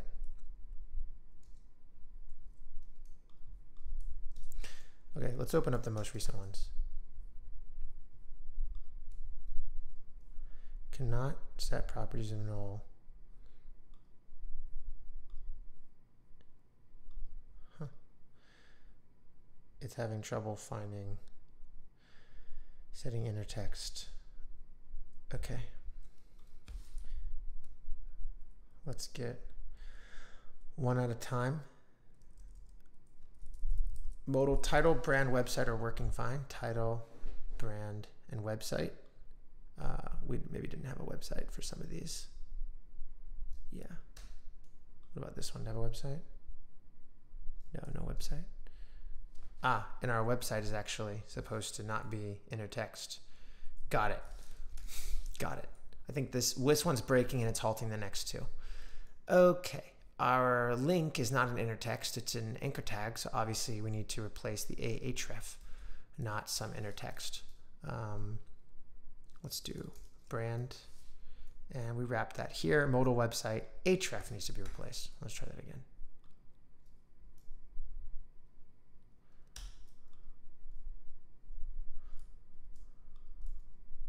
Modal brand, document. I think I needed to do property dot um, href. Element by D, modal website. Ah, typo. Oh, oh, oh. yes, thank you.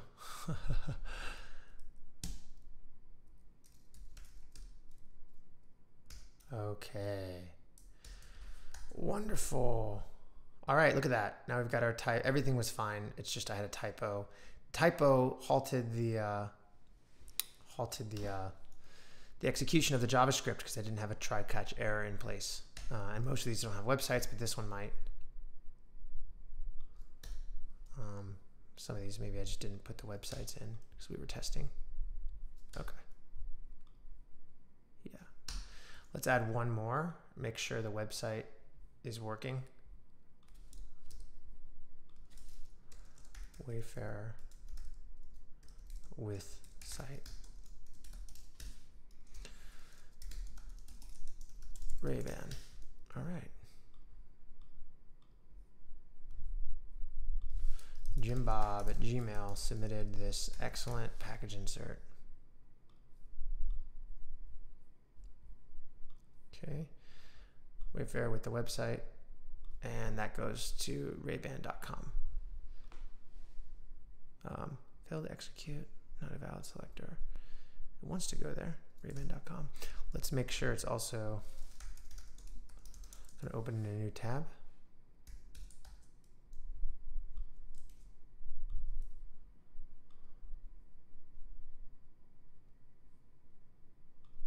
There we go. Groovy.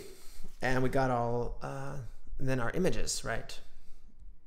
However many images we have. So uh, here we've hard coded the main image. Obviously this is gonna be the first image.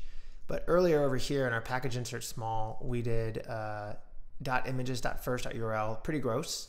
We want to have a better way to grab the first image or like the primary image. So we're going to just make a new function, primary image URL and images.first.url. And uh, now we can just replace that here. And let's make sure that's working fine. And still works fine. And likewise, we're going to then put that primary image URL in here. Data modal um, primary image URL equals, you know, package insert primary image URL.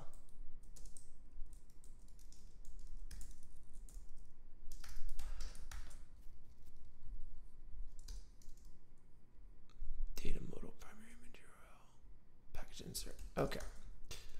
Okay, and then in this modal itself, we're also going to put that modal primary image URL, uh, not dot uh, href, not inner text, but source. And it's going to be primary image URL, modal primary image URL. And then let's go up to that image in, uh, in this modal. And again, we have to now make this the old school way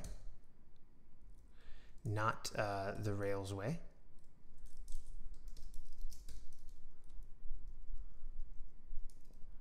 Class can be the same. Great. And give it an ID. Modal primary image URL. Let's see if this puts that one in there. Great. Puts this one in there. Great. Puts that one back in there. Great. Another thing we can do is uh, might speed up or not speed up, but make the UX a little bit better is first put all the fields in there and as the last step, remove the invisible class. So we sort of prepare the modal. Um, we'll see. All right, now we've got these small images. Small images we had just hard coded for, right? But there won't always be for.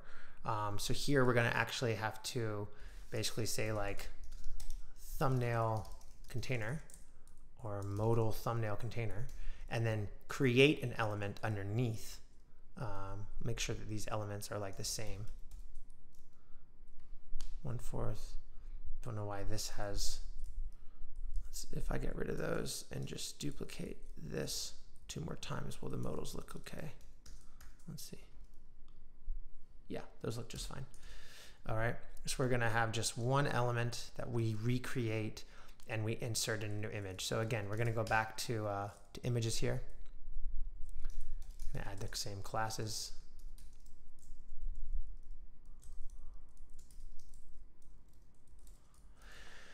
Okay, um, we're going to try to create that kind of image. We could put in handlebars here or something so that we can sort of programmatically in one line of code create.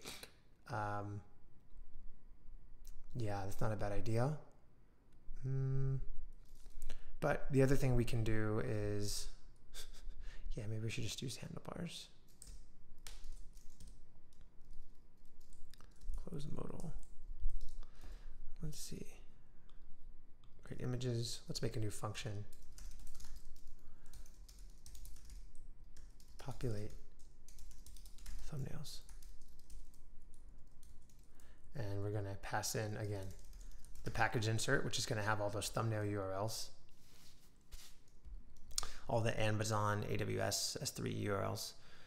Mm, we're going to first uh, let thumbnail container equal that that area we just made here.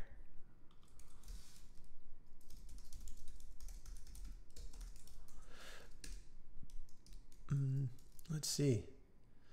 And uh, package insert dot data set dot modal I don't know thumbnail URLs for each. So in other words, uh, we're going to put a bunch of uh, these other image URLs in an array inside of this small thing here up here where we're putting all those other things um, on package insert small. I don't know why I keep deleting that. Could even make this look a little more easy to understand. Like that. That should still work as is. Okay. Everything's looking good. And now we're going to do data modal uh, thumbnail URLs. And now we need a new function. So we're going to go back to our package insert model and make a new function called thumbnail URLs. And we're going to say images.map URL, uh, maybe minus primary image URL. Uh, so we're going to get all of these, because see, if I do package insert dot images, um, there's too much stuff. There's all these fields like the title of the image and if it's a JPEG or the content type, see all these attributes. So we're going to just do map and just give us the direct URL to them, but then subtract URL. Um,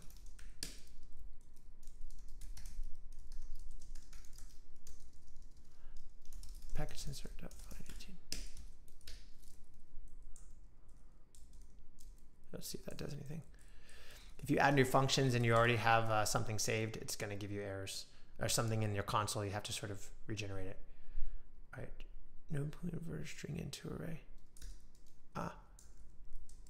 Wrap that in array. Okay. Maybe this will work. Yeah. Dot count. Yeah. So now our thumbnail images could actually be everything but the primary, or we can just have it be all of them. I guess we can have it be all of them. That's sort of in the spirit of what the designer did. Um, so cool. Package insert dot thumbnail um, URLs. Let's say thumbnail image URLs. So primary image URL, thumbnail image URLs. Just I think this naming is going to be a little bit better. Thumbnail image URLs. And uh, we also have to probably make sure that that's going to look like an array that's parsable by JavaScript. So we just added that in in Ruby. If I go up to this here, data modal thumbnail URLs, it looks okay, but um, let's see. Let's go into debugger and see if we need to, uh, to parse it differently. Uh, let's populate thumbnail URLs and um, debugger this to make sure it's parsable. All right. Okay. Package insert dot data set modal thumbnail URLs. You see how this is like a string? This is not an array. So if I were to say type of, it's a string. So we want to, let's see. There we go. Now if I do type of a JSON parse, it's an object. Um, and then I can do length and get stuff in there. Okay, cool. So uh, we're gonna first turn that into array. Let thumbnail URLs equals JSON.parse. Um, really just this whole thing. Get rid of dot length. Okay, now we want to do thumbnail URLs and we want to loop through those.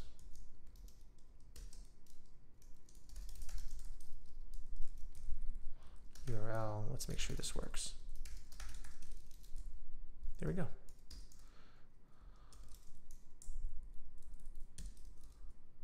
We can keep um, we can keep this console. So the, the, the poor man's way to debug in JavaScript is to just console out everything you're doing. So we can say like setting thumbnail and then pass in that URL.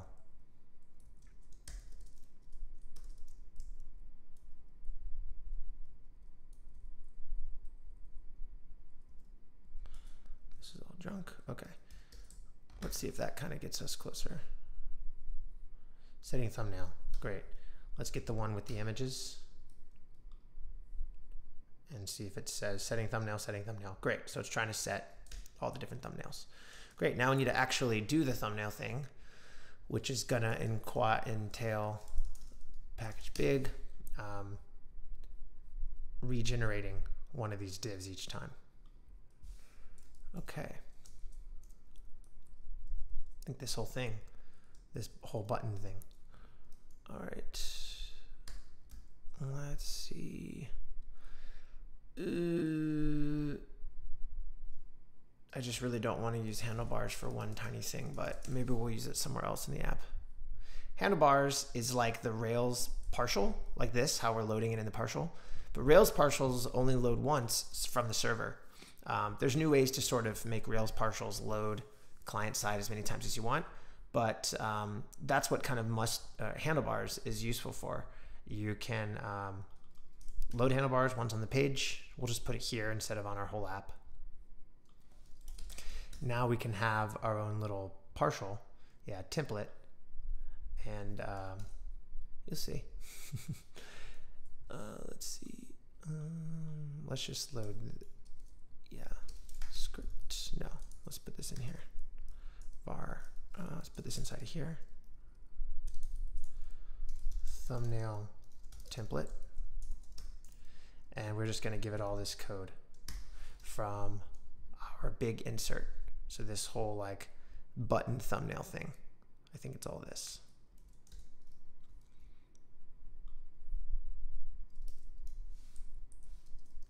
Let's see if this does the trick or not. Mm.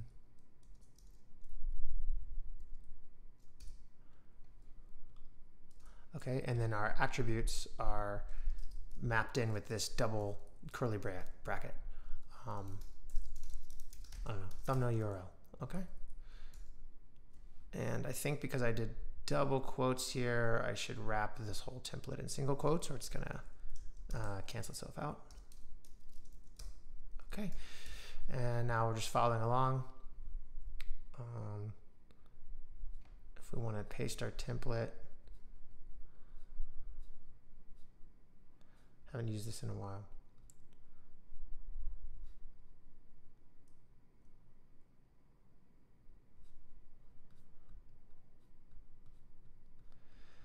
Let's make sure that this did what it's supposed to do. Console log out our template. Okay, so in here we're going to say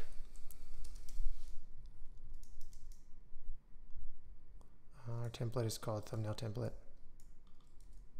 and our attribute is called thumbnail URL and the value of that is going to be this URL that we're iterating through. So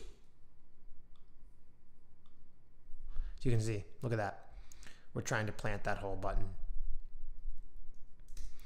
All right, great. And now we want to actually insert it onto the page there.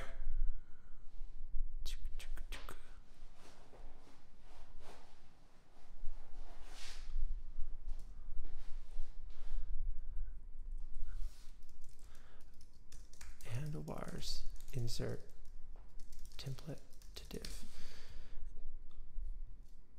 Not attributes. Bum ba dum bum bum ba dum ba dum bum bum.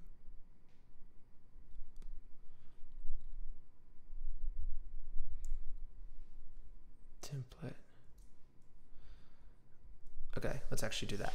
Let's actually now get our um, our thumbnail container. and append this filled out template and see if that just appends the raw code and if it does the job.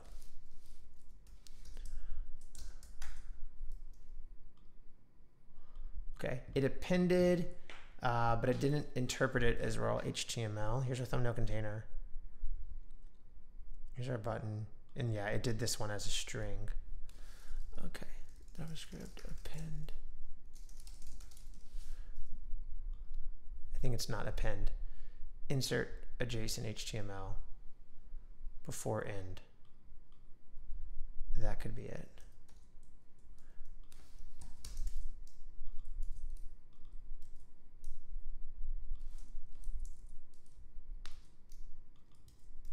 There's a lot of ways to do this. We're going to see if we're just trying to do it as quickly as possible. There we go. Look at that. Look at that. We're adding it all. Okay, cool. And then um, we need to go back to our big one and kill this like dead image. So this was our template. We don't want to load an empty template every time. This is going to be empty, right? And here is where we, you know, dynamically insert thumbs. So front, back, and there we go. Uh, now, of course, we need to make it so that when you click one, uh, it makes this one big. So our big one, modal primary image, okay? We need to add an event listener on each of these. Uh, to do that, uh, let's just modify our template here. On click, uh, we're going to say uh, set as primary image uh, set thumbnail, I don't know, as primary image, okay? And that function we also only need to really define once. Uh, pass in itself. Um, and let's go ahead and data image URL. Let's again type this in twice.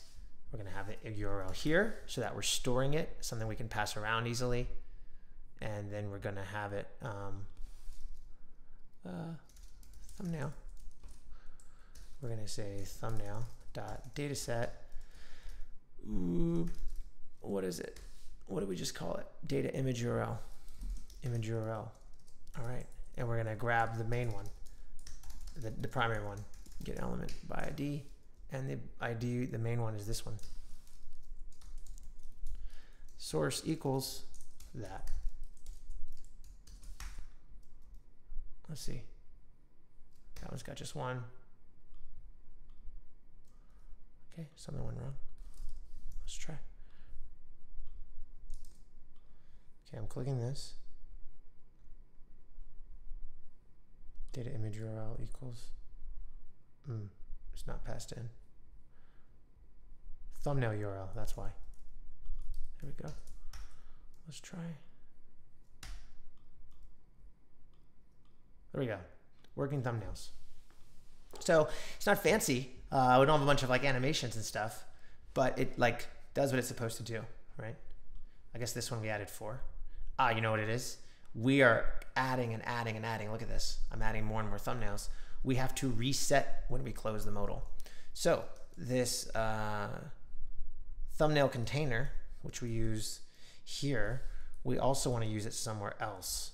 So let's, instead of making it a let scoped variable, let's uh, make it a global variable and thumbnail container. And then as part of our close modal,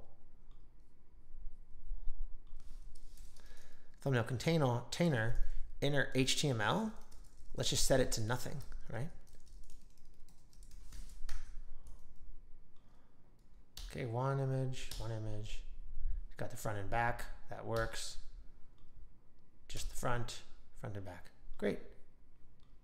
No errors either. Now we can get rid of our console logs because those are kind of no longer needed. And let's uh, kind of show a little more of what we're doing. Make sure nothing nothing jumps out at us. See no logged errors. The errors are this logo in our footer that we haven't fixed yet. Um, really no problem. There's just like supposed to be a logo down here. So we'll fix that later. Oh, and there's a mail icon. So we can fix the mail icon now. Uh, newsletter underscore newsletter. mail. Let's replace this image with the Railsway. So now we're really uh, we're, we're really humming. This is getting into more of my territory, um, particularly backend. Messing around with CSS is, is really not my jam, but uh, we kind of got through the painful parts, and uh, now we're making it look cool. Let's get image tag. Need a comma. Great. Fantastic. Now there's just one or two more errors remaining. two? Yeah, dummy logo insert booth. Okay, where is that? We can do is just search where are we looking for dummy logo insert booth. One of them is uh, not correct, and it's right here.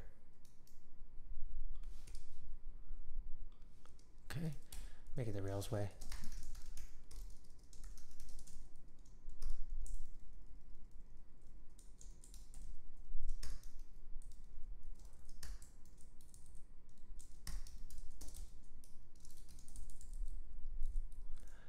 Cool if there was a little utility that just would convert these like that. And there we go. Now I got a little logo here. Still one more missing. Oh, because it's the one right above it. One more little error, get reviews logo. Let's fix that.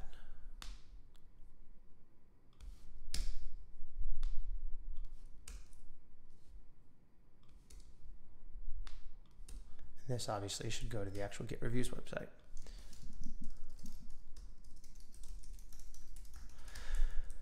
Groovy. And again, make this the Rails way.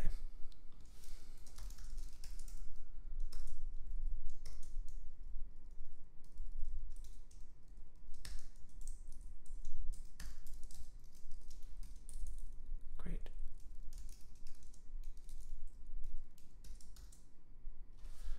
Look at that. We've got our, our, uh, our host, uh, the, the tool we're promoting. We've got our logo for this. We're loading data dynamically from the backend. We have a working modal.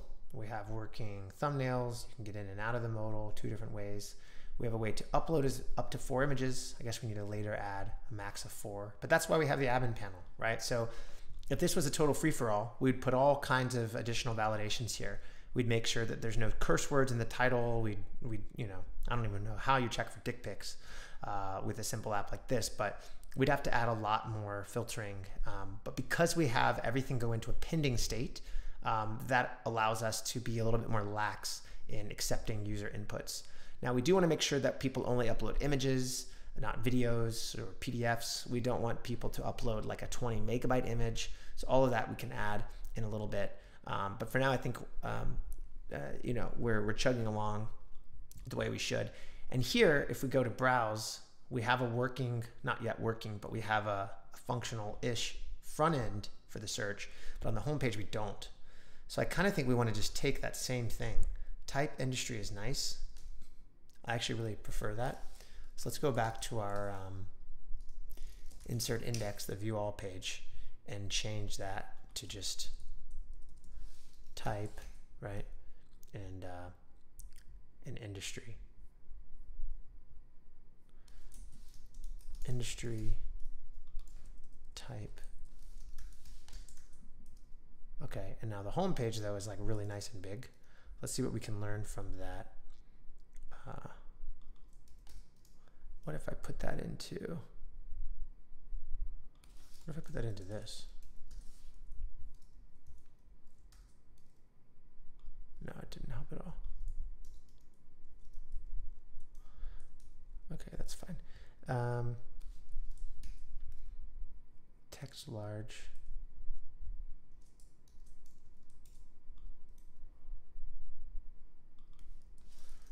Text 2XL. Maybe we can try to make it even bigger.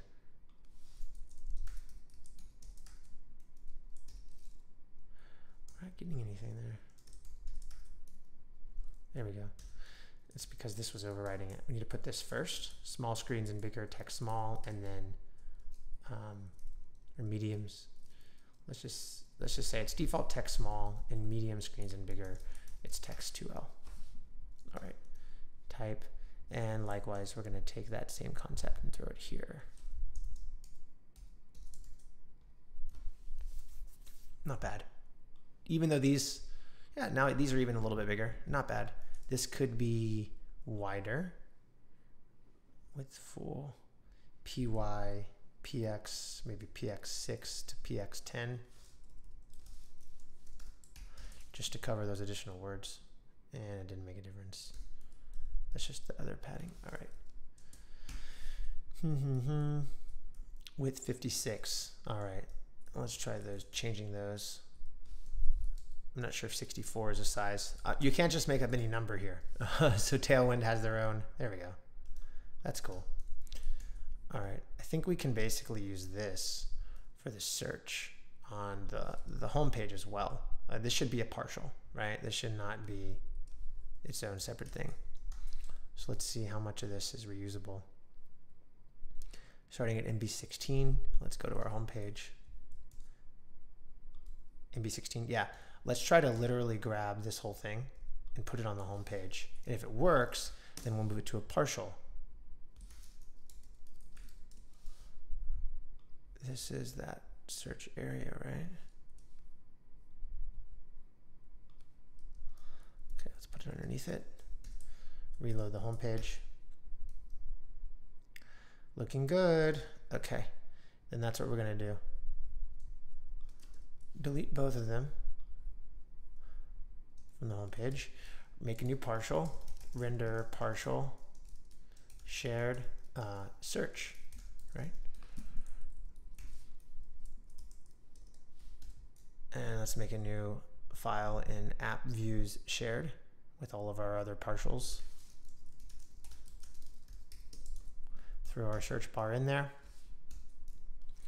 Make sure the home page looks okay still. Home page good. Clickable, great. And then let's go to our page here and have the same thing as the home page. So now our browse page. Awesome. Awesome.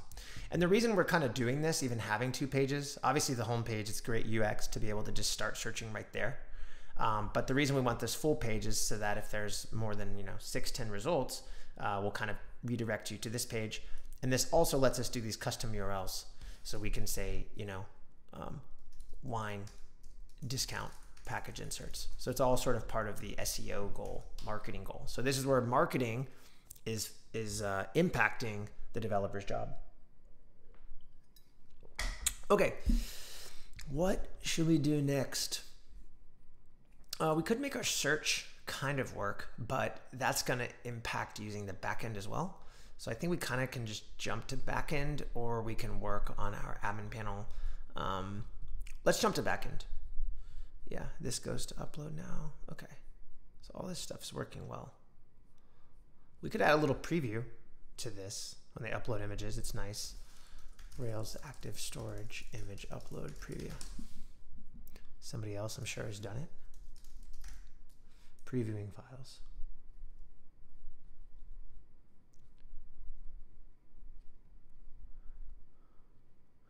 No, we don't want like that. That's not what we're looking for at all. Displaying images.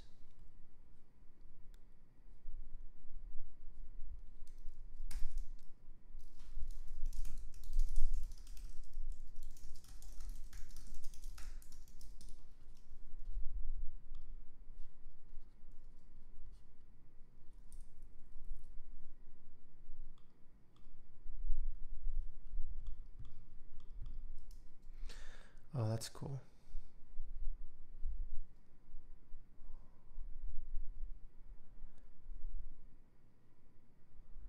Okay, let's give that a quick try.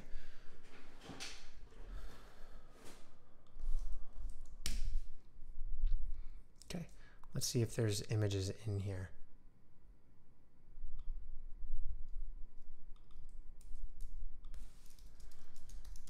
Let's see where they actually are.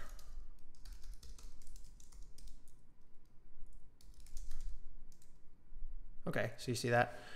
There's um, there's some kind of image there.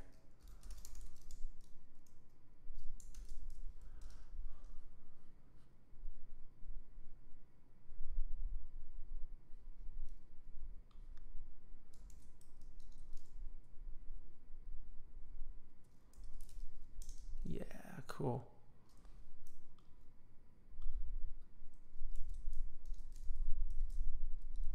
We'll see if that will grab things that change and then um, I don't want to document get element ID. Append.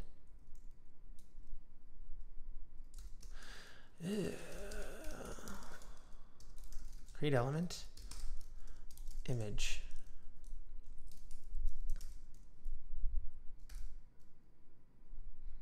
Okay. All right, let's try that. Let's go back to our contribute page, and then we're going to switch to the backend because obviously people are going to want to um, view what's going on. And on page load, we want to actually run this preview images. Um, the file is package insert images.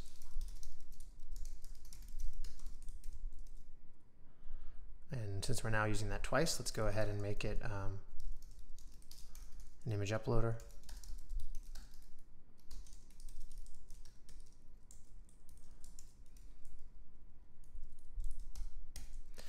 Okay.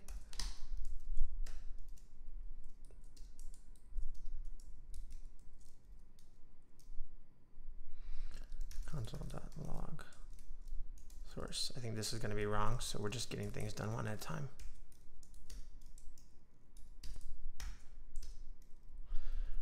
Preview images. Okay. Source blob.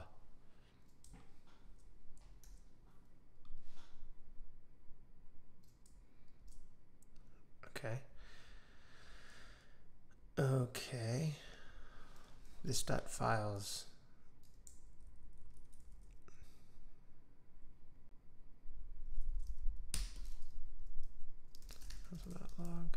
Make sure we get all the files. This dot files dot length.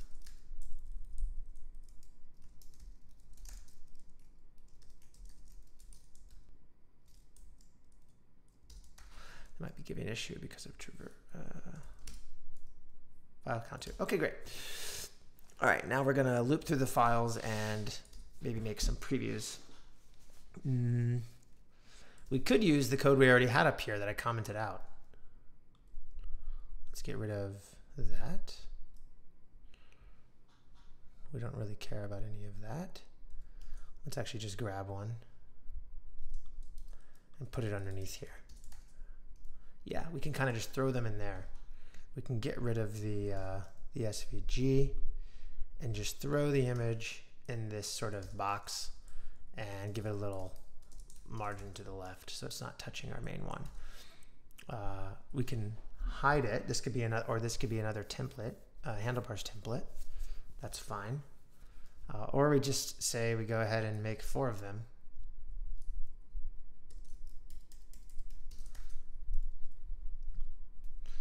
Uh, not making them clickable. Yeah, so we could do something like that.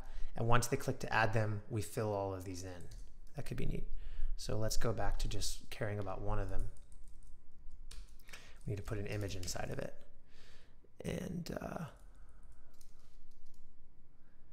yeah, we could even we even even just hack it where if they upload six, we still just grab four or whatever. Um, let's just make it really simple. Image preview one. Okay.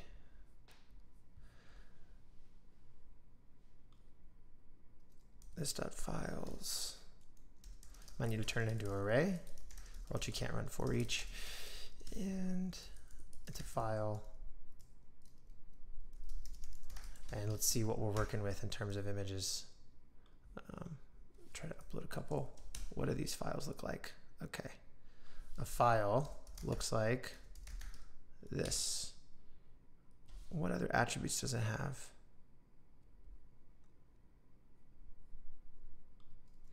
Maybe we need to use this tool.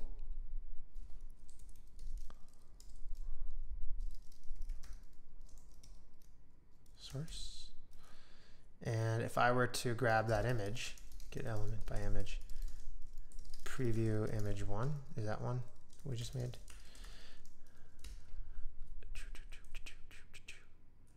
Image preview one.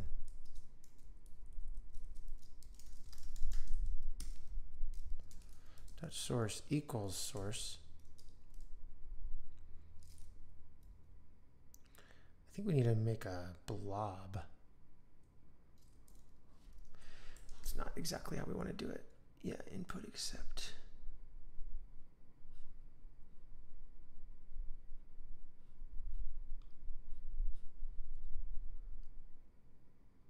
We might need to make a blob from the data.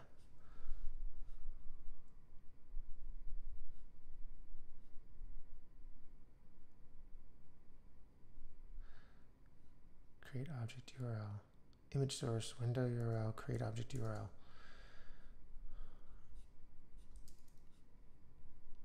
Create object URL.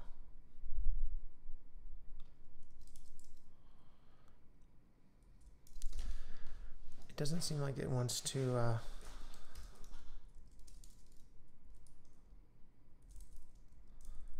window.url create object URL from the source.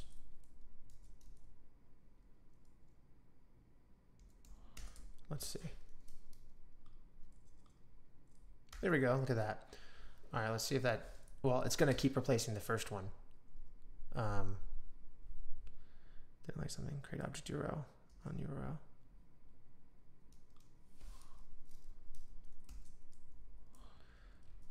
Maybe I don't need to do, okay, if I just grab one, source is not defined. Oh, got it. File. Let's grab just one. We're getting closer. Source not defined. Oh. Okay. Okay, that's one. And then um, we want it to do that for all of them. So great. Uh,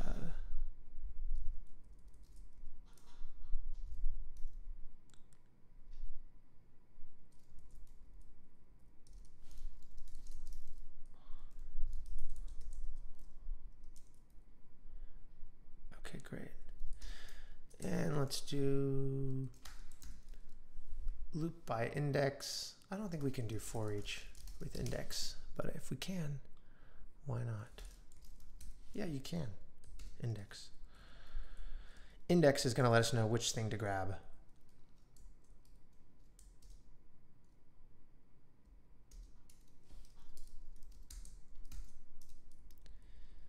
Image preview.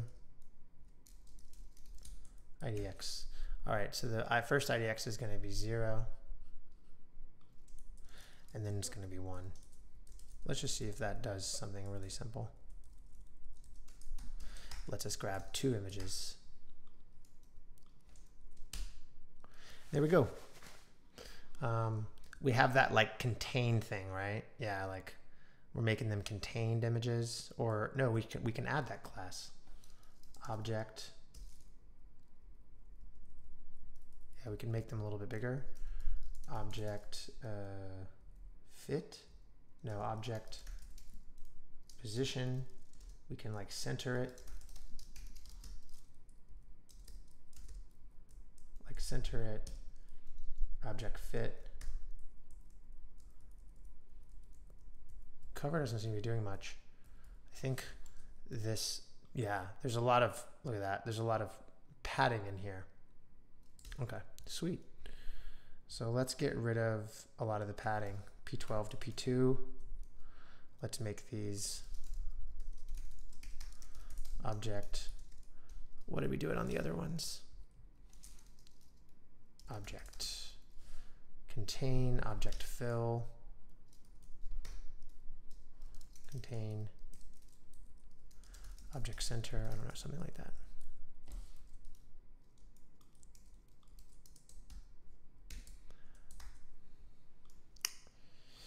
Yeah, preview's nice, good UX. Okay, now we're getting there.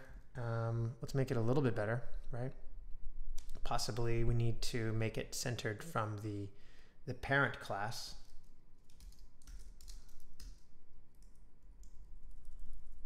Not justify, maybe. Oop, there we go. We were there. There we go. A line item stretch. That actually shouldn't really be what we're doing. Let's see if we can make this one work from uh, bottom unset. Hmm. I want to play with this one.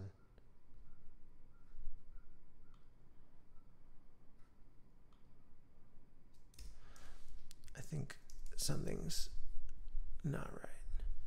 Yeah, something's not right. Okay.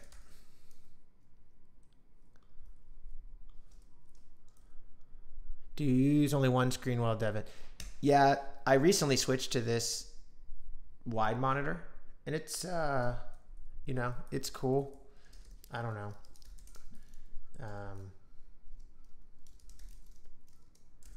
I used to use two screens, I guess, but for a long time, I mean, the last few years, I was using just a laptop, and uh, you know, I would sit at cafes all day.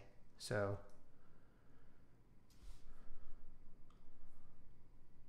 what did we do here? We did align items. Kind of was weird. Center. Okay, on the parent div, align center. Let's see if that works like this.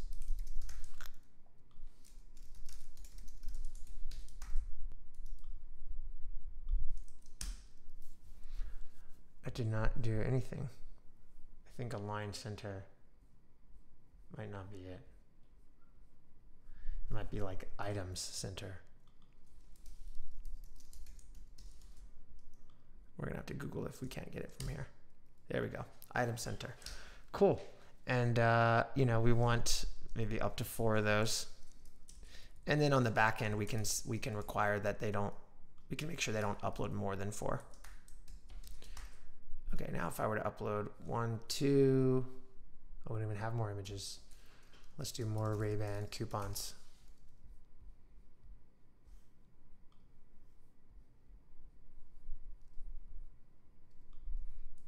Here's another one. Ray-Ban insert three, let's call it, and Ray-Ban insert four. All right. Here we go. If I do this one first, back, third, fourth, I want to, forget. we'll actually go in that order. Not really. Okay, this is another reason why we want the admin panel. We can say, you know what, regardless of what they uploaded or in what order, we're going to make this one the primary image, right? So again, admin panel sort of like solves all these issues. Wayfarer for images, we're just calling it that so we can uh, assist us in debugging. Let's give a different type, free offer. It's taking a little longer to upload those, which makes sense. And Wayfarer for images, click this, and we got nothing. Maybe we change something. Insert adjacent URL. Ah, I think when we when we made our um, hmm. there we go. Okay, there we go. Groovy. I think the reason why that failed we were just on the home page and we clicked browse and then we tried to open. I think it failed due to Turbolinks. So we're actually going to go up to our uh, our header and uh, it's kind of a long story, but this will sort of like force load the page. So it makes it a little slower.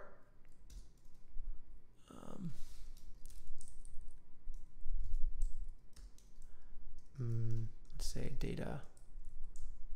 There we go. Yeah, yeah, yeah. Doing a little differently.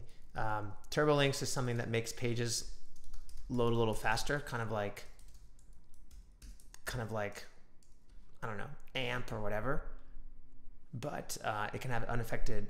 See this? We're getting errors because it's not really loading everything. So I want to make sure. Oh, this is the mobile menu. That's the mobile menu. Let's go down to our main menu. Where'd it go? Browse right here. Link to browse. Here's the new classes.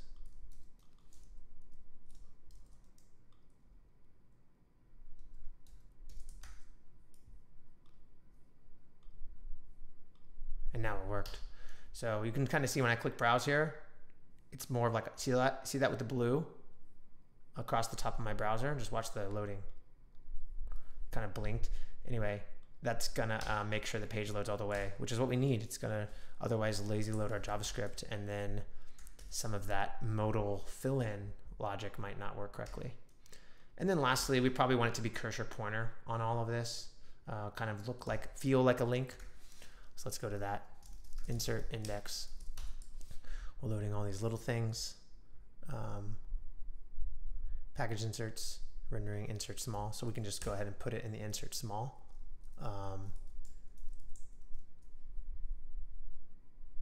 we could put the classes first if we want up here. And let's just say cursor pointer. Now all of these should kind of feel like a button. There we go. Anywhere in here feels like a nice button now. I like it. Okay, we made a lot of improvements. We just added preview. Um, yeah, we fixed some stuff and we improved the UX. So look at that. Boom, it's uh, on the home page. All oh, right, on the homepage, we're not, ah, that's right. On the homepage, we're not doing the whole modal thing. Um, we could do the modal from the homepage or we require them to go to a full search. Hmm. Hmm. Yeah, maybe, I guess for now, we'll just make the, the modal work. So package insert small, it's already got the open modal kind of trigger stuff that it wants to have. Um, but here, which is modal related stuff, I think all of this is modal, we can go ahead and make this into a, uh, into a partial, even this handlebars, all this stuff. So we're going to say, um, this is not super clean, but render partial um, modal.js. All right. And we'll put this all in there.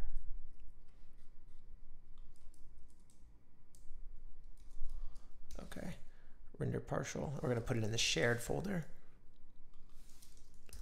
Modal.js. All right, let's make sure it works on the contribute page where it already was, or excuse me, the browse page.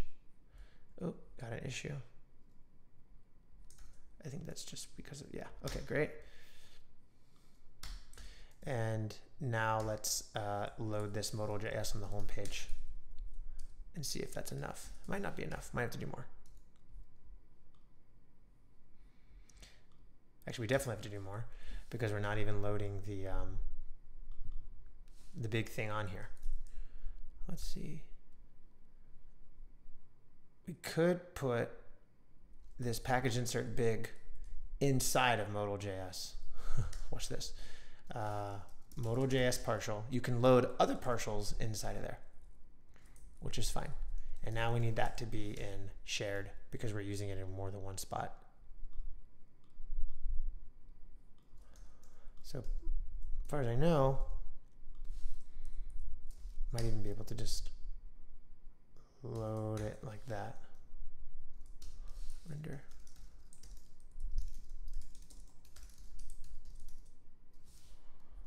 Okay. Modal on the home page. All right. Uh-huh. And then here, save that. And modal on the search page. Great. So again, we're just continue deleting code and adding functionality at the same time. So here's our entire search page now.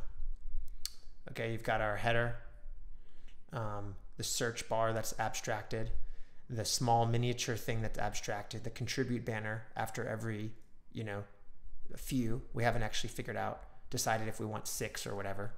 Uh, we should actually do in groups of six false that each do. Um, and then we want to do uh, I think we want to do like that. Might be breaking it again. That's okay. Um,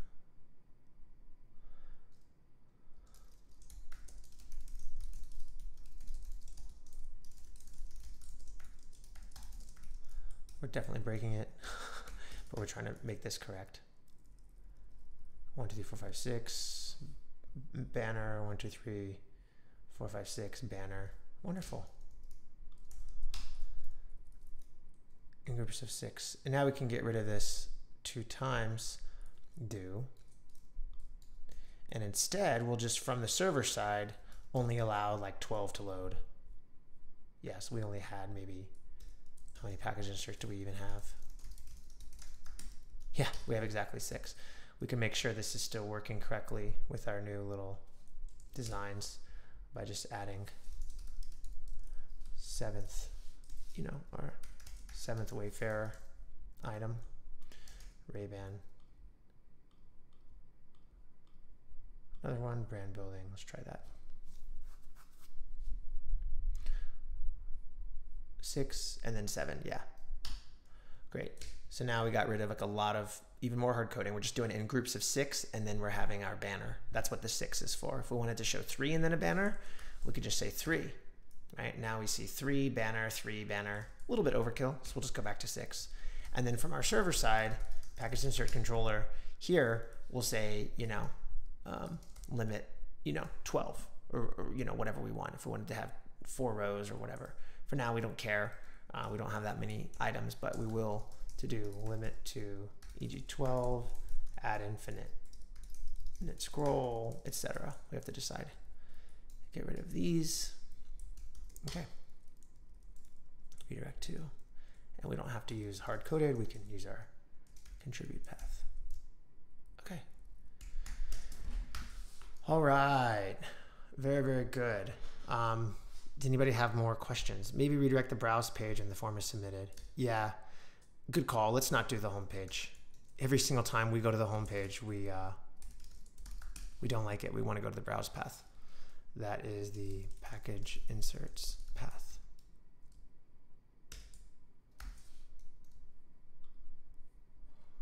One more time. Way, way.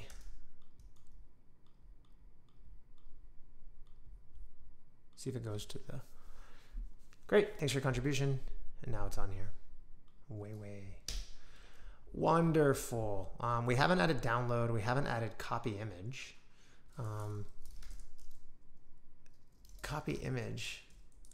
JavaScript to copy image. I understand clipboard write. Will that do the same thing with images as with text? Copy an image.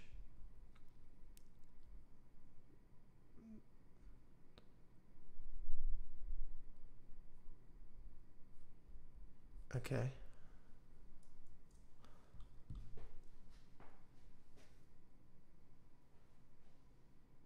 Fetch blob. Hmm. Create a show page per contribution. It would benefit you SEO wise, I guess. Yes, exactly. Um, that's the current problem. Is we're not creating a show page. We're not creating a different show page. Um, I kind of like that this is simple and it lets them really. I think the UX is probably better this way. They can they can look at a lot of them without hard reloads. Um, what we could do though, we can try. Let's go back to our modal.js where we're kind of handling all of that, opening the modal. What if we try um, setting the window that path name equal to something? So let's see open the modal. Sorry, not path name. Um, search, is it search? Look at that. So here's search. We can add hashtags and that might give us some SEO benefit, um, right? So if you have a page like this, um, Ray-Ban discount package insert, let's say, right? So we take like the brand title or something like that. We do like title of our insert, package insert, and you add this after the hashtag, as far as I know, this is sort of respected as a separate piece of content by Google. So this becomes a keyword that will make it searchable and then it will open this modal, as far as I know.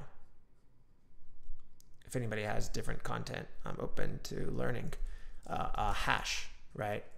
So what if we tried that? Like hash ASDF, right? So here's where we could take um, package insert, data set. The title is probably how we'll kind of want to. I'm not sure. I'm not sure if we want to rank based off the brand or based off the title. If someone says sunglasses package insert, that's kind of maybe going to have more searches than Ray-Ban package insert. But if someone uploads 50 different sunglasses, we'd love to be able to do it by brand. So, um, not sure. Modal brand, right? So plus, um, you know, again, I'm doing really simple here. Package insert. Let's see what this looks like. Now we've got Ray-Ban package insert. Let's get rid of this junk that's not really happening. Ray-Ban package insert. So now, as far as I know, if we do it like this, um, you know, we're kind of good to go. But we'd have to make it so that this page can be visited like this and actually open up. You know, it has to actually open up that um, that modal. So perhaps what we should then do is go back to our small one and go ahead and make that SEO its own custom thing. Data modal SEO hash equals. You can fake the routes the way they're linkable. Yeah, so someone asked, what is this app? Um, I used to always put a document, what are we building, right in the description of the video. In this video, we just jumped right in. We are making a package insert inspiration microsite. Package inserts are things like, where did all mine go? I had a ton of them. Things like this, you order on Amazon and you, uh, let me show myself bigger. When you order something online and you get something like this in the mail, in the box, that offers you some money off of the thing you bought, or they ask for a review or whatever. Here's one where they're giving us a gift card, you know, voucher. Um, here's another one, 10% off. You get these things in the mail. And, and that's because the, the seller wants to connect directly with you. If they sold on something like Amazon, they don't have your contact information. So we have a, a tool that helps people build package inserts and use them to get reviews. And that tool is called getreviews.ai. It's something we just bought about a month ago. It's a SaaS app. And so we're building this microsite as lead generation for that. So this is a free SEO style tool. Um, so we'll see. I hope that helps explain it. I, am trying to be brief just because some people have been watching and uh, have heard me explain it a few times. So if our SEO strategy is the uh, is the modal brand plus package insert, brand. Let's actually even make it SEO, SEO title, and then go put that in the backend. So we have just one spot we can change it. SEO title. And that's going to be brand. Yes, thanks. All right, so we're going to make this an SEO title on the back end so that we can just modify in one spot. Brand, maybe package insert, or brand and title. Now we get a lot of indexing, right? So Ray-Ban sunglasses, Ray-Ban blah, blah, blah, Ray-Ban black sunglasses, right? Something like that. Brand title. Uh, and of course, we need this to be parameterized. So if the title, for example, is um, New Wayfarer, that's title. Title.parameterize is going to make it lowercase and have dashes in, in place of spaces. Make sure I spelled that right. Yeah, year to it, not bad. What if they upload something that's really old though, right? Like if they upload one that's from three years ago, we could just use the ID, you know, where it's like ID. So it's going to be like Ray-Ban, Wayfarer, package insert, seven. And like because we put the ID at the far end of it, that will be the least impactful, right? Keyword. It kind of goes left to right. Um, I don't know what you guys think. Just the current year for more CTR from the SERPs. Yeah, that's cool. That's true. Package insert, then maybe I do it like that. Put the year at the end. Ray-Ban, New Wayfarer, package insert 2022, right? Kind of like that. Let's do it with that for now. SEO title. And then, yeah, that's the thing. It's like, we got to be honest. I understand you can add years. Like, I understand a lot of these hacks, the black hat, gray hat hacks. It's just not something I do. You have to know the rules and then break them. All right. This window location hash is we're going to just do uh, SEO title. That's nice and clean. We're not determining all this stuff here. SEO title, SEO hash is SEO hash. SEO title, SEO title. Okay. And uh, so let's first just test that if it adds the hash correctly.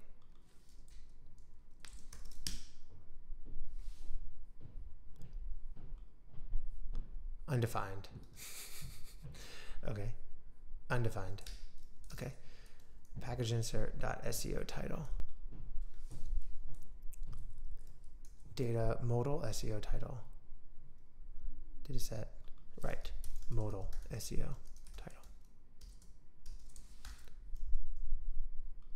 There we go. Ray-Ban Wayfarer, four images, packages. Right. That's that's correct. Wayfarer with site package insert new Wayfarer Package insert 22. Good. So I think this kind of gets us halfway there with SEO benefit, um, and we're going to get more SEO benefit from from these searches. So we haven't done that yet, but these will create new pages as well, uh, actual pages with new URLs. Um, okay, cool. Now we need to actually make it load that. So if someone visits this page or searches and visits this, it should open that mobile modal. Is that what you were going to say?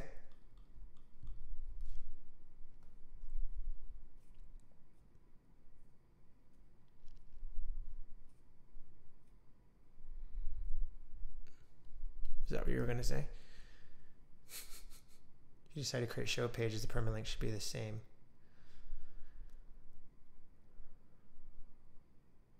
Yeah, I just right now we don't really have a show page.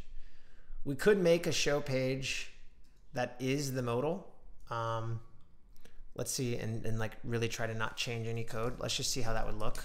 Let's grab the modal um, big code and throw it in here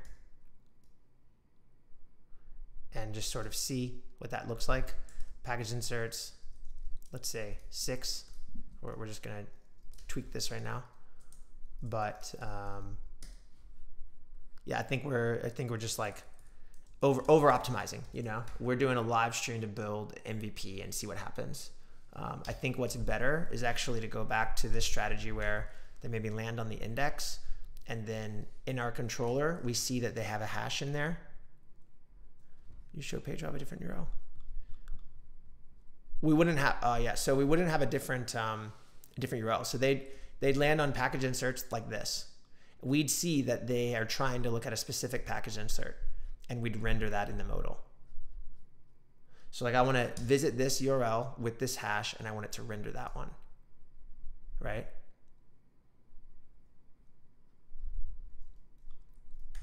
Let's see if we can make that work. Um, and it would sort of be like a show page,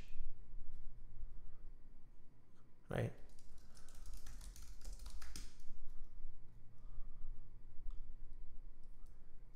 So like if um,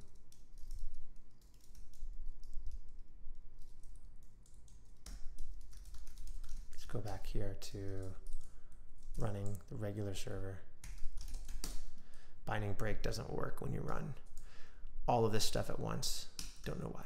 Um, okay.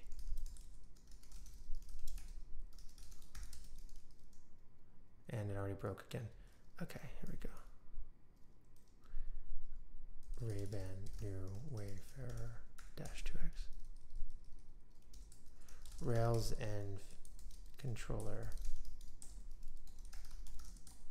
get window URL hash.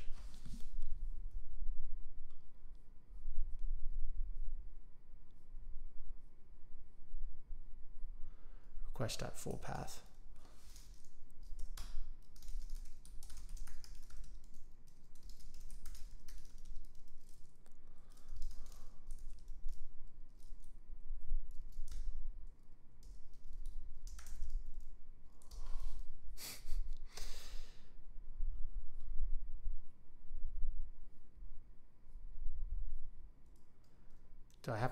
The front end? Might have to get that elsewhere. Uh,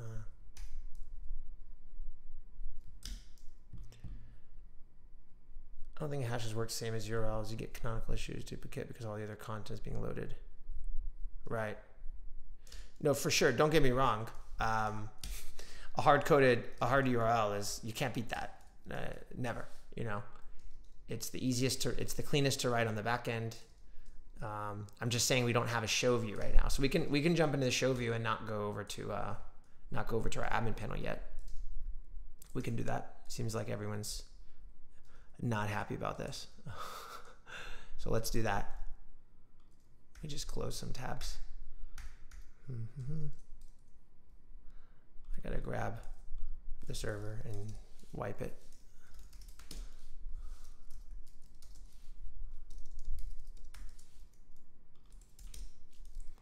All right. We'll make a show page. Here we go. Show page. Now we have all this other stuff though. So we need to add um, some new things. We could add friendly ID or uh, we can just kind of make our own callback. Friendly ID is a cool library for this that will sort of parameterize things and make SEO friendly like vanity usernames, that kind of thing. But we can just uh, we can just do before create uh, generate slug, something like that. Generate slug, and then let's put this, yeah, we'll move this later to be somewhere cleaner. And we'll take that SEO title. We'll say update, right? Uh, or no, we'll say uh, self.slug equals SEO title. And then we'll just load the slug in our uh, code instead of the title. So that's that's kind of how we could do it. Yeah, cool. Generate slug, and then this will use you know the the data was uploaded. So if someone uploads in 2021 and then a year later they uploaded 2023 or whatever, uh, we won't be overwriting the old ones. Now we're getting our honest marketer components in there. Yeah, we can do this. All right, so let's add a run a migration. We need to start adding slug, Rails G migration add slug to package inserts slug, and it's just going to be a string, so all good. We can double check that migration file. Great. I haven't tried VS Code yet. No. All right, now let's go in here and package insert dot all dot each. Um, let's uh, generate those slugs.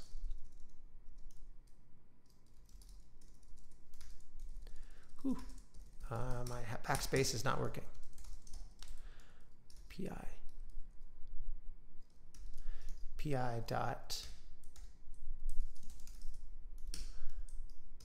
generate slug PI dot save. All right package insert dot last dot slug.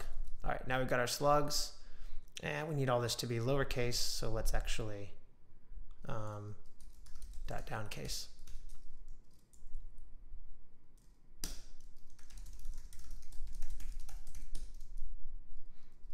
Don't know why that didn't do the trick. Uh, brand dot parameterize as well. Okay.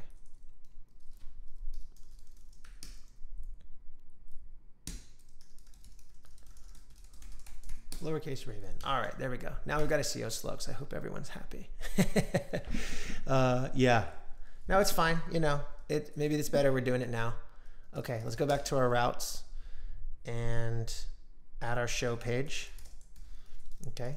Now let's go to our inserts controller, build out that show page, and uh, we're gonna say uh, set package insert before action before our show page uh, we're to set package insert only on the show view.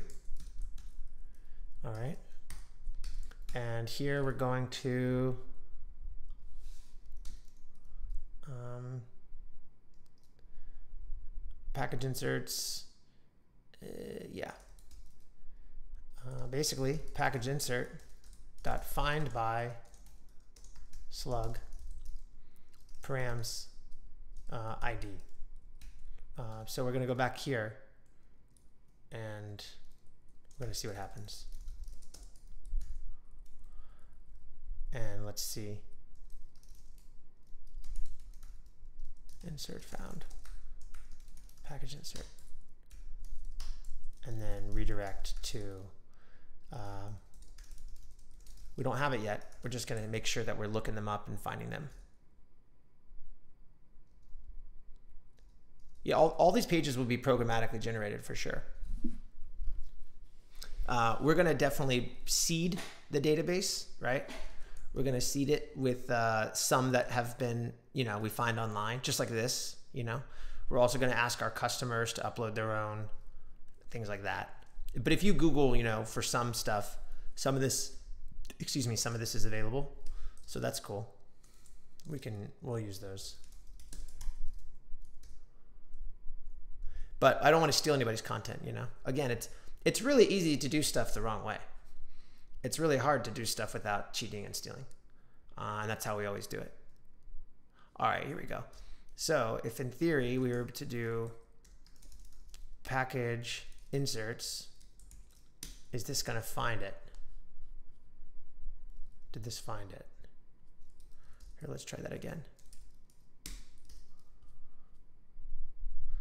Started get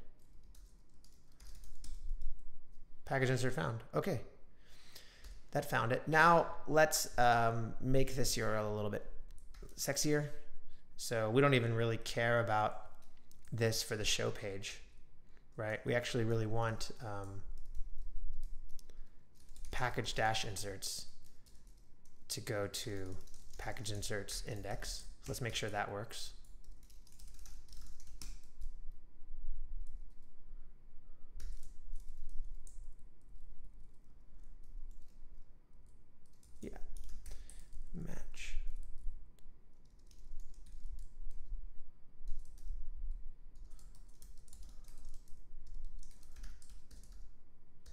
Actually, we don't even care about this resources thing at all. We only really need it for create. Because show and index, we're going to use our own custom routes. Search index. All right, now our, our uh, did my server shut down? Yes, it did.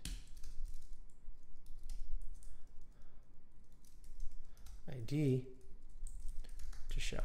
Okay. See if that works. Okay. Contribute, browse. It's kind of, it's trying to go back to that. Ah, we need to add it as package inserts. We need to rename the path.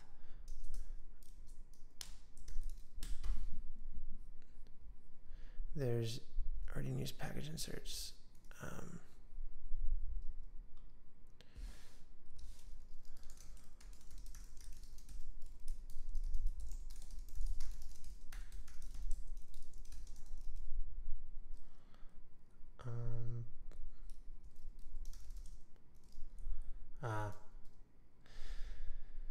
Yeah, because we have we have a create path, create package insert.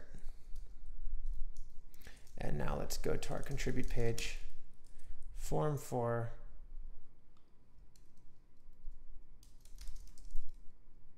um, URL, create.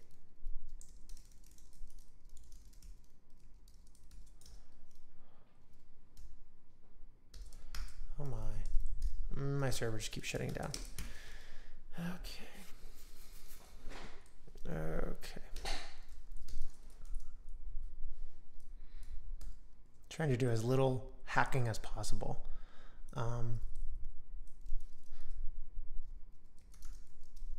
view package inserts. Okay. Package inserts path. Let's update those to view package inserts.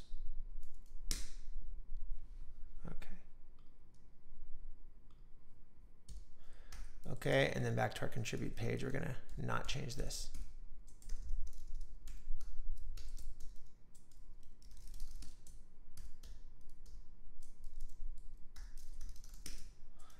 Okay, get them, okay.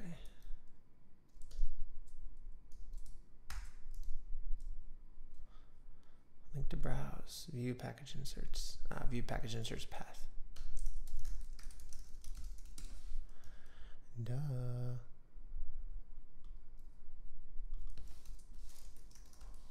Okay. Okay. All right. Okay. Browse them all. Wonderful. Contribute. This form should be pointing to the same endpoint it used to. Package inserts. Okay, great. All right, now we're set up to do our show page. Insert controller. And um, let's make sure that it works. So let's grab our last one. Grab a slug. So it'll be like this. Did it find it? Yeah, it found it. Okay, cool. Now let's actually make that page. So we're gonna take the show page, which we have, and uh, we don't really need all of this modal stuff. It's just gonna be that page, I guess. And let's see uh, if we can at least load the blank page. See how bad it looks? Okay, it's not horrible. All right, and let's make it not invisible. Okay. All right. Hope you guys are happy. Hope you guys are happy. Um, we don't really need the modal class or anything like that. Now we do have extra code here, which I don't really like, or double code. You know, we have double code, but um, you know, this is what you guys want. So let's get these thumbnails in there. And start loading the data the Rails way. Images.h2.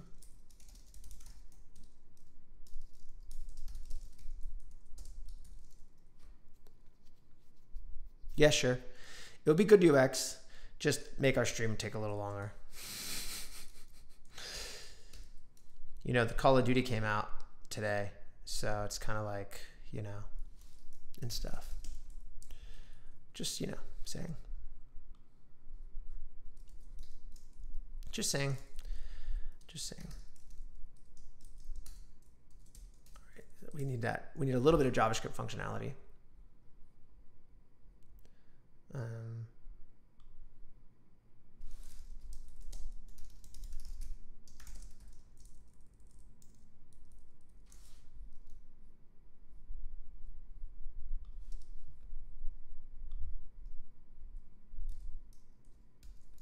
Okay. Cool.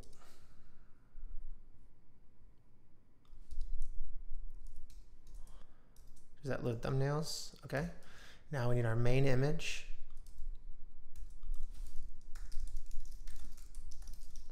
We've already made that up. Primary image URL. Let's see if that works. Okay. And now we just swap in. And I can abstract some of this code later so that, again, we're not doing it twice. But maybe we want the show page to look dramatically different. Yes, I'm playing Call of Duty as part of Ryan's retirement for sure. Thank you for uh, guessing. That and Battlefield, obviously. Obviously. Obviously. Industry.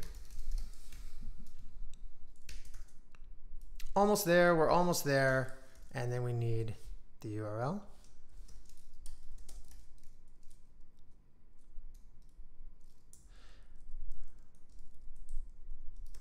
But the URL is optional.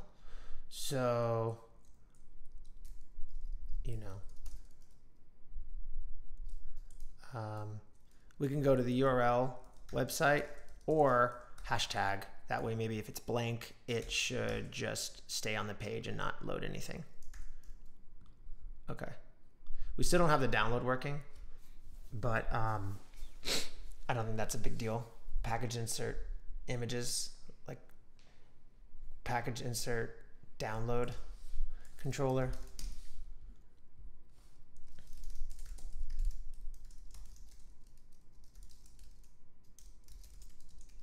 Something like that.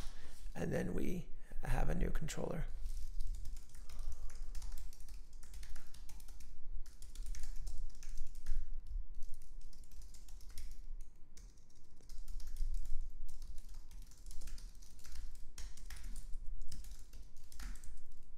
and we're gonna to do uh, send image files as inline attachments.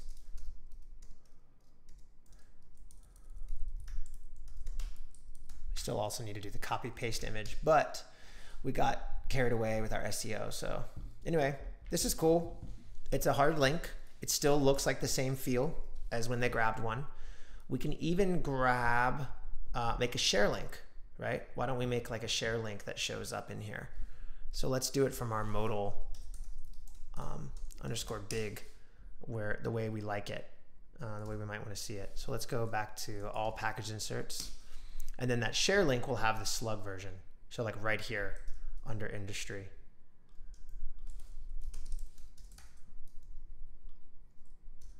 Um, we could have all that margin or we could not do all that margin.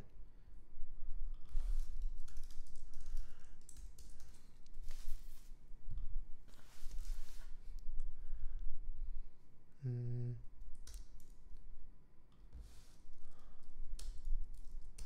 And we could do like a one of those like text boxes or an input that's read only. Maybe an input that's read only. If that's how that works. We've all seen it. Mm.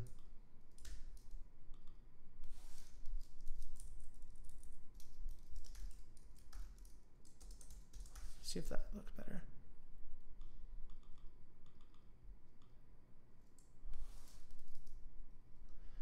How have I done this before? We could also do pre.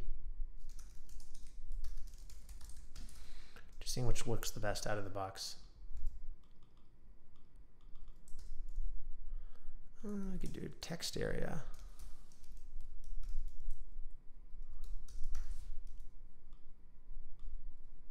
Doesn't like that.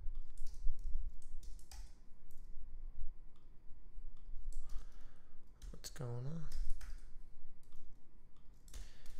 I add a text area and I think I have to close it. All right.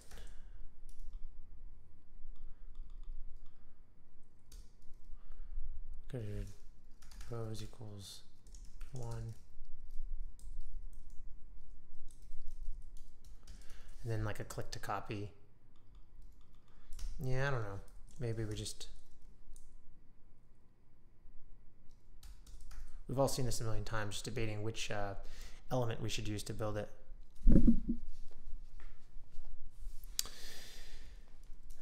Uh,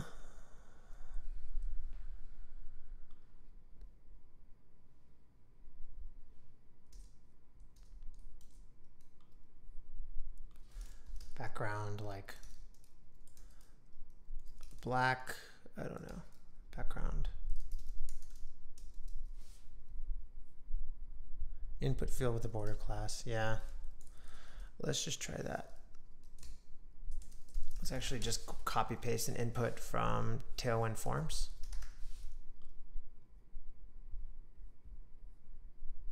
Input with disabled state.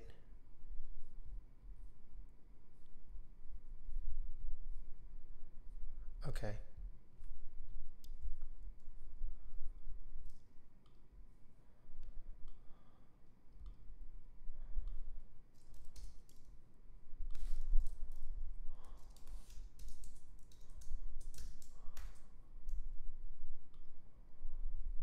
we go.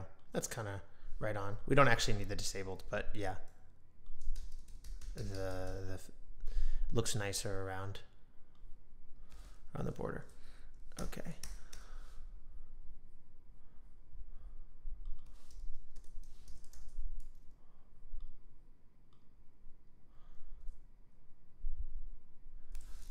Input read only. It's just a, it's a property itself, not a type. There we go. Okay. We don't need the dumb margin top. Share this. Okay. And it should be one click to copy, obviously, but um, yeah, we'll figure that out. Rails.info.routes. Let's see, Rails info. Rails route helper. Always forget the long URL for this. We need the full URL.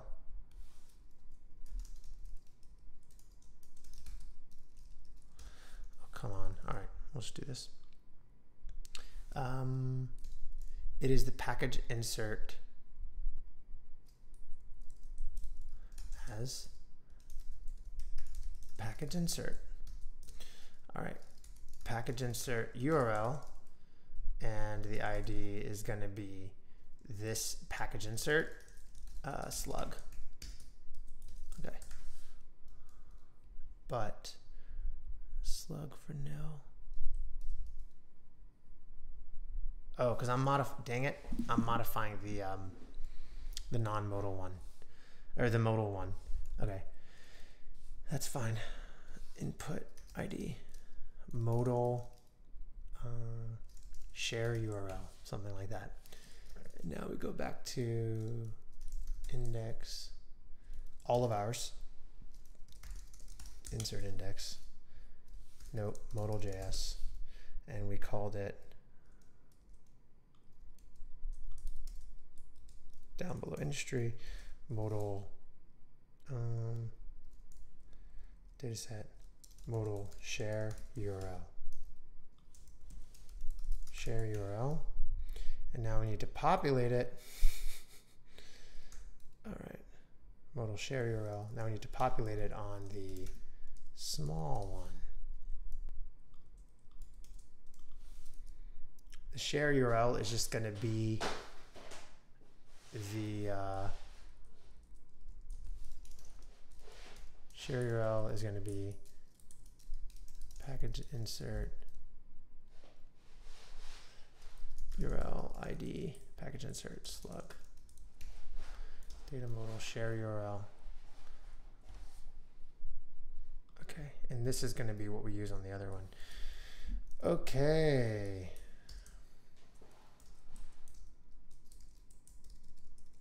Let's see if we're getting there. Now we have to do everything twice and a little bit differently. Any tweak we want to make now, we have to um, we have to make it to the modal and the show page. So eh, I kind of still hate that we did it, but let's see. Modal share URL. Mm. Instead of inner text, it should be value.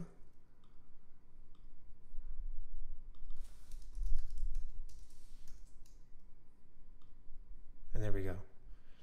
Package inserts, Ray-Ban, New Wayfarer, package insert. All right, now if I go to that one, that works. And that one needs to be done a little bit differently. That one needs to be done on the show page. Let's get back to the, the modal one. Underneath industry div, we have this new div. Underneath industry div, we have this new div. And the value is simply package insert id package insert dot slug. Let's see if that works. Of course not. Oh, package insert URL. Great, same page. And uh, this could even be the next page, the next, um, the next thing down. This doesn't have to be flex. We could get rid of flex like that. Let's get rid of flex. How's that work? Okay. And let's get rid of flex on the modal as well. All right. Now we have a show page. Maybe here, close modal is um, Close modal does a couple different things. On the show page, we could have a close modal feature that um, redirects them to to all, you know, or something like that.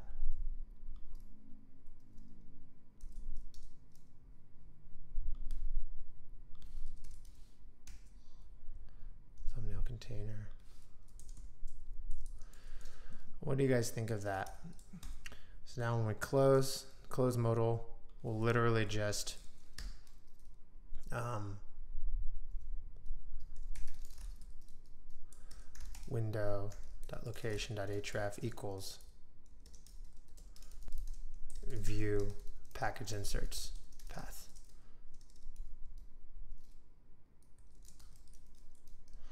What do you guys think about that? Close modal. Okay, so now let's look at our show page. Hit escape. Nothing happened. Something should happen.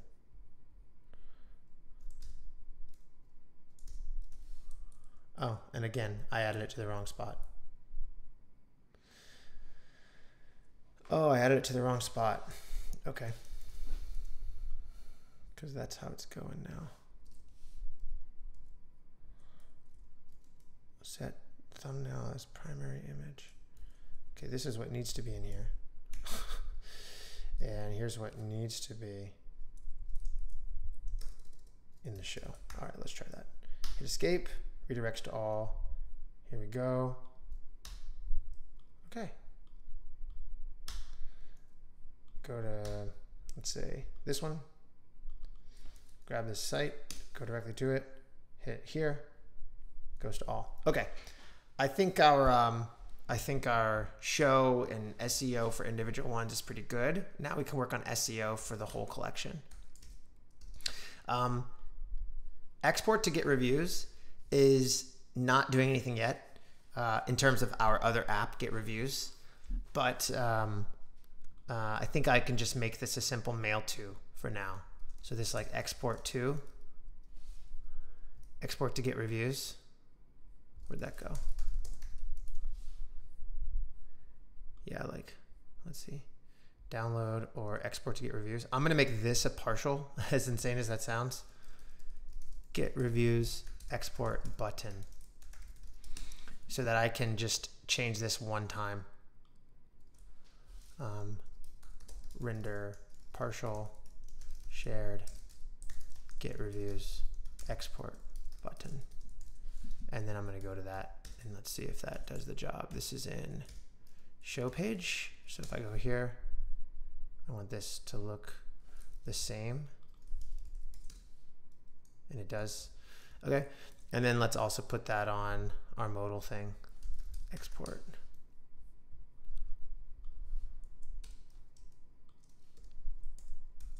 There we go. Yeah. Uh, I'm going to make this now just email when they click this button. Um, is there even an href? Yeah, let's just make it a mail to. Mail to support at get reviews. Subject equals import. Let's make sure that kind of does something. I can't even click the button. this thing needs to hover below. How can I make this hover below?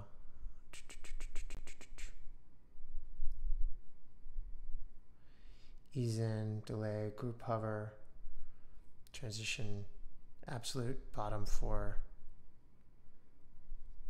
maybe if I do like bottom 24. Okay, sweet bottom 40. I just want to make this hover below the button. Okay, that's good enough. 48. There we go. Cool. Bottom 50. Okay. Now I can click the button. I can hover. If they click this, it's going to try to open up an email Um, let's see if my browser actually does it. Pre-fill in a subject line. I'm not can't show all my calendar and everything. Okay, bye. All right, that's gonna work. Subject, import, and then I'll pass in this slug, right? Import. Um, e. But here we don't have it server side, so importing.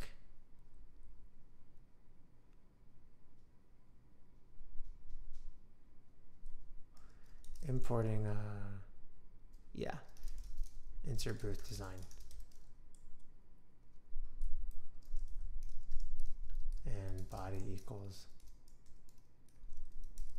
link to design, take from insert booth. So this is a placeholder, but this will kind of get us part of the way there. And uh, at least it does something. Yeah, we'll take an email and then they'll go, huh? And that's fine.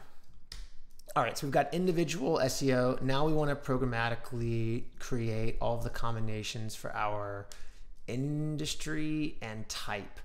I figure um, type probably maybe industry first instead of type. So if we go back to our package index, look at all of them, the way I did it up here, maybe should be industry first. Like food, you know, wine, discount, package inserts right? I think that might be better. Mm, so let's do that. So we go back to our routes. If someone wants to grab, get uh, industry, right? Let's try, I don't know. Mm. We already kind of took this ID here but we could do just slash p um, or designs or categories or mm,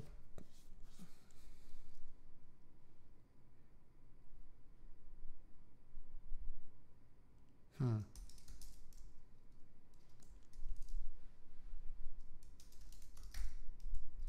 Now we can do this. It's easy to change. Let's do industry type, something like that.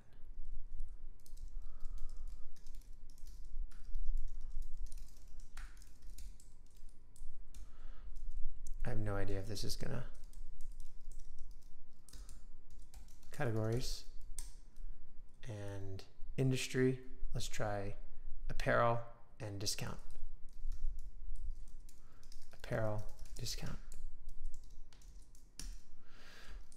Now, let's see if they came through the server the way we intended.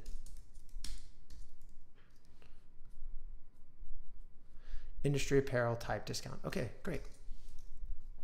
So what we're going to do here is go back to our package insert controller where we grab all the data. Right now we're grabbing all of them. And uh, we're going to say, you know, if there are params industry uh, are present, and params type uh, are present, then uh, we're going to try to grab them by that, you know, by those specifications. Otherwise, we're just going to grab them like this.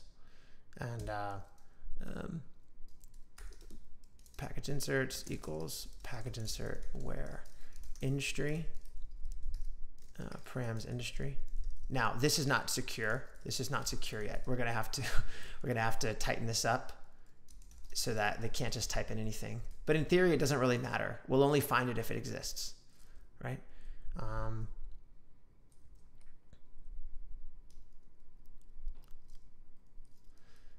here we go. Um, what we can actually do is say ooh, category params. Return nil unless these params are at least present. Um, and then we do uh, industry um, could be uh, params industry if package insert you know uh, industries includes um, that param. So in other words, package insert industries, right? We should probably do down, we should downcase all that. Mm. We want to sanitize.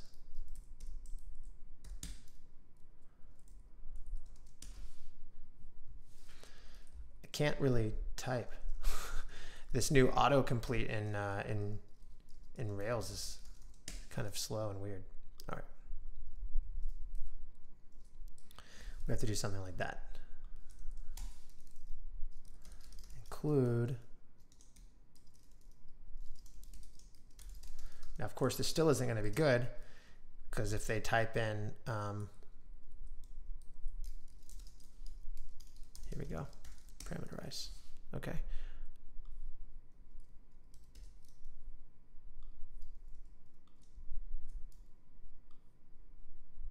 We're going to clean that up too.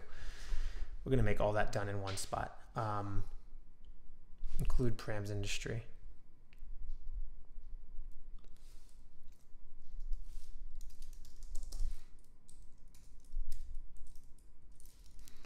Industry, and then insert type is going to be insert type. So here we're just making sure that we don't try to search for something that the user is not allowed to search for. And then here, Okay, same concept, insert types.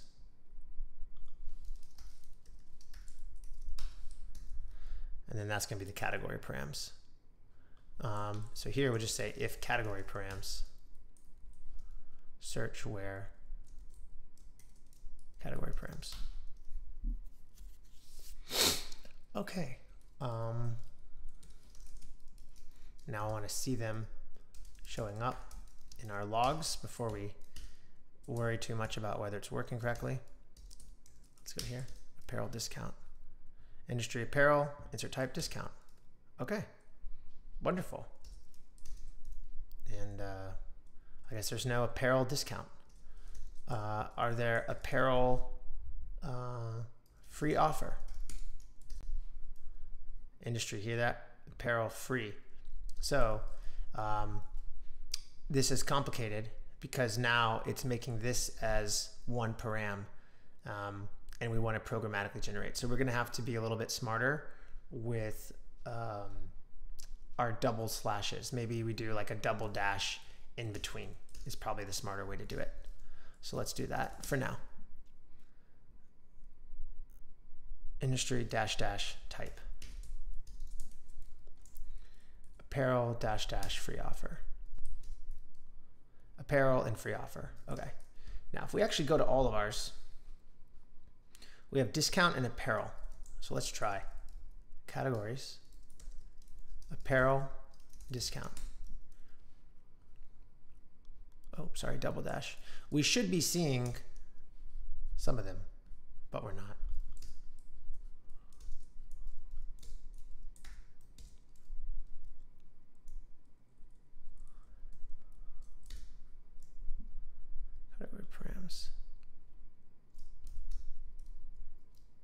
I think it's because of the down casing.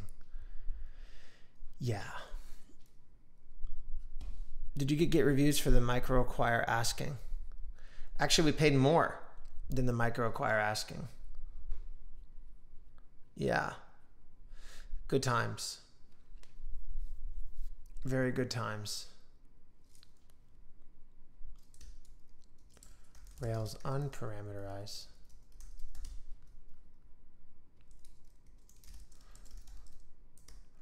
Reverse parameterize.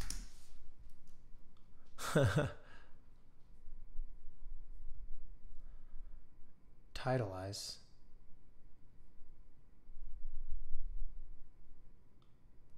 Eh. We could just try that for now. Let's try this for now. That's why it's not finding them.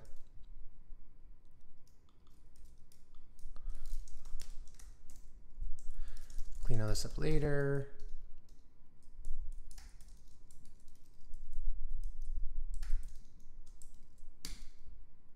And there we go. Now we're finding ones that are apparel and discount. Great. And likewise, let's look for another one. Uh, apparel and free offer. Apparel dash dash free offer. Oh, I spelled it wrong. Um, that I think is failing because our free offer is like that, but maybe we wrote it all caps in our model. Yeah, we did. Okay. We're going to just keep it titleized. Review request, brand building. Same with this. Fitness and health, food and beverage, home goods. Uh, I don't like sports. We're going to have to figure out another one because fitness and health is kind of too similar. Apparel and free offer. That should be getting it now apparel and free offer. Industry type apparel, free offer, which is how it looks. Okay, maybe we just need to restart the server. All right. Will you keep that domain or will you Fomanites rebrand? The deal took uh, a few weeks to close, maybe four or five, simply because I was going on a business trip for FOMO to um, to Portugal. Uh, so we kind of shut everything down for like 10 days. Otherwise, you know, we would have closed in maybe two and a half or three weeks. We also decided to raise some money from investors to get the deal done. And uh, we, they, you know, they needed a week or two to send wires in to us. Really want to make sure we're not missing on anything on these searches. Free offer. Ah, got it. Ah, got it, got it, got it. Package insert where? In, uh, insert type. Free offer. We just changed everything, so we have to change everything. Where insert type equals review request, we have to change that too.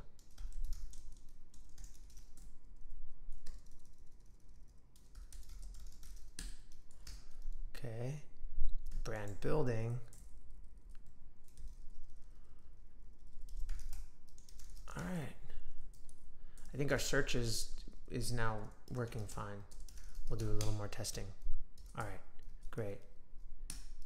That's all of them. And if I wanted to search for um, apparel free offer, those are apparel free offer, apparel discount, great, apparel did we do brand building?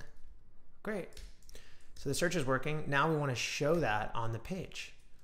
Uh, package index in these little dynamic spots, which is incredibly easy. Um, let's look at let's look at um, let's actually make those visible category params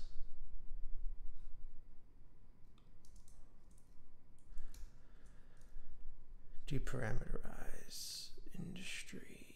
In a lot of ways we could do this.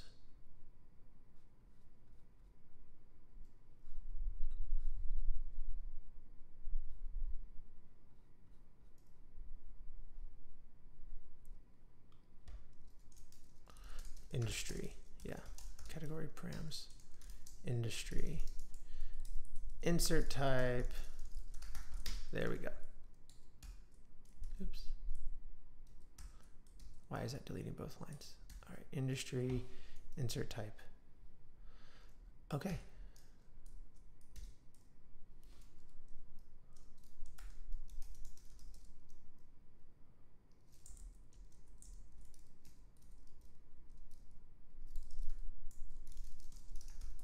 All right.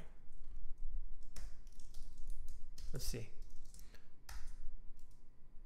apparel brand building package inserts, apparel discount package inserts, you know, et cetera, et cetera, et cetera. Apparel brand building, apparel free offer. All right, now let's try spell something wrong, and this is going to break. It's split. Um, that's because it couldn't find it. So let's just quickly handle when they're when they're broken.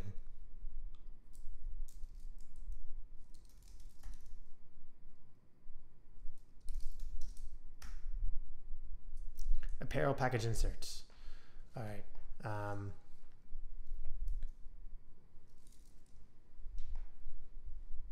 yeah, it's just gonna not work, I guess. Uh, apparel. That's fine. We don't want to try to index pages that don't exist. So for now, that's fine. Vince 404 results will simply be zero. Okay, and then of course in here we can have it sort of say like X results found, right? But yeah, now our search is working. And then lastly, we need to actually make this button do the same thing that um, that our URLs are doing. Okay, let's go down here to to our search, which is nice, right? We have just one search section to update. This needs to be kind of like a form, but we can we can kind of hack it. Uh, okay, let's do that. Let's try that. On click, um, execute search, something like that. Script function execute search. Um, and let's grab each of these select inputs. Um, ID, industry, search.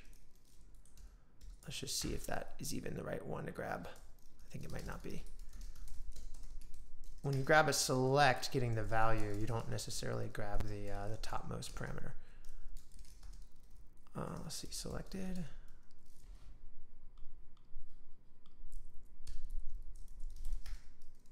Right, right, right. We need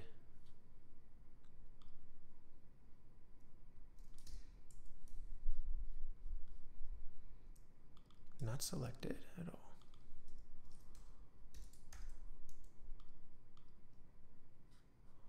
Industry search.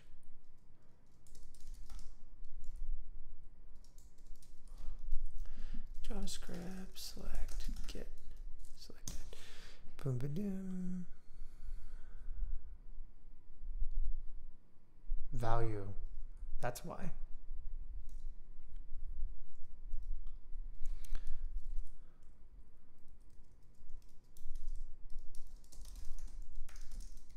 Something like that. Let's try.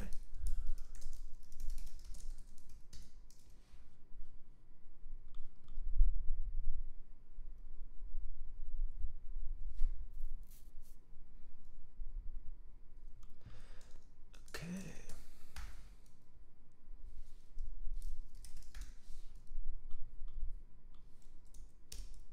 Fitness and health. There we go.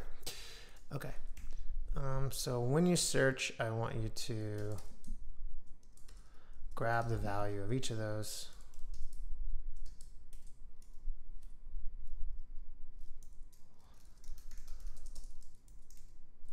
And insert type should be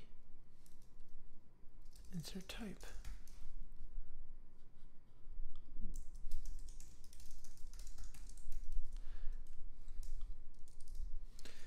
JavaScript parameterize. Let's get somebody who's already done it. Yeah, nice.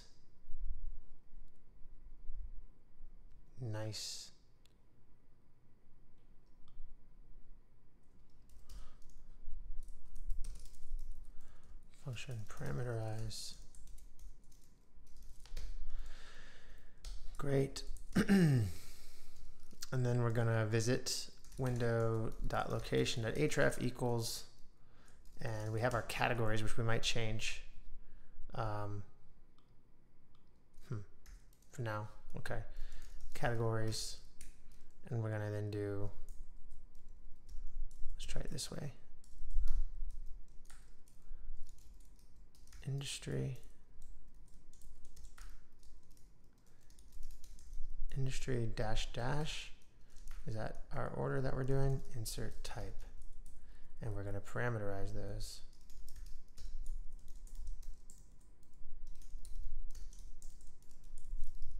No idea.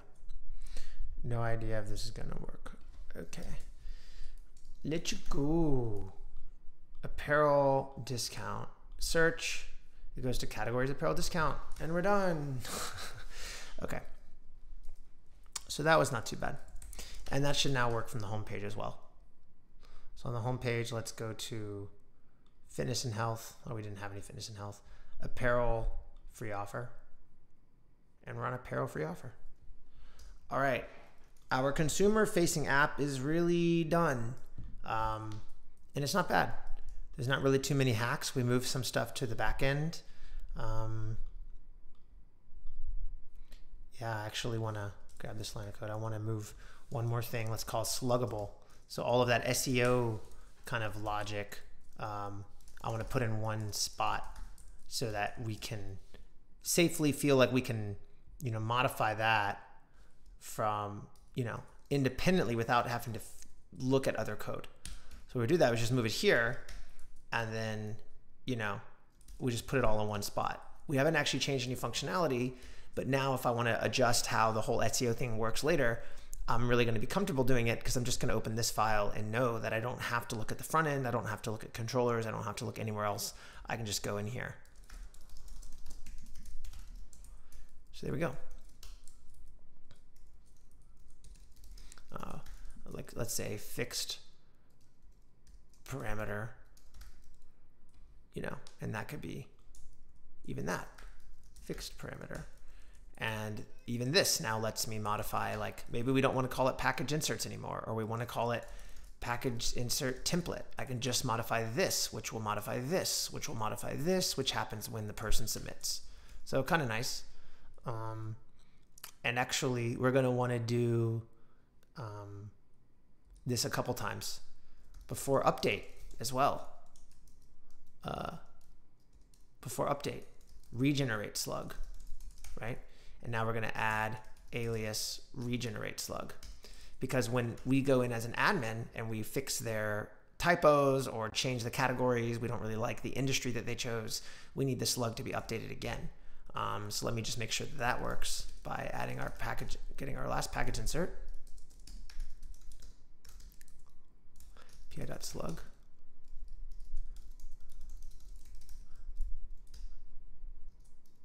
Uh, Ruby method alias. I just did the syntax wrong. Alias method.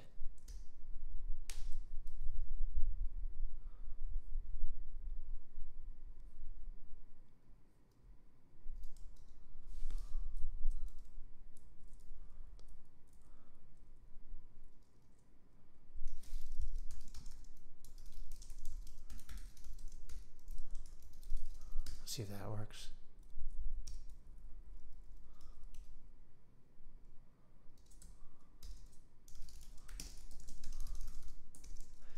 Grab our last package insert.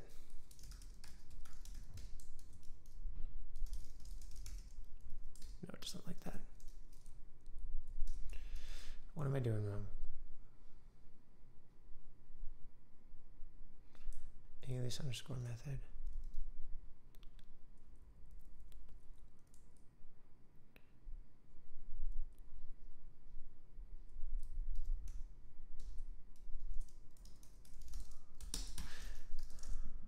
Never know. When in doubt, just grab it again. Hmm. Oh, duh. They didn't include it. All right, cool. Include sluggable. So I might have done it right the first time, actually. All right.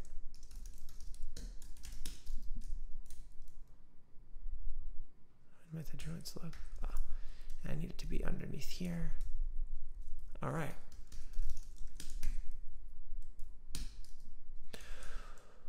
Ooh. Find method before create.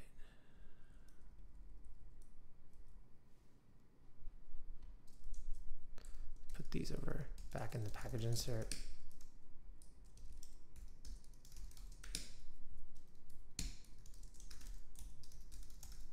There we go. PI generate slug, regenerate slug, same thing. But um, again, separating the concerns, Rails literally calls them concerns, but it's just a concept in coding, separating your concerns is uh, is a good idea. Um, but actually, you know what? Regenerate slug does need to be a different method. it needs to generate slug. No, no, no, no. It's before save.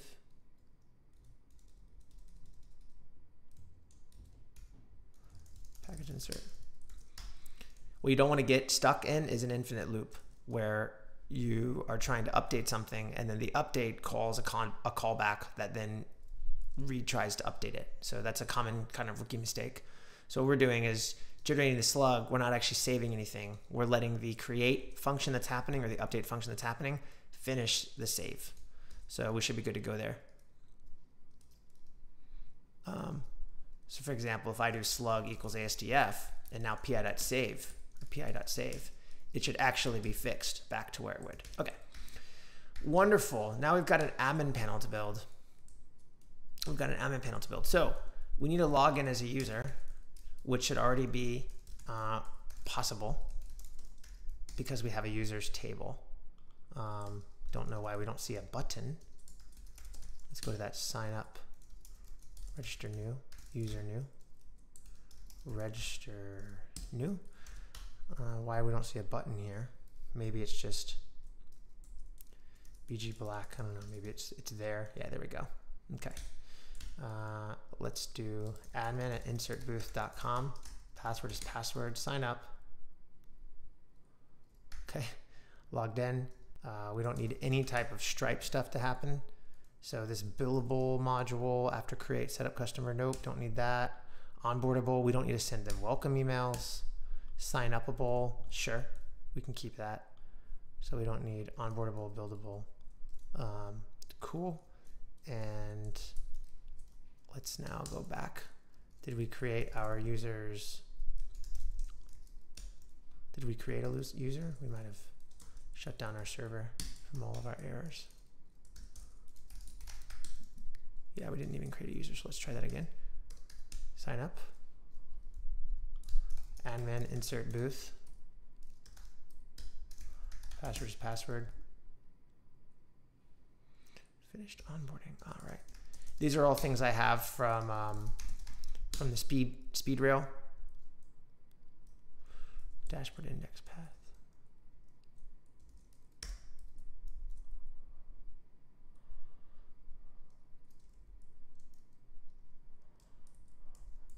We just always want to admin. Just going to log them in as admins, and we're going to disable the ability to sign up. We do that through this devise feature called registerable. We literally just remove it. Now nobody can sign up. All right. And we want to start building out our admin panel. We go to routes to set up our routes. We already have a way admin dashboard. Uh, we're not going to be doing any of these impersonations, users, whatever. So I'm going to go in here and start deleting that. We need the admin. We don't need users. Uh, our dashboard this is going to be something we don't care about at all. We're going to rip this out and take the design we got from our designer. And let's go to controllers admin. We don't need to impersonate users. We don't need to search users. Admin it doesn't need to grab users. This is actually going to grab package inserts, right?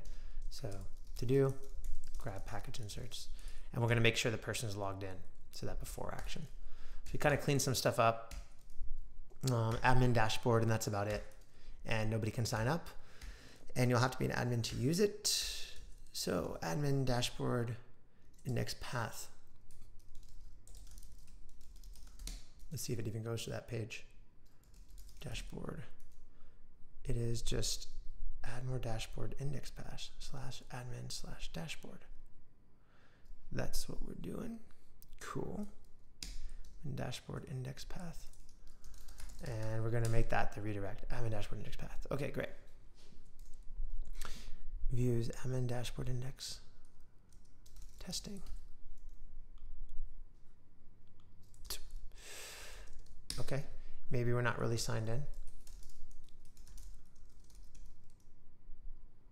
No route matches admin dashboard.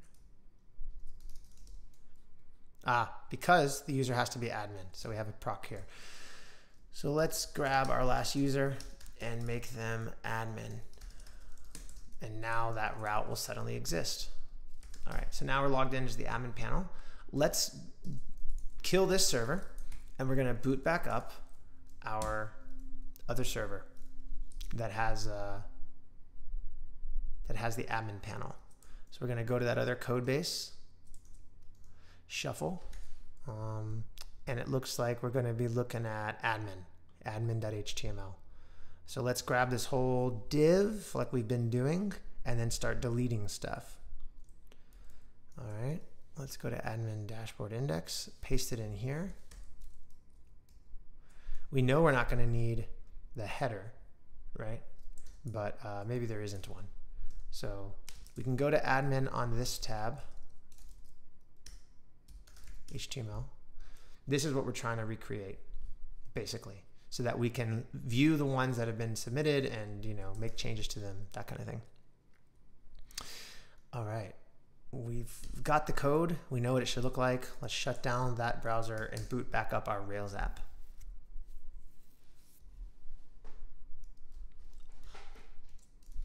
Mm -hmm.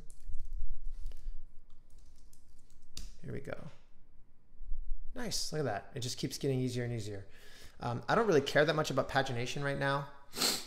You know, we could have hundreds on this page before we really care about pagination. So um, I'm gonna just change a few things around. First, uh, admin dashboard. Let's call this insert booth submissions. Let's put that up here in the title. Now we can get rid of kind of this whole area. That big div. We also don't need this next one, this kind of empty gray thing. Where's that this?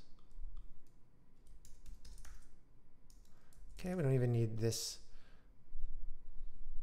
Yeah, I mean, the gray thing's fine, but PY8. Uh, let's go PY2. Uh, and actually, let's do pattern bottom 2, pattern top can be 0. I don't know if we really need that. All right. Cool. Uh, and then, you know, these are rows of a table. Let's just get rid of like all of them except one and then make it dynamic, right? So table row. If I do that, it's kind of a cool tip to get rid of a lot. Ooh, table row. Where's our last table row?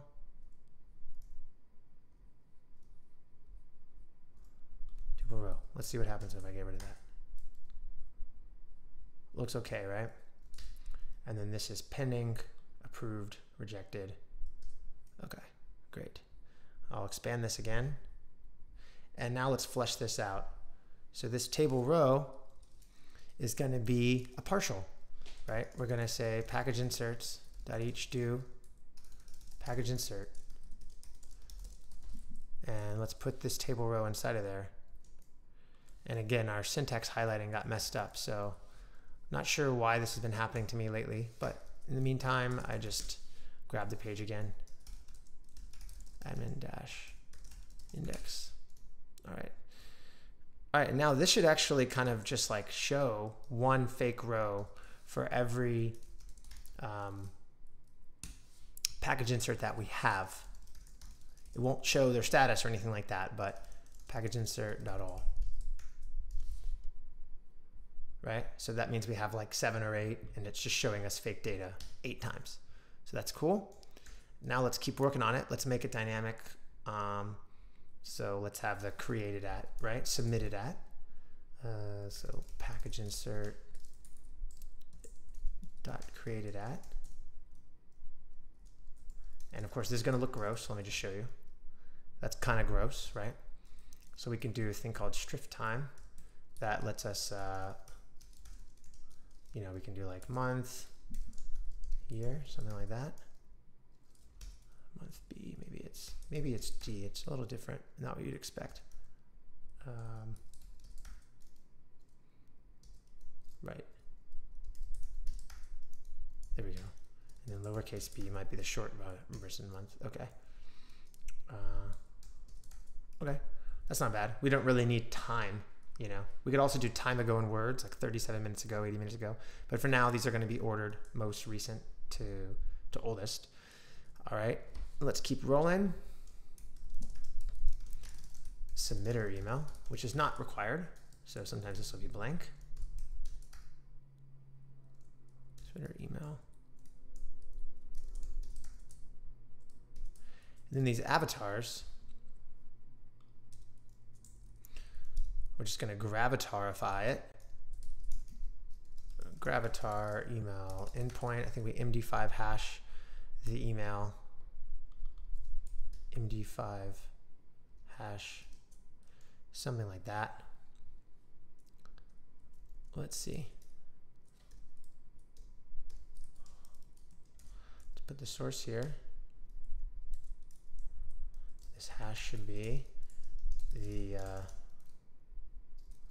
submitter email, but hashed. So let's do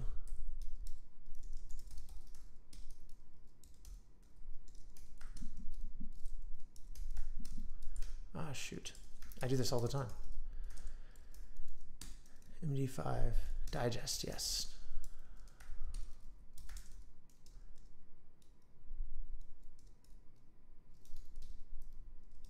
And then we can type in an email. Let, let's try that.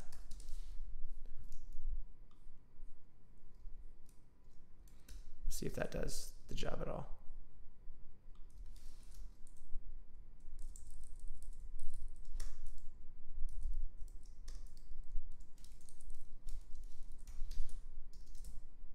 Okay.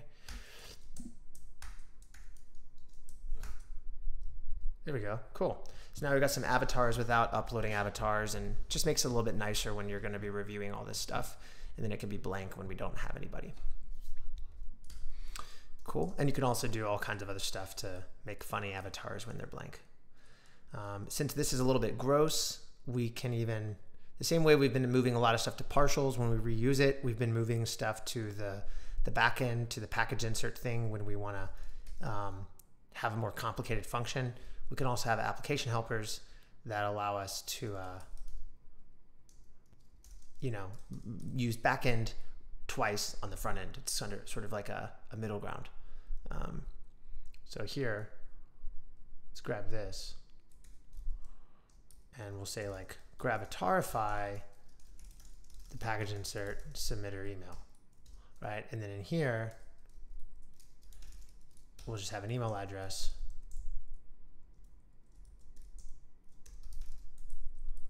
And since we're already in Ruby here, we do it like that. Cool. Now it's a little bit cleaner on the front end and back end and uh, we can reuse this anywhere. We, we now made a new function that just accepts an email and turns it into an image. Great. Uh, now we need to keep copying over these other dynamic fields. So this review request means this must be the type field. So let's grab that.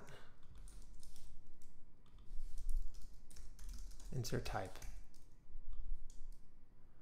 And then we've got one more.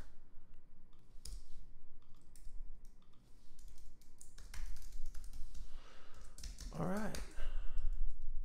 These were all apparel, right? For our Ray-Bans, but we do have our types loading, so we know that's working fine. Status. If I were to say that this is selected, is that gonna work? Okay, that would work. All right. Um, we're going to choose that uh, it's selected if that's the status, right? So this is, again, kind of janky. We're going to just get it done, and then we make it look better later. Selected if um, package insert dot status equals pending. So let's actually make another sort of fixed thing here. We just have statuses. We don't want to have a bunch floating around the app, right? Um, and actually, these don't need to look friendly. They don't need to be like title case. We can just approve, you know, pending. And I'm doing this. It's going to create an array. But since I don't need to worry about spaces, pending approved, rejected. All right. If package insert status equals pending.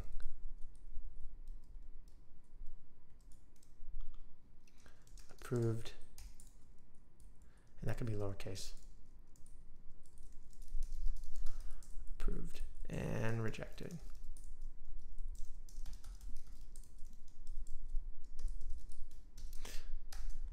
All these really are nothing. Yeah, pending or um, set default pending. So let's go back to there as well. Before create, generate slug. Before create, um, let's make a new thing called submittable. And all we're going to do is set defaults in there. For now, the only default I can think of is um, or contributable, since the page is called contribute. Contributable, module, contributable, and you know, we're going to have um, set defaults and we can make this say like, you know, self status equals pending, right? So it's not a blank status. Include contributable. We'll even load this lower or higher. It doesn't make a difference, just feels better. And for create, set defaults. And that's going to invoke the method in here, contributable. Okay, now if we look at all of our package insert, that all, or dot last status, dot first, dot status, it's all nil, right? So update all, our, yeah, package insert dot all, update all, pending. Okay, now they're all actually pending. If I make them all actually approved, I want to see if that updates here. Yeah, all actually approved. And I would also like different colors, right? I want probably maybe pending to be yellow, approved to be green, something like that. Uh, I also want to make sure that no one can somehow screw this up. Um, so what we're going to do, in other words, is we're going to make sure validates um, presence of status and that it's inside of these uh, statuses. This might not work my first try, but we want to make sure that no one can say like, hey, the status is ASDF. Not statutes.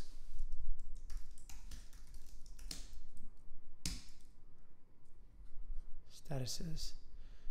Um, I'm going to do, let's see if that will go up a layer.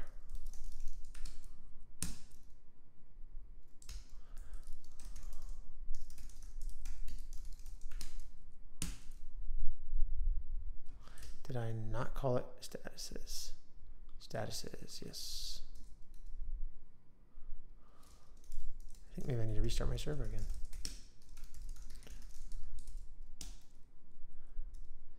Am I blind?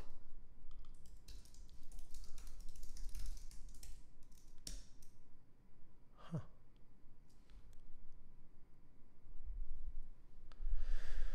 It's constant. Huh. Okay. Let's just put it up a up a package.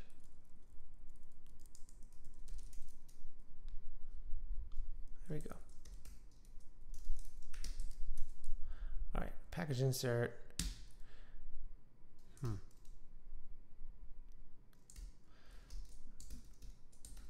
Rails validate from selection.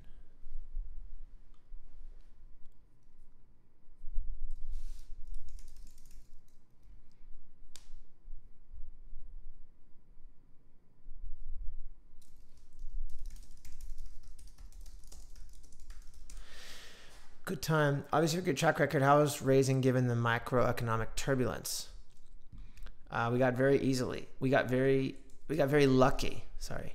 Um, it was very easy. Um, There we go. In statuses. That's the syntax we were looking for. Yeah, it was very easy. I think, I don't know. Um,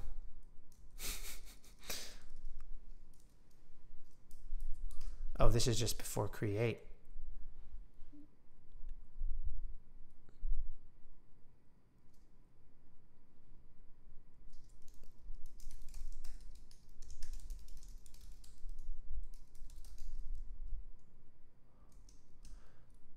Validation failed. Status is not included. Okay, great. Status ASDF, not included. If I say status is pending,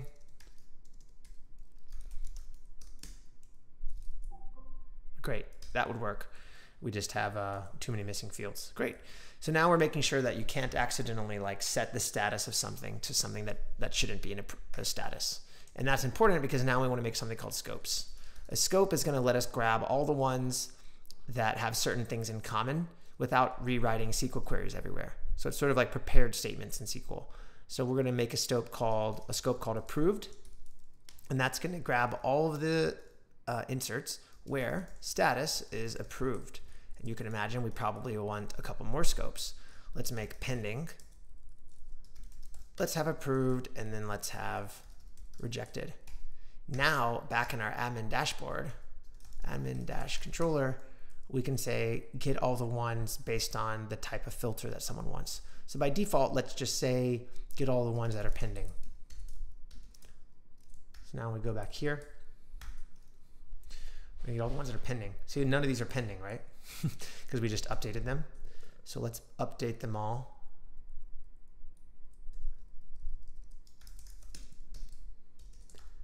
Now this tab's gonna work great. And I can make this where when I click, it gives me ones with that different status. So let's do that search filter real quick. If params um, filter dot present, then we're going to grab the package inserts that have that filter. Otherwise, we're going to default to pending. And we're going to do send and then pass in that filter. So send is going to convert a string into a method. So let's say like this. Params dashboard, filter equals approved, none, right? Filter equals rejected, none. Filter equals pending. So that's kind of a cool way to do it. And then back over at our dash index, we're gonna um, have this thing where they're nice and underlined, right?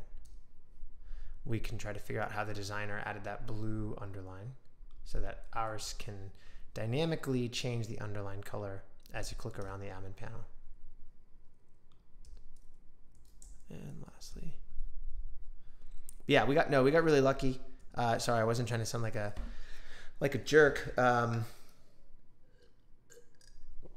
we asked for very little money, in my opinion, and the valuation was very good.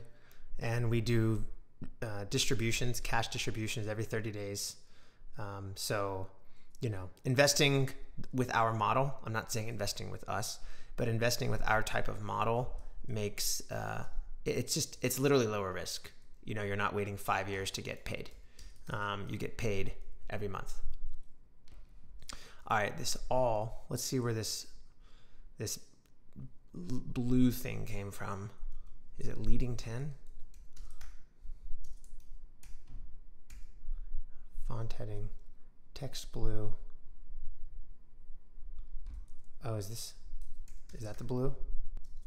Oh, well, that's annoying. Let's see. We want to just make like an underline or something simple. Border top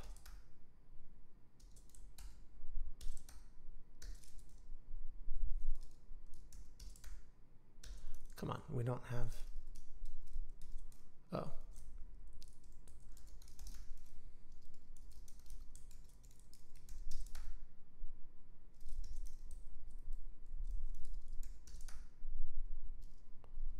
We could just do that as well. Whatever one they click on is blue. Simple, right? Text blue. Um, no, but let's grab it a little bit. Tailwind border. We're really, really almost done. This is about a six and a half, seven hour build. Border, border B. Ah, I see.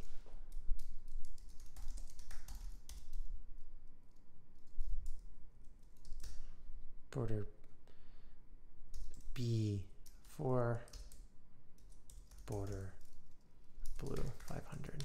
Oh, let's see. Yep, cash flow is king for sure. Yeah, this is just, this is sort of obnoxious. Why would we even bother with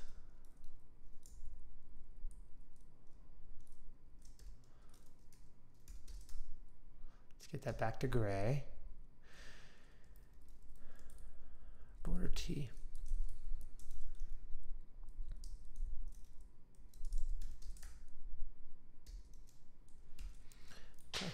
not even going to mess with any of this stuff. Um, text blue if it's selected.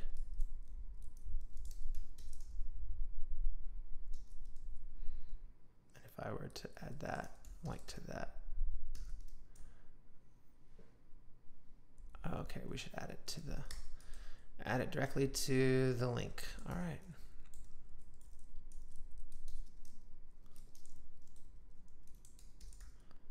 Okay. Great. Um, I'm gonna get rid of. Eh. Yeah, all all is fine. Okay. all is fine, and we'll make package insert all. That will that will just work already. Okay. Admin. Let's actually get the the border working first. We're gonna make the color and say params filter equals if the params filter equals uh, pending, then this text is going to be this color. Otherwise, the text is going to be this color. Let's see how that works. There we go. Filter pending. Filter all. Great. Is not. Great. That's what we're to do. Let's make another one. If it's approved, then that. And then we're to make it approved. And all this can be cleaned up by having just one sort of Ruby method, right, that generates these links. If, sorry, filter equals rejected, then we want the button to say rejected and we want it to be blue, etc. All right, pending. Oh, and then we have to make the link. filter pending, filter approved, filter rejected, so now we're running the searches and we're updating this nav to, to match. Um, now let's make the actual links and let's just go ahead and make it the Rails way. Link to uh, pending and we're gonna do,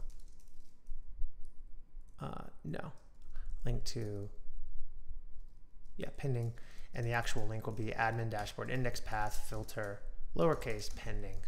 Class is gonna be this stuff up here.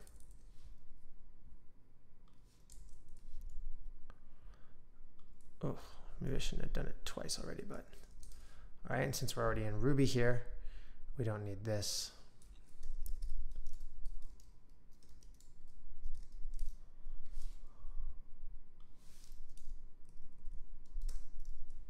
Okay. Let's see if the pending link is working. All right, great. Okay. That's really the, the one we want.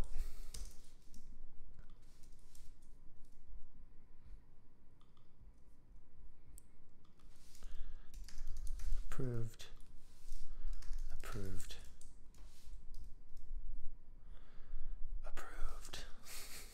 you can see we're, we're definitely duplicating some work here. But uh, you have to choose your battles. All right. Okay. Pending, approved, rejected. Awesome. Okay, and now I just need to add it to this last one. It can stay all caps, I guess. All, all.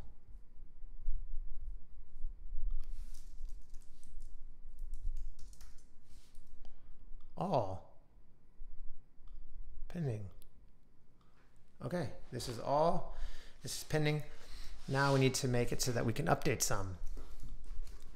So over here in this uh, this pending dropdown, this select class, let's go here, select ID, or really we can just do on change. Uh, let's have it uh, update status. We're gonna put a little script down here. Update status. First, make sure that this is firing. Status updated and make sure that's working. And that's that's working. All right. Um, and we're gonna pass in the insert to it so we actually know what to do. Uh, we're gonna update it, which means we need a new route. This is our final verb, right? It's editing. We now have viewing inserts. We have creating, which is submitting inserts. If you remember from our nouns and verbs from step one, step two. Now we're updating resources, we're going to make another package inserts controller. And we're just going to have the ability to update. Inserts controller.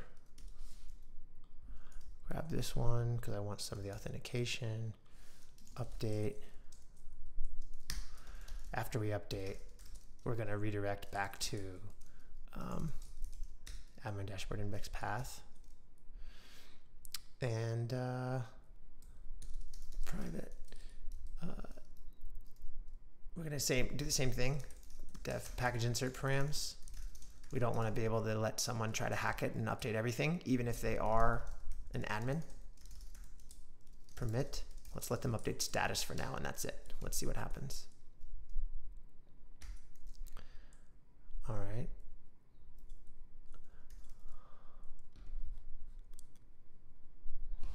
Um, and then let's do some Ajax. Admin package inserts path. E.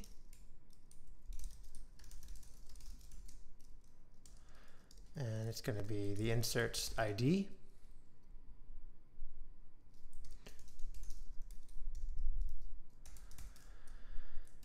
Okay, let's look at what that even looks like.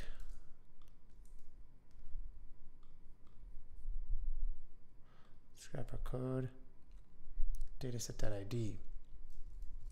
All right, so now this drop down we need to add in. Um, we have this select on change thing. Yeah, package status insert. What's this thing? 1015. Oh, it's pagination.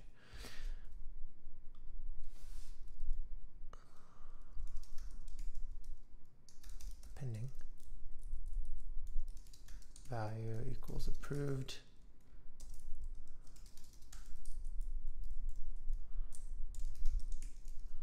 Rejected. All right, we're going to pass in itself and we're going to do what we did before. Uh, ID. All right. And let's see if this is going to do anything.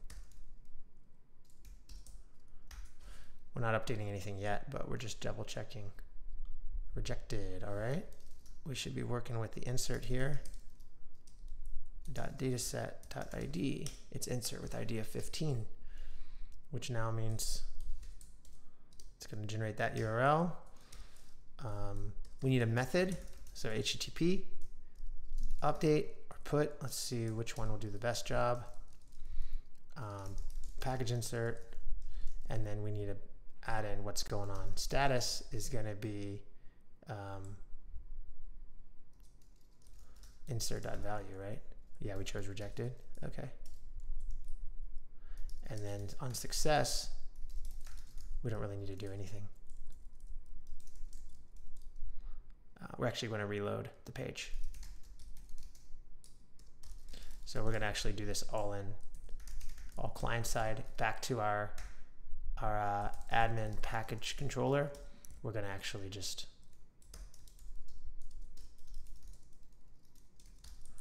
just assume it worked. um, same thing, we need to know what package insert we're working with.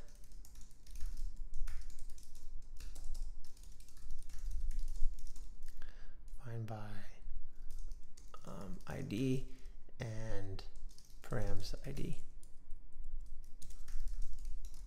Set package insert. So package insert dot update with the package insert params. Now this controller will kind of work for all kinds of updates. We'll just have to whitelist more parameters here, like we did before. When we whitelisted for the user facing submission form, package insert controller, we whitelisted um, title, brand, all that stuff. We'll just need to whitelist whatever we want the admin to be able to update. So let's see if this will help at all. Let's reject this one. And I think it's going to give us one error because um, I'm not using the rail security. So it's going to say it rejected it. So there's a way around that. So let's see. Let's go to our server logs, clear them out, hit enter, look at them, and no route matches update. Now let's try put or patch.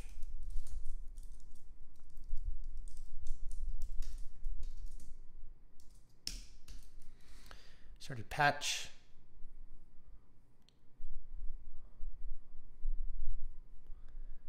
Admin package inserts controller. Let's try put.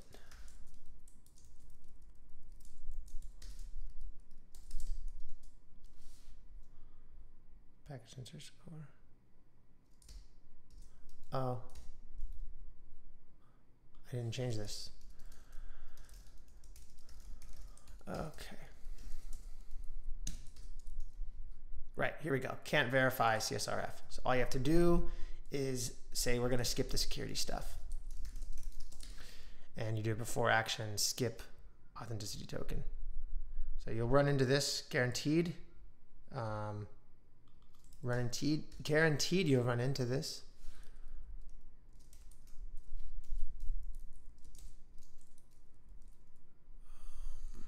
Now it's going to go in this order. So it's first going to make sure they're at least an admin. And then it's going to try to find the thing. And then it's going to try to uh, um, verify the security, but ignore it. All right, here we go. Update the insert.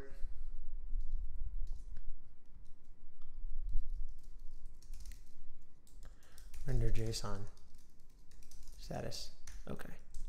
There we go Let's see if we can get that to run. There we go. So now we've we've done a sort of uh, AJAX request.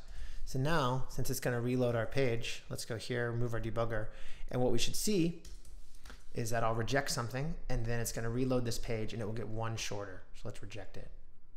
Boom. Make this approved. Now let's click over to approved. We see the one we approved, rejected, all the ones we rejected, all we see everything. Now we see these different statuses. And lastly, let's make our color. Green, I don't know, BY, BG yellow. Yellow isn't a thing, or maybe it's a thing. BG green.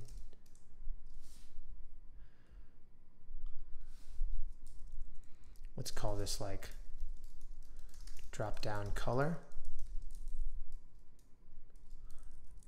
I don't know status drop down BG color.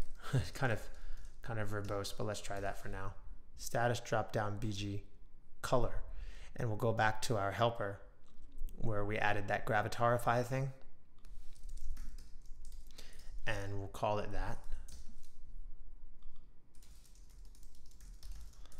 Okay, we'll look at what the stat package inserts status is and we'll say different things. When it's this, when it's this, when it's that. Okay. When it's approved, when it's approved, I want the, the color to be that, right? When it's uh, pending, I want the color to be, I don't know if this will work, but we'll see. When it's uh, rejected, I want the color to be um, red.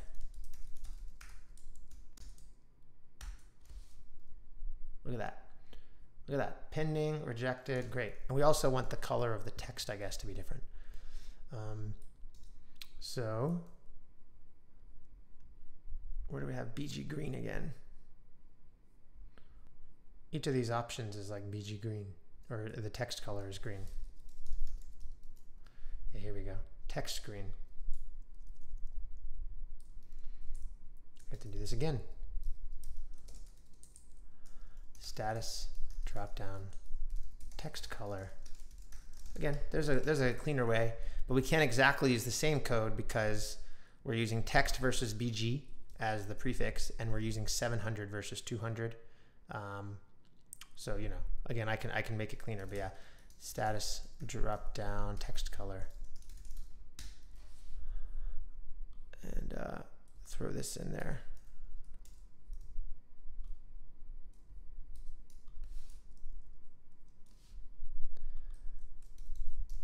Text 700.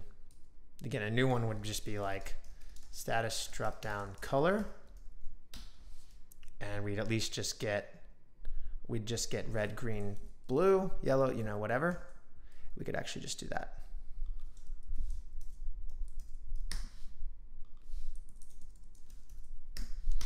Okay we could just do that. Status drop down color pass in the package insert we can even try it on this new one drop down color package insert. Um, 700 we know this is going to be text like dash green dash 700 let's see if that works. Yellow red green. Yeah that worked. And then let's do the same thing up here.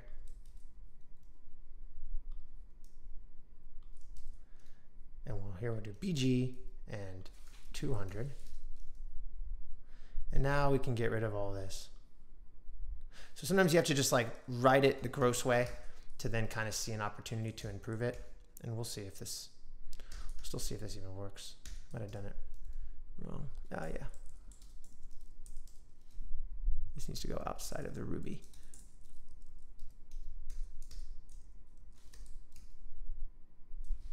And there's double closing.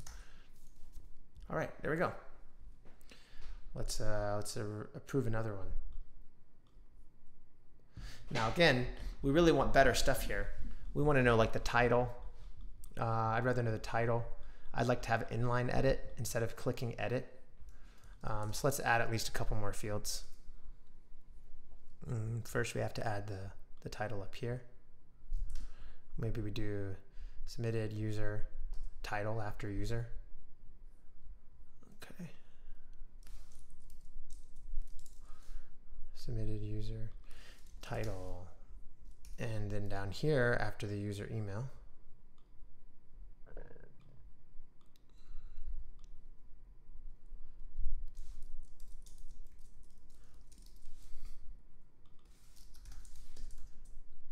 Okay, that's better. Title, um, and then images. It'd be nice to see the images, right? So let's grab this user one because it seems to have a different kind of format.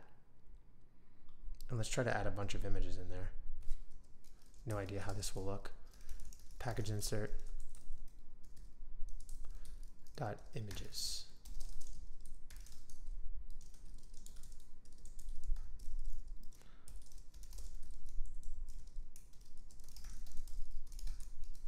Show URL. And then we need one more column, of course. Title. We don't even have to give it a label. We just leave it blank, but we just need it so it creates the column. All right, right? Those are those are huge. Image, uh, I don't know, width, 100%.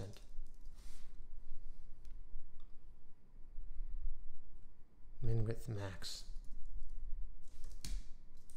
Okay, let's go back down to here and actually just use the same kind of thing we're using for the other ones. I think the email one is a little bit different because uh, we wanted it to stretch long enough for the email. But let's just see what happens if instead.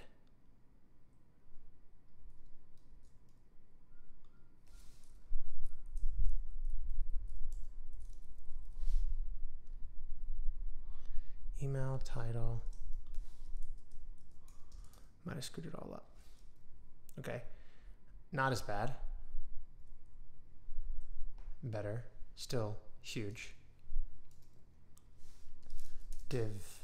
Let's make it flex and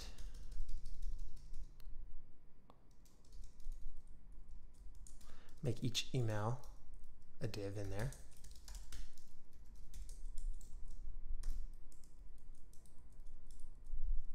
There we go.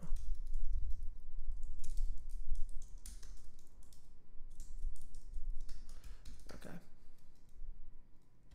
Okay, here they're kind of getting smaller.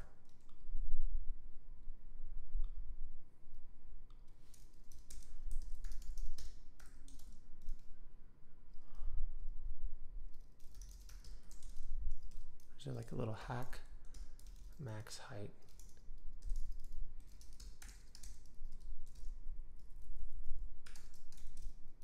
You know, something like that. Um,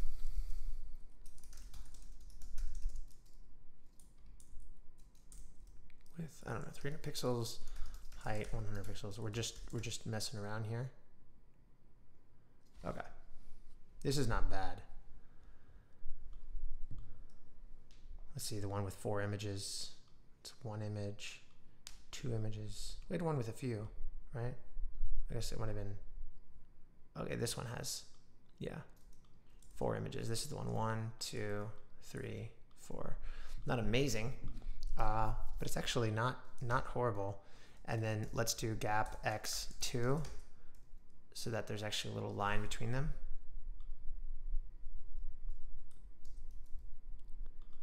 no space. Let's see, I forgot. Uh, tailwind flex gap between. Yeah, grid gap for gap x8. Oh, that's grid. What about flex? Uh, flex we want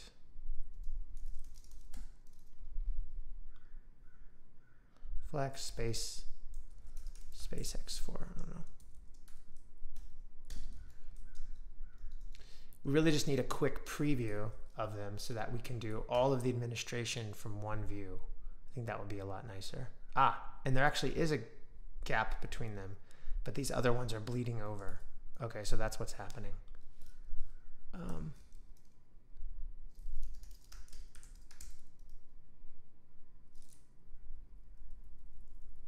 okay, For now, let's just do like max height 80 on these images.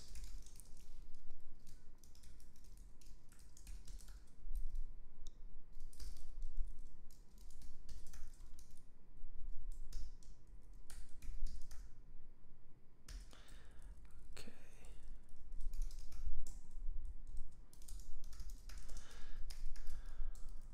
Good times. Okay, cool. Yeah, I should have just done that to begin with. Some of these are bleeding over. Ah, because it has a bunch of extra white space or something. Okay, it's not bad.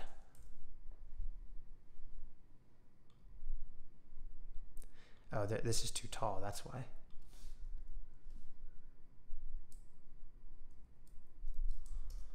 I see. Okay now we're able to really see the whole thing that someone did. Obviously, I can make these click to blow up, but it's just not that important. And I'm even going to, um, yeah, edit. Hmm. It would still be nice to change typos though. So let's get that done. Let's remove this action item, last column that says action. okay, and let's remove it down from here.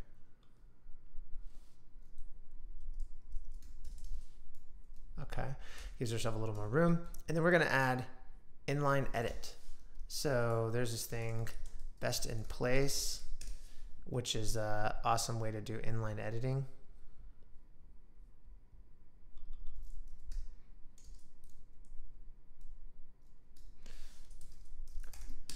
You'll see it. You just click and edit and then it's it's done. Let's shut down our server, bundle. I'm going to even open up tiny bit of code I had from another project called Spacebot. And grab it. Grab the same way I did it here. Import JavaScript packs application data.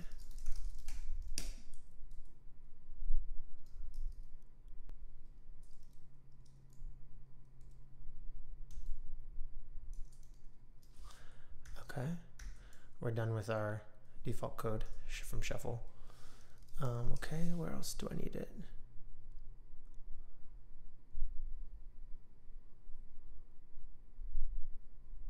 App JavaScript packs best in place. App JavaScript packs. Let's see.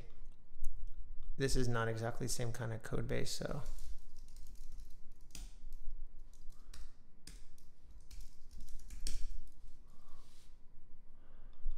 see. Best in place.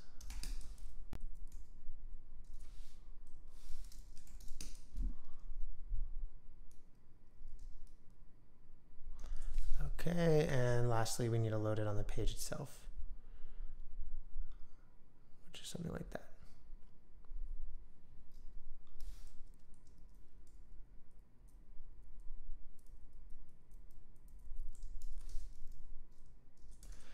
Mm -hmm. Which means we're just going to put it on this admin index page down here. Okay. Uh, let's see if that gets it loading. Okay. Now for the actual usage of it, best in place as, okay. What this is going to do, uh, I already described sort of what it does practically. It lets you edit things in line. But what this does literally is it creates, like how we had to create this Ajax request down here to send up the status and we had to grab the drop down item that was selected and we had to whitelist it at the controller level. We had to do all that kind of manually. This will sort of spin up all of that for you, uh, which is nice. So let's try it here. Best in place. Uh, then you pass in the thing you're modifying and then the title of it as an input. Okay.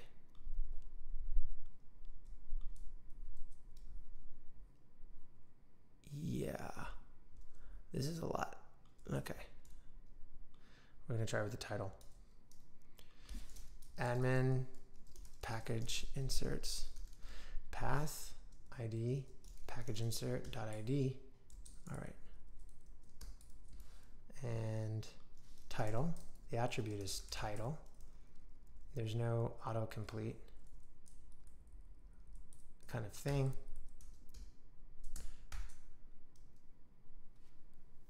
I'm in package insert path. Yeah, there you go.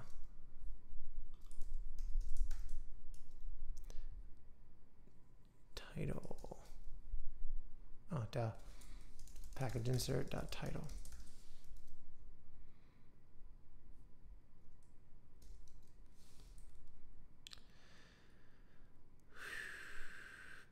insert title. Let's go back to the package insert docs.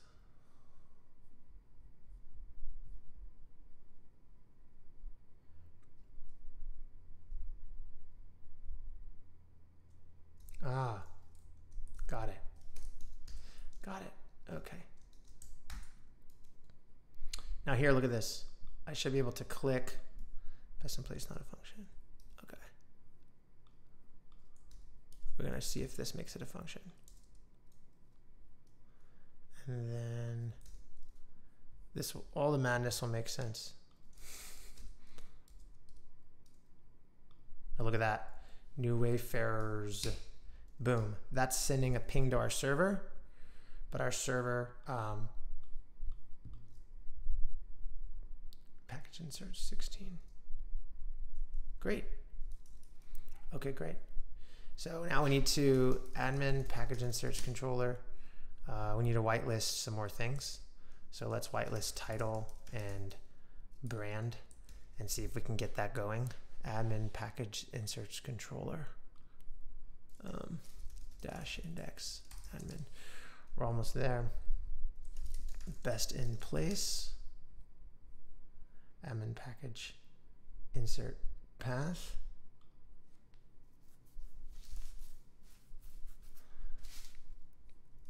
Great. Okay. And then we want to actually load in that whole JavaScript thing. So we're just going to call it best in place.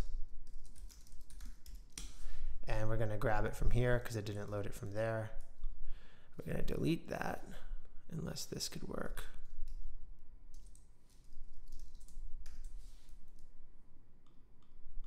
Yeah, that's okay. We'll do it our way.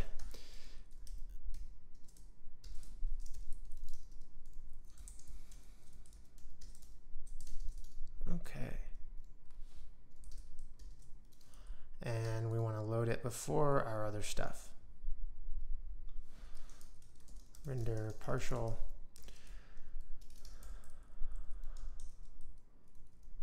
Shared best in place. All right, look at that. Wayfair. We hit enter admin package inserts doesn't exist. That's because the route is Rails info routes package insert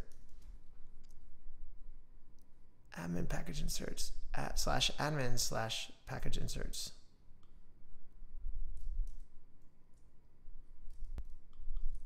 Huh, I am doing admin package insert path.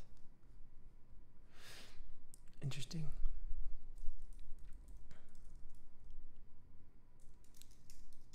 That's fine. Admin.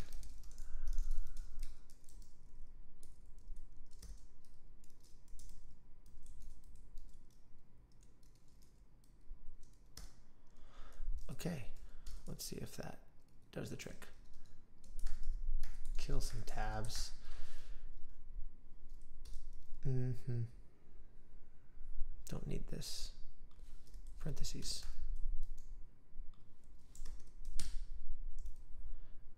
I'm in package inserts.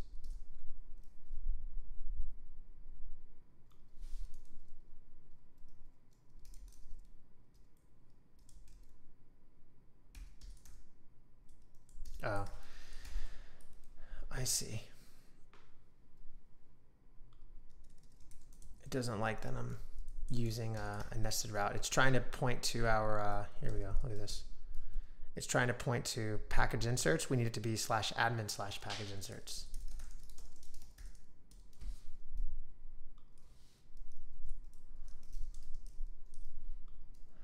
Let's just search the code, path, custom path, URL. Maybe that's it.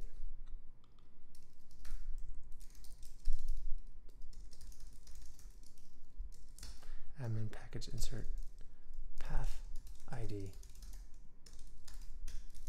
But yeah, our controller is ready to go. The code's loading. Um, it's just trying to point to a different place. Let's see what happens now. There we go. Look at that. Now we refresh and it worked. Wayfair for images.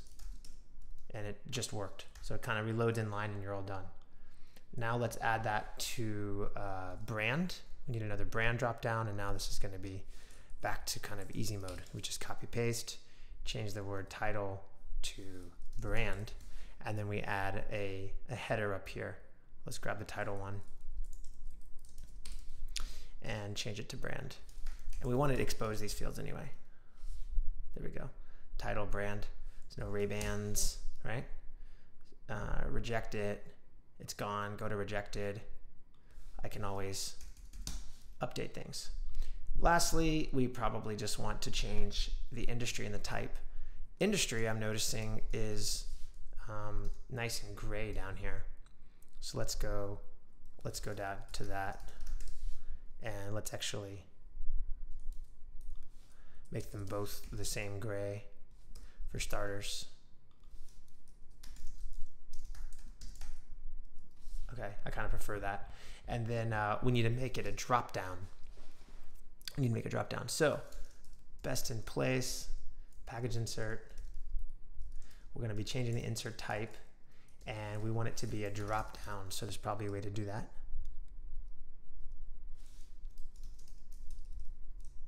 As, as drop down. Okay, collection. Let's just see if this works. Um, path. admin package insert path. Let's see if that. Um,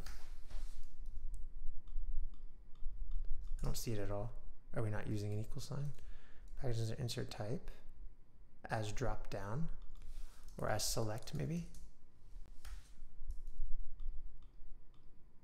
There we go. Okay, cool. And uh, the type is, which one's this? Insert type. Okay. So package insert. And see how like, it's so useful that we put all of our in, you know insert types here because now we can add all these later. We don't have to update anywhere else in the code. Okay, so type, boom, review request, right? But I want it to show what's already there. Okay, default, we'll have the default as what it should be. Let's say default testing, see if that did anything. Or label.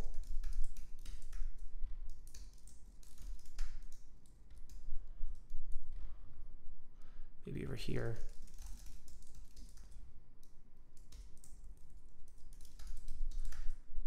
If we're not able to uh, to do this, then we might not want to add this feature because uh, obviously we want to be able to see what's going on. So let's go over to the docs here and search issues.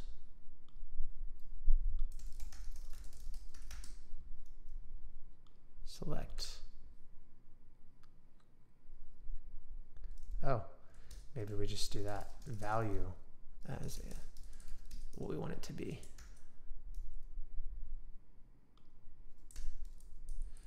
Nope.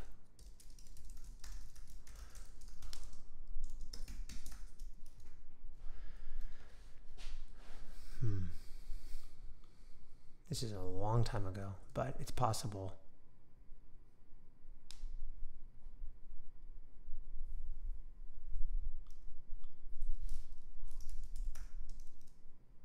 Select drop downs.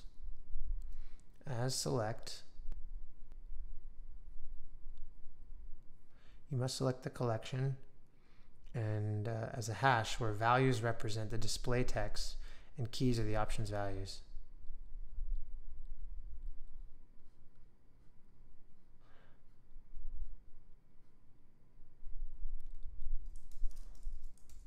Label default HTML attributes.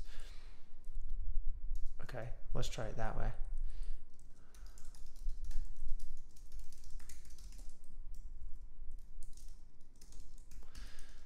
Just trying, trying, trying. This is working and updating things. Well, it will be. Let's uh, admin package insert controller. We have to whitelist this, right? Industry and insert type. Now we can edit title, brand, status, industry, insert type. For now, I guess that's okay. We could make it so we can edit the user's email, but I don't know why we'd want to do that unless we looked at it and it said gmail.net and we thought, okay, that might have been a mistake. They meant something else. All right, we're really just wrestling with this. HTML adders.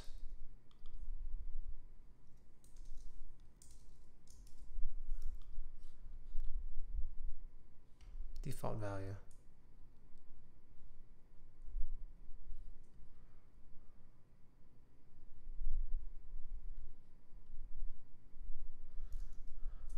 Okay, let's also make sure it's sending through brand building. Did it send through brand building or did it send through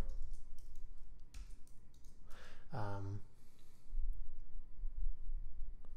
and did we have to do the path the getaway up there?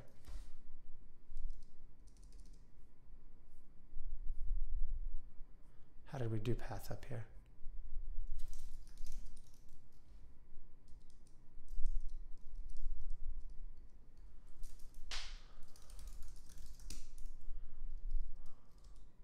How did we do it on the title? URL, got it. Okay, URL. That's part of it. Okay, now let's see if it's even getting...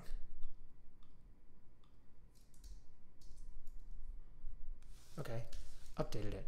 Oh, did these not have types? I don't know. Because now we're getting stuff. Okay. Let's update this one to discount. Reload. And Wayfair for, okay, let's do seventh Wayfair uh, discount. Okay, and let's click to update it to discount. Reload, seventh Wayfair discount. Yeah. Okay. Maybe we weren't choosing.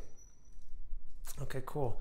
And now uh, let's grab the same, the same thing we did here and set it for industry and then just swap out the word industry.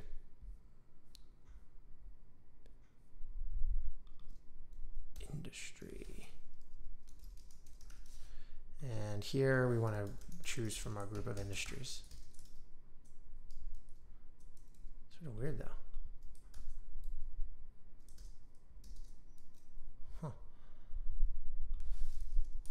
Value.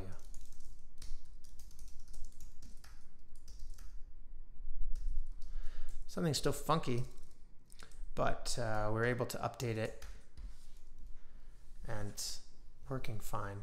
Unless we weren't saving these before, which is also, no, we were saving these before. Did we somehow set these nil? Cancel placeholder. Ah, look at this. Otherwise it will show me as that. Okay, let's try that. Place underscore holder. in uh, the Rails way of forms, it's just placeholder. There we go. Look at that. We can probably get rid of these HTML attributes and do the same thing here. And it's insert type. You just have to read the documentation and it all works out. okay. Now we're seeing everything we wanted to see. We're not overwriting our stuff. Great. Accepting, rejecting, we can see images brand building, brand building, and we can uh, approve stuff. But you'll notice our background color, I guess, changed. It should be it should be uh, yellow, and then up here should be BG yellow 200. We did that correctly. The problem is this is how Tailwind works. The way that Tailwind compiles in order with Rails, it's uh, it's screwing up our ability to have a cool background. Um, or it's a, it's screwing up our ability to merge in a background color dynamically the way we were doing it in our application helper. I've run into this before, so our code should work, and I actually commented on this, and uh, DHH and the other people involved in uh, Tailwind and Rails said they're not going to change it. So, what are you going to do? All right, I think our our app is done. We uh, we don't have the pagination yet we don't need any pagination yet. Um, I'm going to actually just comment out this section because it, it looks good. It'll be useful later, but for now, you know, we don't need it.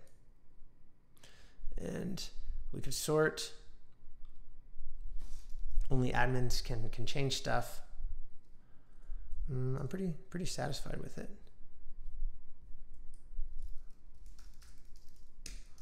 And even our admin panel we don't need all this stuff on the bottom. So uh, we're going to go ahead and make, we could make another, we could make another uh, layout that's only for admins. But then we have a lot of copy paste code. So what's the point, you know? All I'm going to do when I'm not on the webcam or when I'm not on the screen share is update these environment variables. If I update them now, you'll see my Amazon Web Services API key, which we don't want. Um, I can also obviously get this deployed to Heroku if that would be interesting to you guys and make this feel more like a full, um, a full end-to-end project. I'll create an app and I'll transfer the username over to, uh,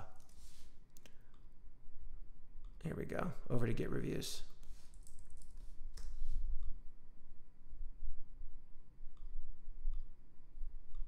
Yeah, great.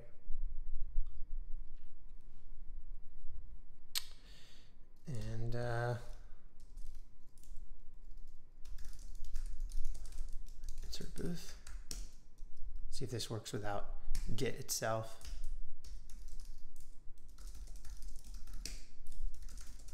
Might not, probably have to have a master branch. Let's see.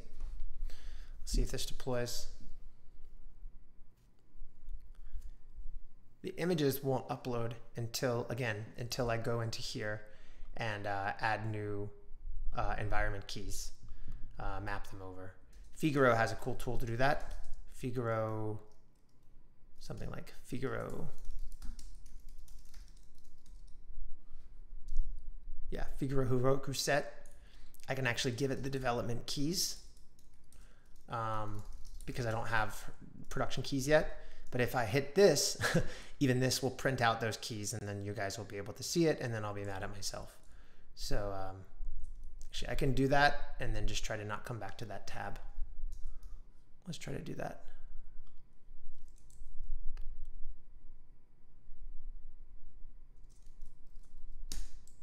Okay, and then I'm gonna try to close the tab. okay, and they're now in there. Let's give it a, a dyno when it finishes deploying. $7 dyno.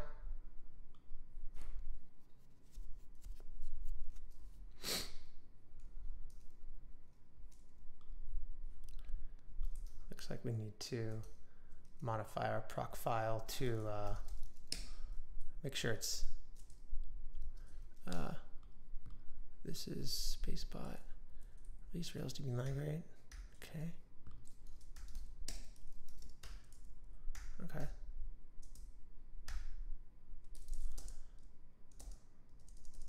Ah yeah. It's only pushing our latest thing from uh, from git so I need to add everything to Git. I'll say this is the live stream commit and then repush. See what happens. Done with those docs. What we see here is what I had at Speedrail. Does anybody have any questions? You can also ask questions as comments and I will uh, reply to your comments days, weeks, months, years from now. I check YouTube and I'll see your comments and I'll get back to you. Uh, what I need to do next, that's more business logic, is just to determine more industries um, so that we have more than four or five drop downs.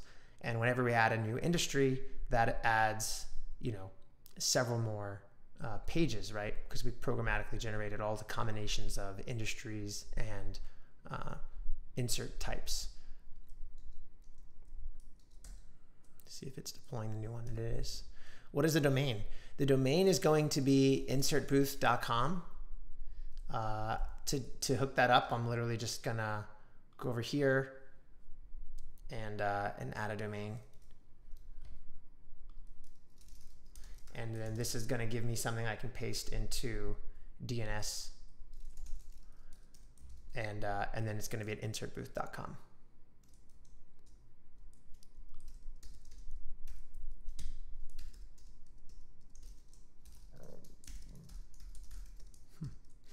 Thought I had it right there. Might be in another login. Let's see what else we got. What's the app for? kind of late to join, but this is a microsite. We're trying to uh, help people, help DTC e-commerce brands who are looking for package insert inspiration. They want to request reviews or offer discounts or whatever. We're going to be aggregating those inserts. And then when they come to our site, they can optionally start using our core platform, which is getreviews.ai, and they can um, you know use that insert or redesign that insert in our app. Sure, the admin is um, is a field. If I look at our database schema, this is something I added with the basic users table, just admin true false. We did not build that today. That was literally just a database migration I set up in the template we used called Speedrail, which is free on my on my GitHub. And then I just set it admin true. And then when you look at routes, uh, because we have this proc here, those routes of like slash admin slash dashboard, they only even are recognized as existing if someone is uh, an admin true. So that's why when I made the account, we were struggling to figure out why we couldn't find our admin panel. It's because I added this. Uh, you can add this in different ways. You can let anyone try to go to slash admin and then just redirect them if they're not admin. But by doing it at this level, you're a little bit closer to the metal and they get sort of not even redirected. It's like, hey, this doesn't even exist. So they'll never even know that it's there. Tweeted about building sites. Uh, you tweeted about building sites and the thought of transferring them when sold. Do you do anything specific and different with that in mind? Mm, well, I definitely keep everything on separate accounts. So if we needed to upload images, you know, and it was a site I'm giving away, I'd make a whole new AWS account. I would make maybe, you know, a few new different logins and accounts just to keep it clean. Otherwise, I don't do too much differently. Um, I try to make everything bundled and packaged up for the new owner and just transfer the files, transfer the code. Maybe I would write more comments in there. Uh, or maybe I would not write tests when I'm doing something and I want it to work in my sleep and there's payments, I would write tests. But I've found from previous experiences that writing tests on live streams is not very fun. There's a certain type of people who love testing, and those people just go watch testing videos. They don't watch build videos. And I think the same is true the other way around. What's your strategy to get your first users? For this great question, for this project, um, I can't say we don't have a strategy but what I'll say is this is supposed to be an inbound project. So of course I'll write about it. I'll get it a few backlinks to kind of kickstart it. I'll set up Google Search Console, make sure we have a sitemap and everything like that. But this project needs to stand on its own. I'm not going to try to drive traffic to this manually, you know, week over week. This project uh, is designed to, you know, to rank on Google. And if it doesn't, then, you know, then it's a fail and that's why we're building it in one day and giving it a week or two, you know, and see how it goes. Do you miss doing these live streams? Mm, considering your pop career, yeah, I miss it. Uh, today was has been rough. You've been here, I think, several hours or almost all the time. I had some technical difficulties figuring out my mic to make it left and right speaker, figuring out my monitor so it, you guys could see it. I think I went five or 10 minutes not showing uh, my screen. So I've had several issues and now it looks like our server is is hanging. It's not uploading at all. So possibly the server thing, um, adding adding this to Heroku is, you know, maybe not necessary. Um, I'm actually going to remove the Git file, make a new one.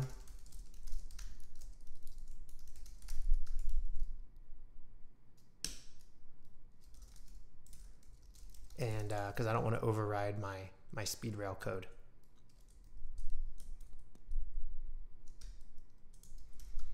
Let's go back to Speedrail, make sure I didn't already override it. Uh-oh. I completely overrode Speedrail. That's fine. Let's uh, let's go fix that. But I think we're, we're really, we're done. Uh, if Heroku is deciding not to, to, to push my stuff right now, then, you know, that's not really related to, to the live stream per se. Heroku, get remote add insert booth, git branch.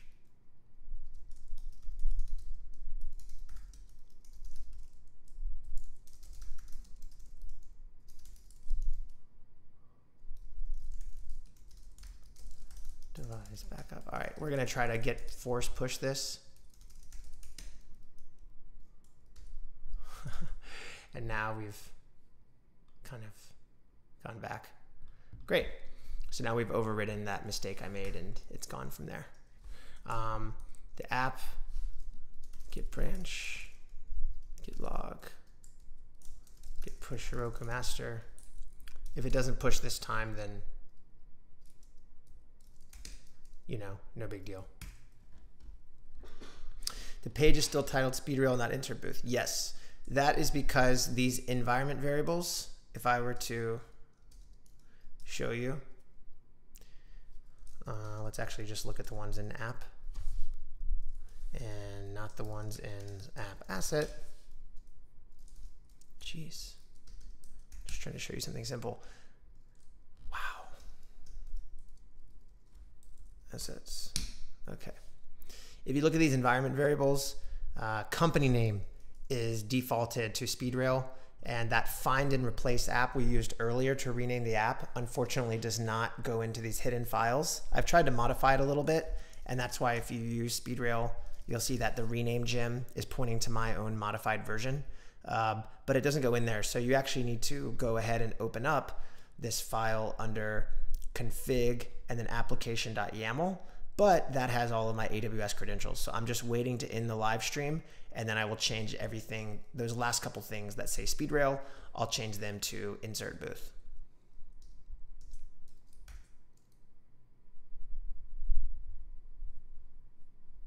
All right, we've attempted to deploy. Our styles are not are not playing nice with us. That is okay. I'm gonna get this wrapped up on the the production side. Uh, but we're just using Heroku, which is super plug and play. There's really no server configuration. You just do what I did. You hit make a new app and uh, you deploy the app, and then you need to make sure you have a cheap $7, uh, what they call dyno, sort of like a little bit of server power. And, uh, and then you're up and running. Uh, again, I'll go through Cloudflare and I'll paste in this DNS target as my CNAME, and then it'll be live at insertbooth.com either in a few hours or maybe tomorrow. I think I'm going to take a break after this stream, recover my voice, have have some dinner. Uh, but thank you all for watching. Uh, I really appreciate it. Thanks especially for those who stuck with me through the technical difficulties. I'm going to be doing a few more live streams uh, in the next couple months. I have a lot of new projects to build. They're all very, very different from JavaScript widgets to uh, marketplaces to white labeled apps that you can put on your own domain, sort of like uh, you know an app you'd use to uh, you know, gee, Shopify that that kind of style. We're gonna have all that coming. It's all gonna be here on the channel. Yeah. Thank you all again. Later.